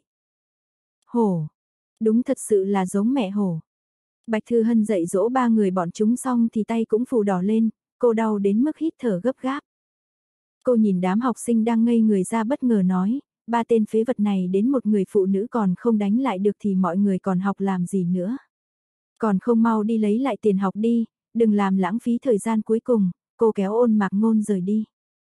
Lúc ra cửa, cô bị lễ tân ngăn lại, lễ tân còn gọi người tới. Chính là cô ta đã đánh giáo viên của chúng ta, mau bắt cô ta đưa lên đồn cảnh sát. Ôn mạc ngôn lập tức trở nên căng thẳng, người là do tôi đánh. Ôn mạc ngôn vẫn còn chưa nói xong thì đã bị Bạch Thư Hân đẩy sang một bên. Ở đây có camera, anh nói là do anh đánh thì người khác có tin không? Vậy, phải làm thế nào? Ôn mạc ngôn nhìn khuôn mặt vô cùng bình tĩnh của Bạch Thư Hân, hai mắt cô còn lấp lánh ánh sáng, thật sự là vô cùng mê người. dáng vẻ tự tin của cô, thật sự rất đẹp. Ôn mạc ngôn nhất thời nhìn cô đến ngây ra, các người có camera thì tôi cũng có camera. Tối hôm qua ba người này định làm nhục tôi trước quán ba, thậm chí còn đánh bạn tôi thành ra thế này. Vết thương trên mặt bạn tôi chính là chứng cứ.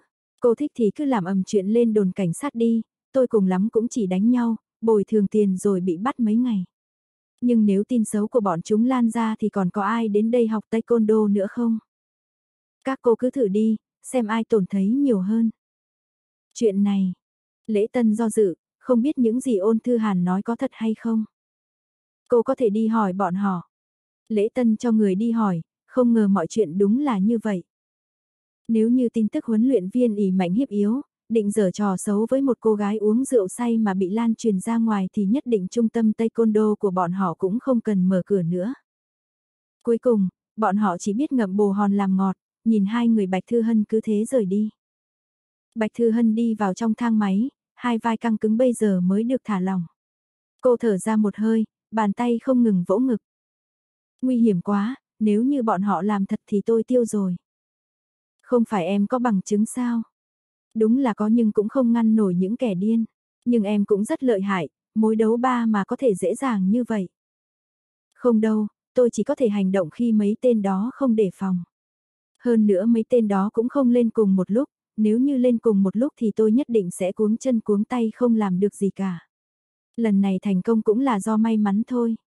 Vậy nên lần này em thắng được, còn lần trước không đối phó được ba người kia đúng không? Đúng vậy, hơn nữa đối phương còn có hung khí, tôi cũng muốn bảo vệ bản thân, chỉ có thể cứu người trong tầm sức của mình. Tôi cũng không phải là đại Bồ Tát gì đâu, nếu như không phải liên quan đến danh tính của tôi thì cho dù có một nghìn, một vạn người chết trước mặt tôi thì tôi cũng không đi cứu đâu. Mạng của bọn họ là mạng, mạng của tôi cũng là mạng. Tôi cũng không thích những rằng buộc đạo đức bắt tôi phải đi cứu người. Tôi chỉ muốn sống yên ổn phần mình, làm những gì trong khả năng của mình. Vậy nên chuyện của chúng ta trước đây cũng coi như rõ ràng rồi. Anh cứu tôi, tôi cũng cứu lại anh, hai bên coi như hòa. Hơn nữa, lần sau gặp những chuyện như thế này, anh cũng đừng thể hiện tính mạng của ai cũng là có một không hai. Mặc dù bọn chúng không có ý định giết người nhưng cho đến đường cùng thì cũng biết cắn lại. Tâm lý con người đều có những mặt sáng tối, anh không biết một giây tiếp theo ai sẽ trở thành kẻ điên. Em, em nói không sai. Ừm, anh hiểu là được. Nhưng, nếu, nếu như anh gặp phải một lần nữa thì anh, anh vẫn sẽ cứu. Ôn mạc ngôn nhìn Bạch Thư Hân rồi nói ra từng chữ. Mặc dù có chút ngắc ngứ nhưng không ai có thể coi thường sức mạnh của câu nói này. Bạch Thư Hân kinh ngạc, trái tim trở nên căng chặt. Nếu như xảy ra lần nữa thì ôn mạc ngôn vẫn sẽ cứu người. Anh bị ngốc hay sao? Ai cũng cứu. Không, không phải, những người mà tôi quan tâm, giống như, giống như bạn bè này. Vậy thì làm bạn của anh cũng thật hạnh phúc, có thể vì bạn mà rút đao tương trợ. Làm bạn của tôi thì thế thảm rồi, nói không chừng tôi còn đâm bạn mất nhát. Vậy, bây giờ chúng ta là bạn rồi sao? Anh không sợ bị tôi đâm à? Không, không sợ. Vậy được, bạn thì bạn. Ấy, anh làm người mà cứ thật thà như vậy sau này nhất định sẽ chịu thiệt. Ôn mạc ngôn nghe vậy thì chỉ mỉm cười chứ không trả lời lại. Thực ra anh vẫn còn chưa nói hết. Thực ra anh cũng không phải đối với ai cũng thật thà như vậy, anh chỉ làm vậy với những người mà anh quan tâm. Ôn mạc ngôn xòe tay ra đếm thử, những người như thế chỉ đếm được trên đầu ngón tay. Nhưng không hiểu vì sao, trong trái tim anh cô lại tự nhiên chiếm ngay vị trí số một. Anh hiếm có một người bạn là nữ nên nhất định phải trân trọng. Hai người ra khỏi tòa nhà, điện thoại của Bạch Thư Hân vang lên. Nhìn thấy số điện thoại, cô ngây người ra một lúc rồi đến lúc sau mới phản ứng lại được. Cô nhìn ôn mạc ngôn hơi xấu hổ, ý nói cô phải nghe điện thoại. Cô quay lưng lại nghe điện thoại. Ở phía đối diện truyền đến giọng nói châm thấp bình tĩnh của Lý Hải Long. Chào cô Châu, tôi là Lý Hải Long. Vâng, anh gọi tôi là Thư Hàn là được. Vậy được, tối nay cô rảnh không? 4 giờ chiều nay tôi xuống máy bay, buổi tối chúng ta có thể cùng ăn tối và xem phim. Bạch Thư Hân nghe vậy thì cũng biết Lý Hải Long cũng thấy mình khá được, vẫn thì cô có nhận lời không? Nếu như nhận lời thì bước tiếp theo hai người sẽ xác lập quan hệ bạn trai bạn gái. Cô vẫn còn hơi lăn tăn. Lý Hải Long ở đầu bên kia cũng hiểu, thấy cô do dự như vậy thì nói, có phải tôi gọi điện đến quá đường đột không? Vậy thì tối này bỏ. Không phải, tôi đang nghĩ xem hôm nay có thời gian không? Tôi vừa mới chuyển nhà nên vẫn còn một số chuyện nhỏ nhưng không có vấn đề gì đâu. Vậy tôi gửi địa chỉ cho anh, tối nay anh đến đón tôi được không? Được, không gặp không về. Lý Hải Long thở phào một hơi rồi cúp điện thoại. Bạch Thư Hân nhìn điện thoại, tâm trạng tự nhiên trùng xuống. Con đường này là do cô lựa chọn nhưng cô không hề cảm thấy vui một chút nào. Ôn mạc ngôn nhìn thấy cô cúp điện thoại hồi lâu mà vẫn chìm trong im lặng thì không khỏi cảm thấy lo lắng. Tối nay em có chuyên gì sao? Có cần anh giúp đỡ không? Không sao, tôi đi ăn cơm cùng với bạn thôi. Chúng ta về đi. Được được, để anh lái xe. Hai người lên xe nhưng ôn mạc ngôn không vội vàng lái xe đi mà cầm lọ rượu thuốc lên. Em, tay của em. Đến bây giờ Bạch Thư Hân mới để ý đến mu bàn tay của mình, tay cô đã đỏ ửng lên một mảng. Tâm trí cô bất an nên cũng không hề chú ý đến, không ngờ ôn mạc ngôn lại quan sát tỉ mỉ như vậy. Cũng đúng, ôn mạc ngôn vốn dĩ là một người đàn ông như vậy. Để tôi tự làm. Cô cầm lấy lọ rượu thuốc nhưng vẫn nghĩ đến chuyện của Lý Hải Long nên không cẩn thận đổ ra hơi nhiều, làm đổ cả ra quần áo. Cô hơi run lên rồi nhanh chóng bỏ lọ rượu thuốc xuống, dùng khăn ướt để lau. Thôi để anh làm cho. Ôn mạc ngôn nhẹ nhàng nói, rồi đổ một ít rượu thuốc lên tay mình, xoa một chút cho nó nóng lên rồi mới nhẹ nhàng bóp lên tay cô. Lực tay của ôn mạc ngôn vừa phải, bóp cũng rất thoải mái nên vết đau trên tay của cô cũng giảm đi không ít.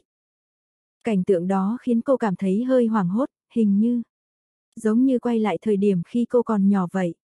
Bọn cô bị ba mẹ ép ra sân huấn luyện, sau một ngày thì khắp người đều là vết bầm tím.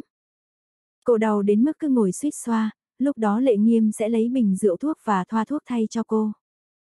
Thực ra bản thân anh cũng đã rất mệt, hơn nữa lượng luyện tập của anh còn hơn cô rất nhiều. Nhưng anh chưa từng kêu đau mà ngược lại còn an ủi cô, cô đau một lúc rồi cũng hết. Lúc lệ nghiêm bôi thuốc cho cô, cũng nhẹ nhàng xoa bóp thế này, cứ như là sợ làm cô bị đau. Cô nhìn đường nét khuôn mặt anh Tuấn của ôn mạc ngôn, khuôn mặt của anh có thể coi là đẹp tinh tế, làn da trắng, lỗ chân lông cũng rất nhỏ. Hơi cúi đầu xuống, cô ở trên cao thậm chí còn nhìn thấy lông mi của anh rủ xuống, từng sợi từng sợi rõ ràng, vừa dài vừa đậm. Thật sự là một người đàn ông rất đẹp trai, sạch sẽ gọn gàng, mùi bạc hà trên người cũng làm cho người khác cảm thấy thanh sạch sảng khoái.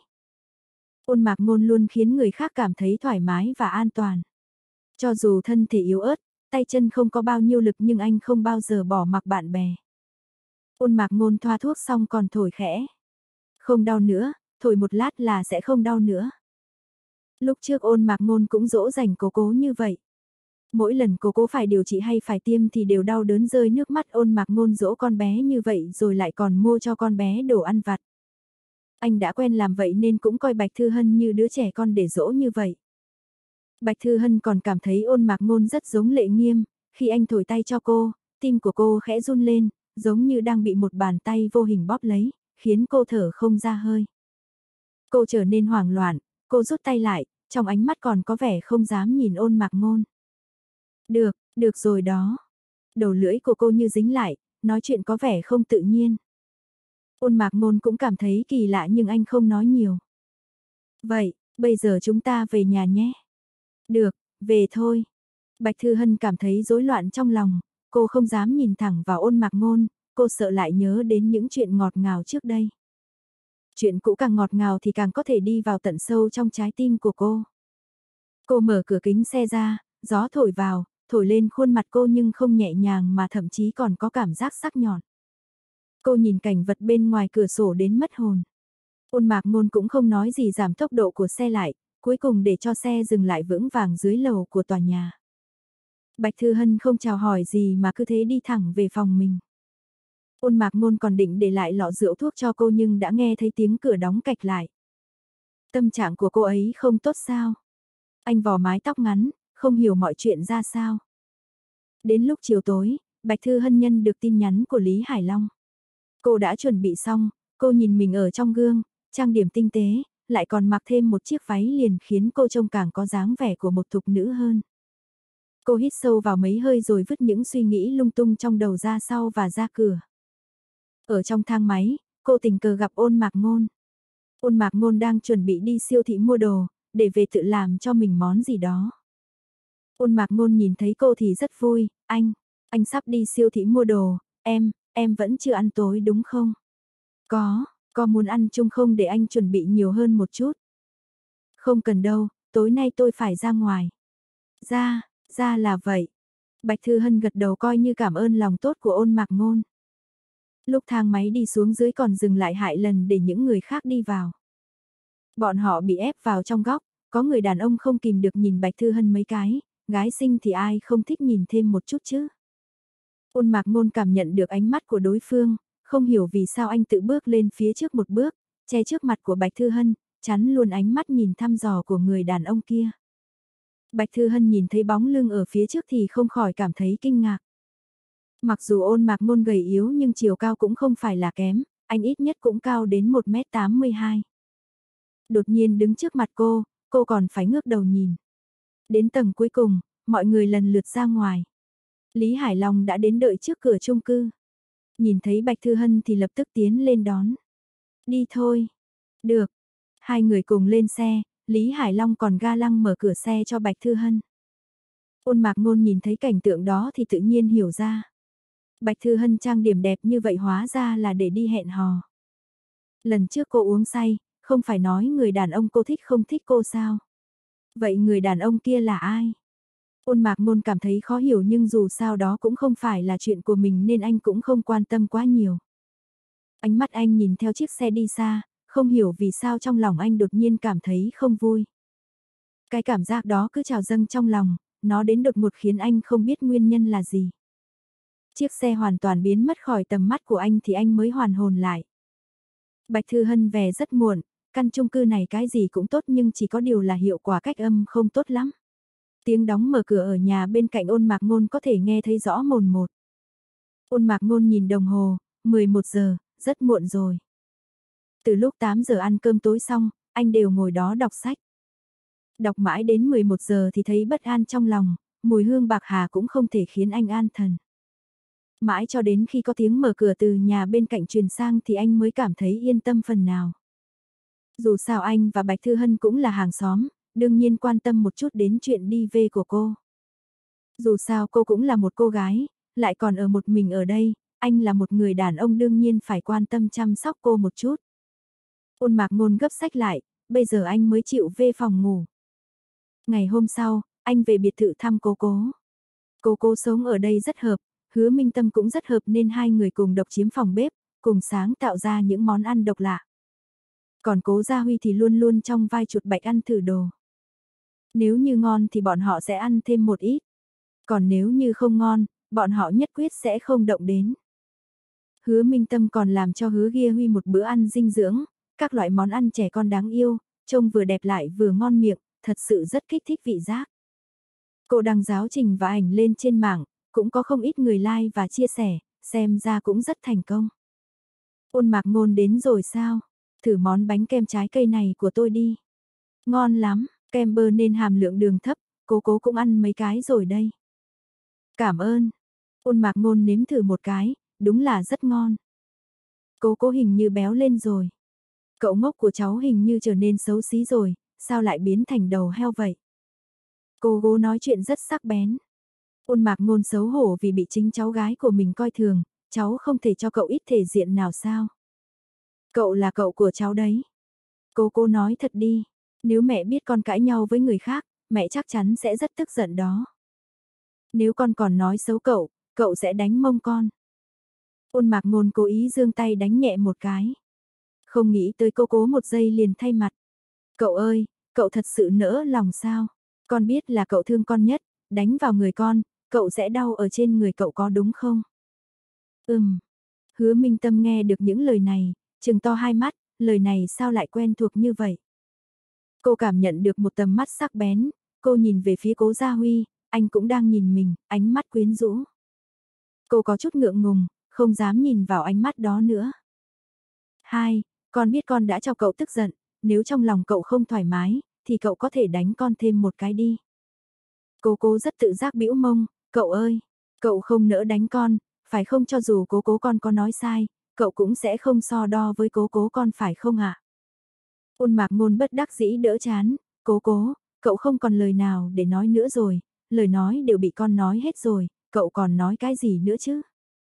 Cậu có thể nói không đánh đòn con nha. Được rồi, không đánh. Con biết cậu luôn tốt với con nhất. Cố cố từ trên sofa nhảy vào lòng ôn mạc ngôn, có chút kích động. Ôn mạc ngôn trong nháy mắt ném mũ bảo hiểm vứt giáp, thương tiếc ôm cố cố. Dù sao cũng là cháu gái ruột của mình, mặt mày còn có thể nhìn ra dấu vết huyết thống liên quan của bọn họ xem xong, không có ý định cảm khái hai câu. Cố Gia Huy đi lên, một tay ôm hứa minh tâm. À, em cảm thấy cô cô nói đúng đó, sao lại nỡ đánh đây? Cô cô đáng yêu như vậy có đúng không? Còn em thì sao? Em cũng rất đáng yêu nha, anh cũng không đành lòng đánh em có phải hay không? Chỉ biết nói lệch ý với anh. Cố Gia Huy tức giận vỗ mông cô một cái, rất đàn hồi, cảm giác rất tốt. Nếu không phải có người ở đây, anh sợ là phải đánh thêm hai cái nữa. Buổi trưa ăn cơm xong nghỉ ngơi, ôn mặc ngôn nhịn không được hỏi hứa Minh Tâm, chuyện về Bạch Thư Hân. Hứa Minh Tâm nghe nói có một chiếc xe Việt dã đến đón Bạch Thư Hân đi ăn cơm, thì nghĩ đến người quân nhân tên Lý Hải Long kia, Thư Hàn nếu đã hứa đi ăn cơm, vậy hai người này xem như đã yêu nhau rồi sao? Bọn họ là nhờ xem mắt mới quen biết đó, chính là lần trước ở nhà hàng gặp em. Vậy bọn họ không phải mới quen biết trong thời gian ngắn ngủi mấy ngày thôi sao? Đúng vậy, có chuyện gì sao? Ôn mạc ngôn rất kinh ngạc, cậu ấy còn cho rằng người trong miệng Bạch Thư Hân chính là người đàn ông đón cô ăn cơm. Nhưng bây giờ xem ra hiển nhiên không phải, Bạch Thư Hân đã có người thích, vậy vì sao cô ta còn phải đi xem mắt, hơn nữa còn đáp ứng phát triển tính cảm thêm một bước nữa chứ? Suy nghĩ của phụ nữ, chẳng lẽ đều quỷ dị như vậy sao? Hứa Minh Tâm thấy cậu ấy suy nghĩ đến xuất thần, nhịn không được hỏi, em làm sao thế? Vậy chỉ có biết, cô ấy có còn thích ai nữa không? Cái này, hứa Minh Tâm muốn nói lại thôi, cũng không thể nói Bạch Thư Hân thích anh trai của mình chứ. Dù sao cũng là việc riêng tư của người ta, cô cũng không tiện nói thêm gì nữa. Cô chỉ có thể lắc đầu, cái này, em cũng không biết.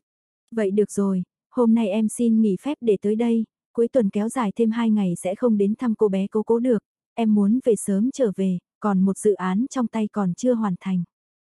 Vậy em trên đường đi cẩn thận một chút, chị và Thư Hàn là hàng xóm cũng là đồng nghiệp, nhờ em chiếu cố cô ấy nhiều hơn một chút. Ừm, em sẽ. Ôn mạc ngôn ôm cô cố một chút, nói lời tạm biệt với cô bé, rồi xoay người rời đi.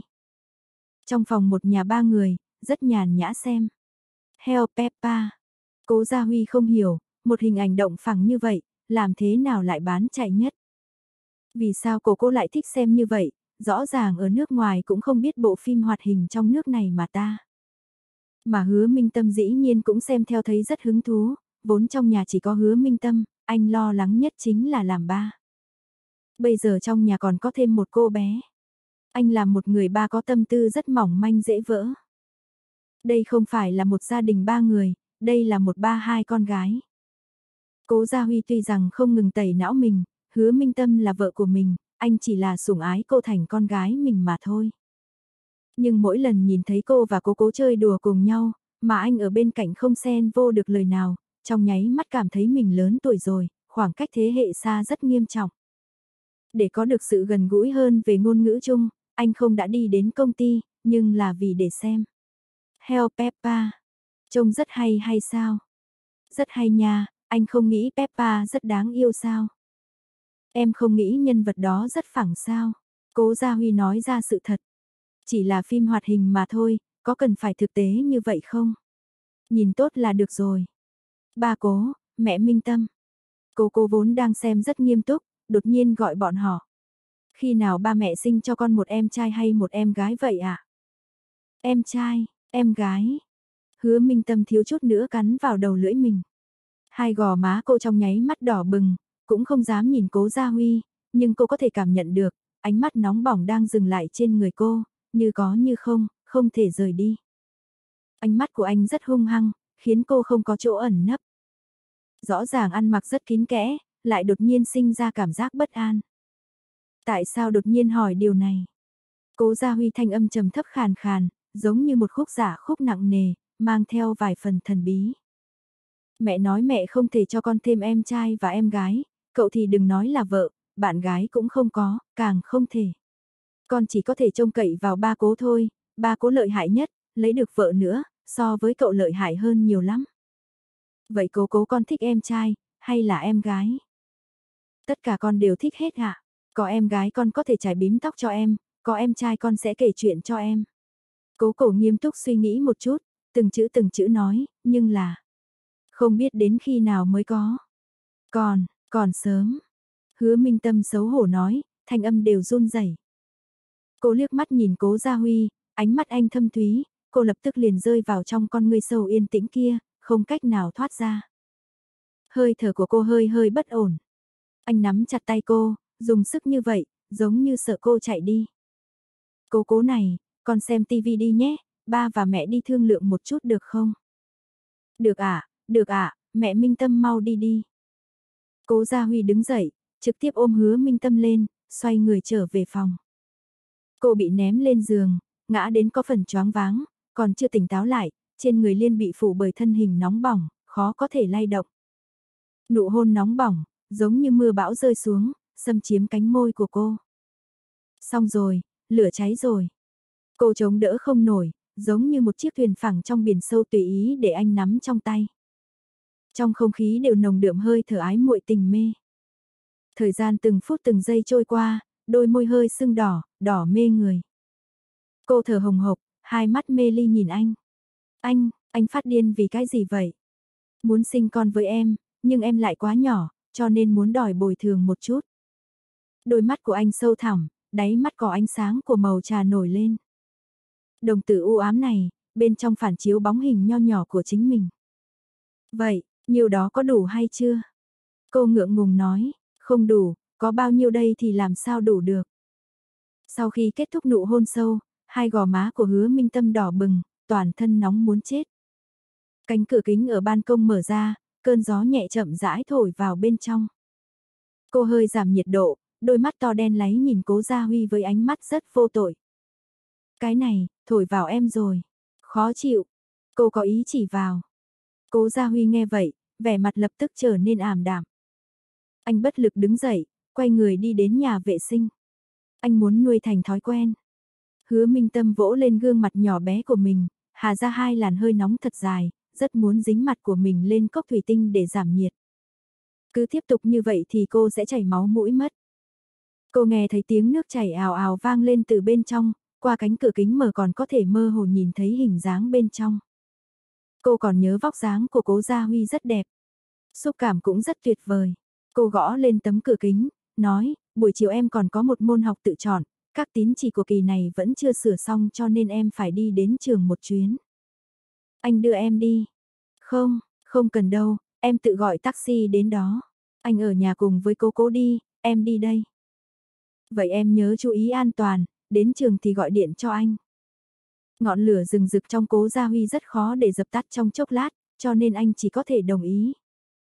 Hứa Minh Tâm đi xuống tầng, cố cố nhìn cô với ánh mắt tò mò. Minh Tâm, cô đã thương lượng với ba Trung chưa? Vẫn, vẫn chưa, vấn đề này rất phức tạp. Minh Tâm, tại sao cô lại đỏ mặt, lại còn toát đầy mồ hôi nữa? Hả, vậy, vậy sao, trời, trời nóng quá mà. Sao cô nói giống với cậu vậy? Cái này, cô đi đến trường đây. Tạm biệt con. Hứa Minh Tâm không chống đỡ được nữa mà bỏ trốn mất hút. Cô đi ra ngoài cửa, có làn gió thổi đến nên mới cảm thấy mát mẻ hơn nhiều. Cô quay về trường học, kết thúc tiết học tự chọn cũng đã hơn 4 giờ rồi. Cô đã sớm nhận được tin nhắn của cố Gia Huy, anh nói sẽ đến đón mình về. Cô đi ra cổng trường, rồi sau đó đi đến ngã tư đường ở phía trước. Nhưng không ngờ rằng vừa mới đi đến cửa, cô đã bị hù dọa bởi chiến trận trước mắt mình. Có vài người qua lại ở trước cổng, nhưng bây giờ tất cả mọi người đều đứng thành hai hàng, mà chính giữa cổng lại là vô số hoa hồng kết thành hình trái tim rất to. Trong trái tim đó còn dùng những bông hoa hồng màu xanh rất hiếm thấy để viết lên ba chữ hứa minh tâm. Có một người đàn ông đứng ở giữa hình trái tim đó. Người đó mặc một bộ vest đeo dài da, nhìn cũng rất được. Nhưng, cô không quen biết người này. Cô muốn rời đi bằng cách đi đường vòng, nhưng lại bị người đó chặn lại. Hứa Minh Tâm, làm bạn gái anh nhé. Anh là ai? Tôi không quen anh. Bây giờ em quen anh rồi đó. Anh là Tiêu Nam, năm nay học năm 4 và là đàn anh của em.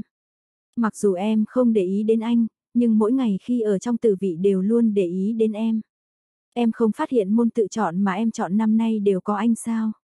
Anh luôn ngồi ở bên cạnh em. Bên cạnh, mỗi lần lên lớp đều kín hết cả người và vô cùng lộn xộn, cô nào chú ý đến đến người ngồi bên cạnh mình. Nhưng mỗi lần cô ngồi ở trong góc lớp, dựa lên vách tường, bên tay trái cô thật sẽ sẽ có một nam sinh viên ngồi ở đó.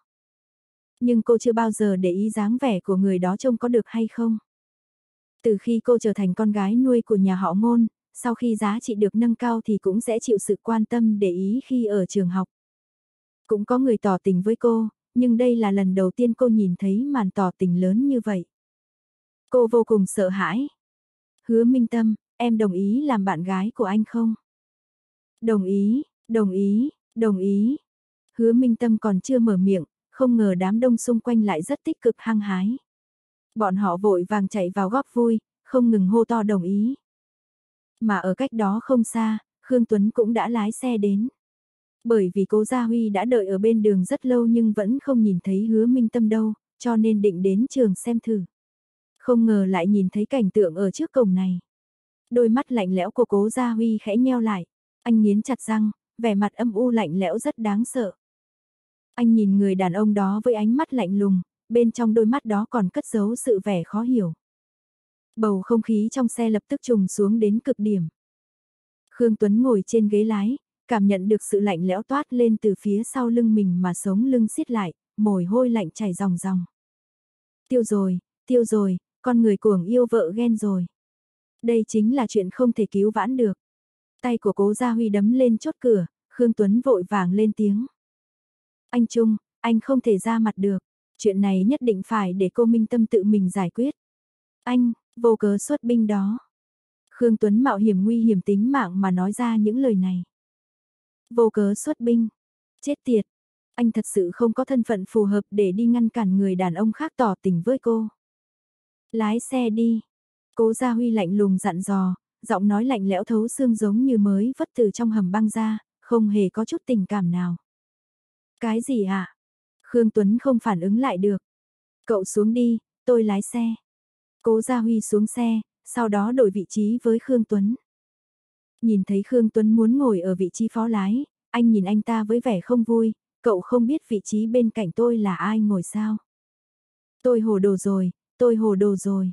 Khương Tuấn liên tục giải thích, cố Gia Huy bây giờ vốn là một quả bom, vào lúc này ai mà đụng vào anh thì người đó chết. Nhưng anh đang buồn bực thì tại sao muốn lái xe? Anh muốn lái xe đi đâu? Anh ta vẫn chưa hỏi lên lời thì cố Gia Huy đã đạp chân ga lao nhanh ra đường, sau đó chạy thẳng đến cổng trường học. Tiêu Nam đang đợi câu trả lời của hứa Minh Tâm, không có cô gái nào có thể từ chối màn tỏ tình lãng mạn và khoa trương như vậy. Khi anh ta đang dương dương tự đắc, không ngờ phía sau đột nhiên vang lên tiếng còi chói tai của ô tô. Anh ta nhíu chặt lông mày, quay người lại nhìn, chỉ nhìn thấy một chiếc xe đang đi về phía mình. Anh ta sợ hãi đến nỗi chân mềm nhũn, cái mông nặng nề té ngã xuống đất. Nhìn thấy chiếc xe ấy muốn tông mình, anh ta sợ hãi hét lớn, hai bàn tay bảo vệ trước mắt. Nhưng cơn đau đớn như trong dự liệu vẫn chưa đến, trái lại. Chiếc xe tiếp tục nhấn còi, sau đó quay xe rời đi. Tiêu Nam trợn tròn mắt, anh ta quên mất phải nói lý luận với người lái xe mà cứ ngơ ngác nhìn cánh hoa tàn dưới đất trước mắt mình. Anh ta đã tốn số tiền lớn, suýt chút nữa chuyển hết hoa hồng trong mấy mẫu cán đồng hoa qua đây, nhưng kết quả. Kết quả không có. Mẹ nó, mày lái xe kiểu gì vậy? Không có mắt sao, hoa của ông, hừ. Những người xung quanh nhìn thấy màn tỏ tình lãng mạn trở thành một trò cười thì đều cười toáng cả lên. Cười cái gì mà cười, chưa từng nhìn thấy kỹ năng lái xe tệ sao? Loại người như vậy ra ngoài nhất định sẽ bị người ta đâm chết. Audio điện tử võ tấn bền.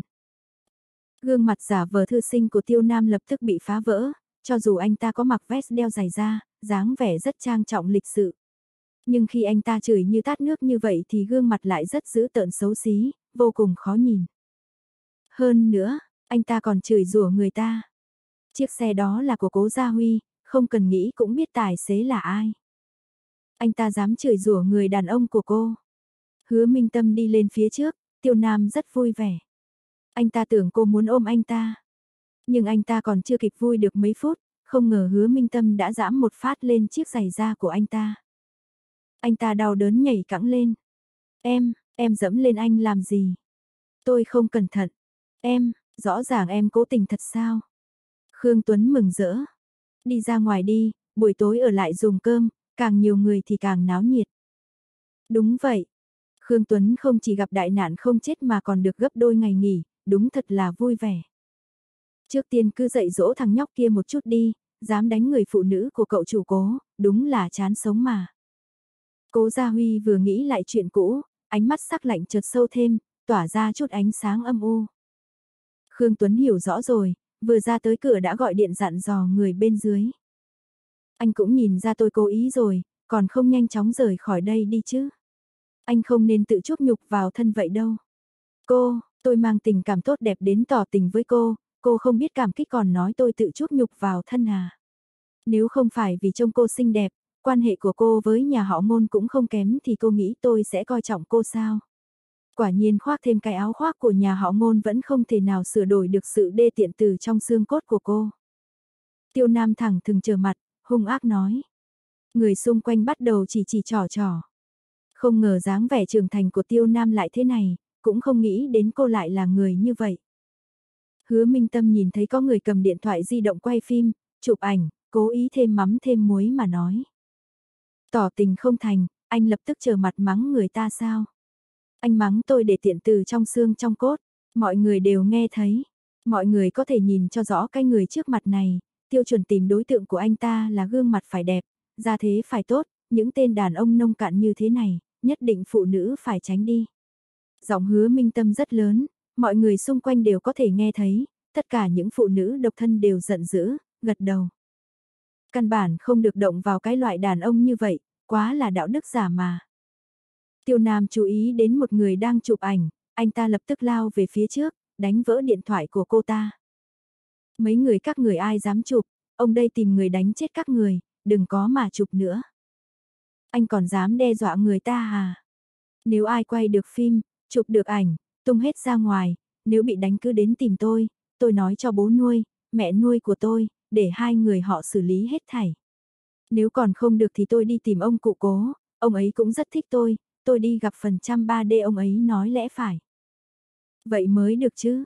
Trong đám người có người vỗ tay tán thưởng. Cô đem vợ chồng ngôn dương ra, còn đem thêm cả cố gia bảo, sắc mặt tiêu nam cũng đỏ lên như màu gan heo rồi. Anh ta chỉ ta vào mũi hứa minh tâm, tức muốn chết, nhưng cuối cùng, không nén được giận cũng chỉ có thể xoay người rời đi. Lúc hứa minh tâm đi qua những cánh hoa hồng trên đất còn tức giận dẫm lên hai cái. Hừ, cô không thèm nhận cái hoa của loại cặn bã kia.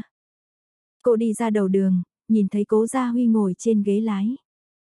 Quả nhiên là anh. Cô nhanh chóng leo lên xe, ngồi bên cạnh anh. Sắc mặt cố Gia Huy rất khó coi, âm u, không nói lời nào. Bầu không khí trong xe rất kỳ quái. Cô liếc mắt nhìn Khương Tuấn ngồi phía sau, cả người anh ta run rẩy, liếc mắt nhìn lên cố Gia Huy, ý tứ vô cùng rõ ràng. Anh ấy còn đang tức giận, đang bực bội, còn chưa nguôi ngoai đâu. Hứa Minh Tâm cũng sợ lắm, cả chặn đường đi, cô không dám nói một lời nào. Tốc độ lái xe của cố Gia Huy rất nhanh, cô bị dọa sợ hãi, tranh thủ thắt dây an toàn vào. Cuối cùng, xe vững vàng dừng ở trước cổng biệt thự. Cố Gia Huy xuống xe, lúc cửa xe đóng lại còn ầm một tiếng. Hứa Minh Tâm đuổi theo anh. Cô nhìn về hứa Khương Tuấn, kỹ thuật lái xe của cố Gia Huy tốt vậy à? Nhất định là một tài xế lão luyện ở núi thu danh đó biết không hả? Vừa nãy đúng thật là có chút chấn động lòng người đấy, nếu tôi mà là người lái, chắc chắn sẽ đụng người ta mất, không nghĩ tới cậu chủ lại xử lý thỏa đáng đến vậy, một tấc cũng không lệch đi đâu được, thật sự quá là tài giỏi luôn. Tại sao anh ấy còn tức giận vậy? Không phải mọi chuyện đã được giải quyết rồi sao? Đoán chừng, chắc là bị kích thích rồi nhỉ. Đứng ngoài đó thì thầm to nhỏ cái gì, còn không mau vào đây. Giọng nói trầm thấp của cố Gia Huy truyền đến, khiến cô không nhịn được mà rụt rụt đầu lại, tranh thủ thay giày, nhanh chóng đi vào trong. Đương nhiên anh không tìm cô để nói chuyện, anh chỉ gọi Khương Tuấn vào thư phòng thôi. Cửa thư phòng vừa đóng lại, Khương Tuấn bắt đầu run rẩy. Vì sao, vì sao chỉ gọi một mình anh ta vào đây chứ hả, chẳng lẽ muốn đấm anh ta hai cái cho hả giận sao? Không đợi cố Gia Huy mở miệng, anh ta đã vội nói trước một bước, cậu chủ à, oan có đầu, nợ có chủ, nếu anh thấy không thoải mái trong lòng thì nói cho tôi biết đi, tôi sẽ lập tức tìm người đập cái người không biết phải trái đó một trận liền. Cậu nói không sai, để tôi đánh một trận cho hà giận, sẵn đường cảnh cáo nhà họ tiêu một tiếng, đừng có lấy danh nghĩa tôi, tùy tiện sai một người, lấy danh nghĩa nhà họ ngôn mà cảnh cáo đi. Tuy rằng cố Gia Huy rất giận, nhưng không đủ để anh đánh mất lý trí, anh vẫn biết mình đang làm cái gì. Khương Tuấn nghe vậy thì thở phào nhẹ nhõm, chỉ cần không đánh mình thì cái gì cũng dễ nói chuyện hết á. Bây giờ tôi sẽ đi xử lý. Anh ta nói xong, vừa định xoay người rời đi thì bị cố Gia Huy gọi lại. Chờ một chút. Sao thế cậu chủ? Khương Tuấn khó hiểu, nhìn gương mặt u ám của cố Gia Huy, mi tâm người kia nhíu chặt, đôi môi mỏng cũng bặm lại thành một đường lạnh lẽo, cả người ấn chìm trong sự tàn bạo. Dường như cứ muốn nói rồi lại thôi, dáng vẻ không biết phải mở miệng thế nào. Một lúc lâu sau đó, anh mới nặng nề mở miệng, anh hỏi, con gái ai cũng thích loại hình đó sao? Loại gì ạ? À? Tặng hoa hồng sao? Xem là vậy. Dĩ nhiên rồi, phụ nữ như hoa, đương nhiên tặng hoa là đúng bài rồi. Phụ nữ thích quần áo, thích túi sách, thích giày, thích đồ trang sức, châu báu, thích cả những món đồ lông mềm mềm, mèo, chó, chuột lang, rồi cả mấy con trồn nhỏ, còn thích hoa cỏ, thích các loại đồ ăn ngon. Phụ nữ giống như một loài sinh vật, những thứ họ thích còn nhiều lắm, lớn thì có thể so với sao trăng, nhỏ thì có thể là son môi, mỹ phẩm dưỡng da. Mặc dù tôi không yêu đương, vậy nhưng tôi vẫn có thể nhìn rõ điểm này. Phụ nữ thời nay, chính là cái loại người mà thích mua mua mua, thích ném tiền đi. Nói thế nào?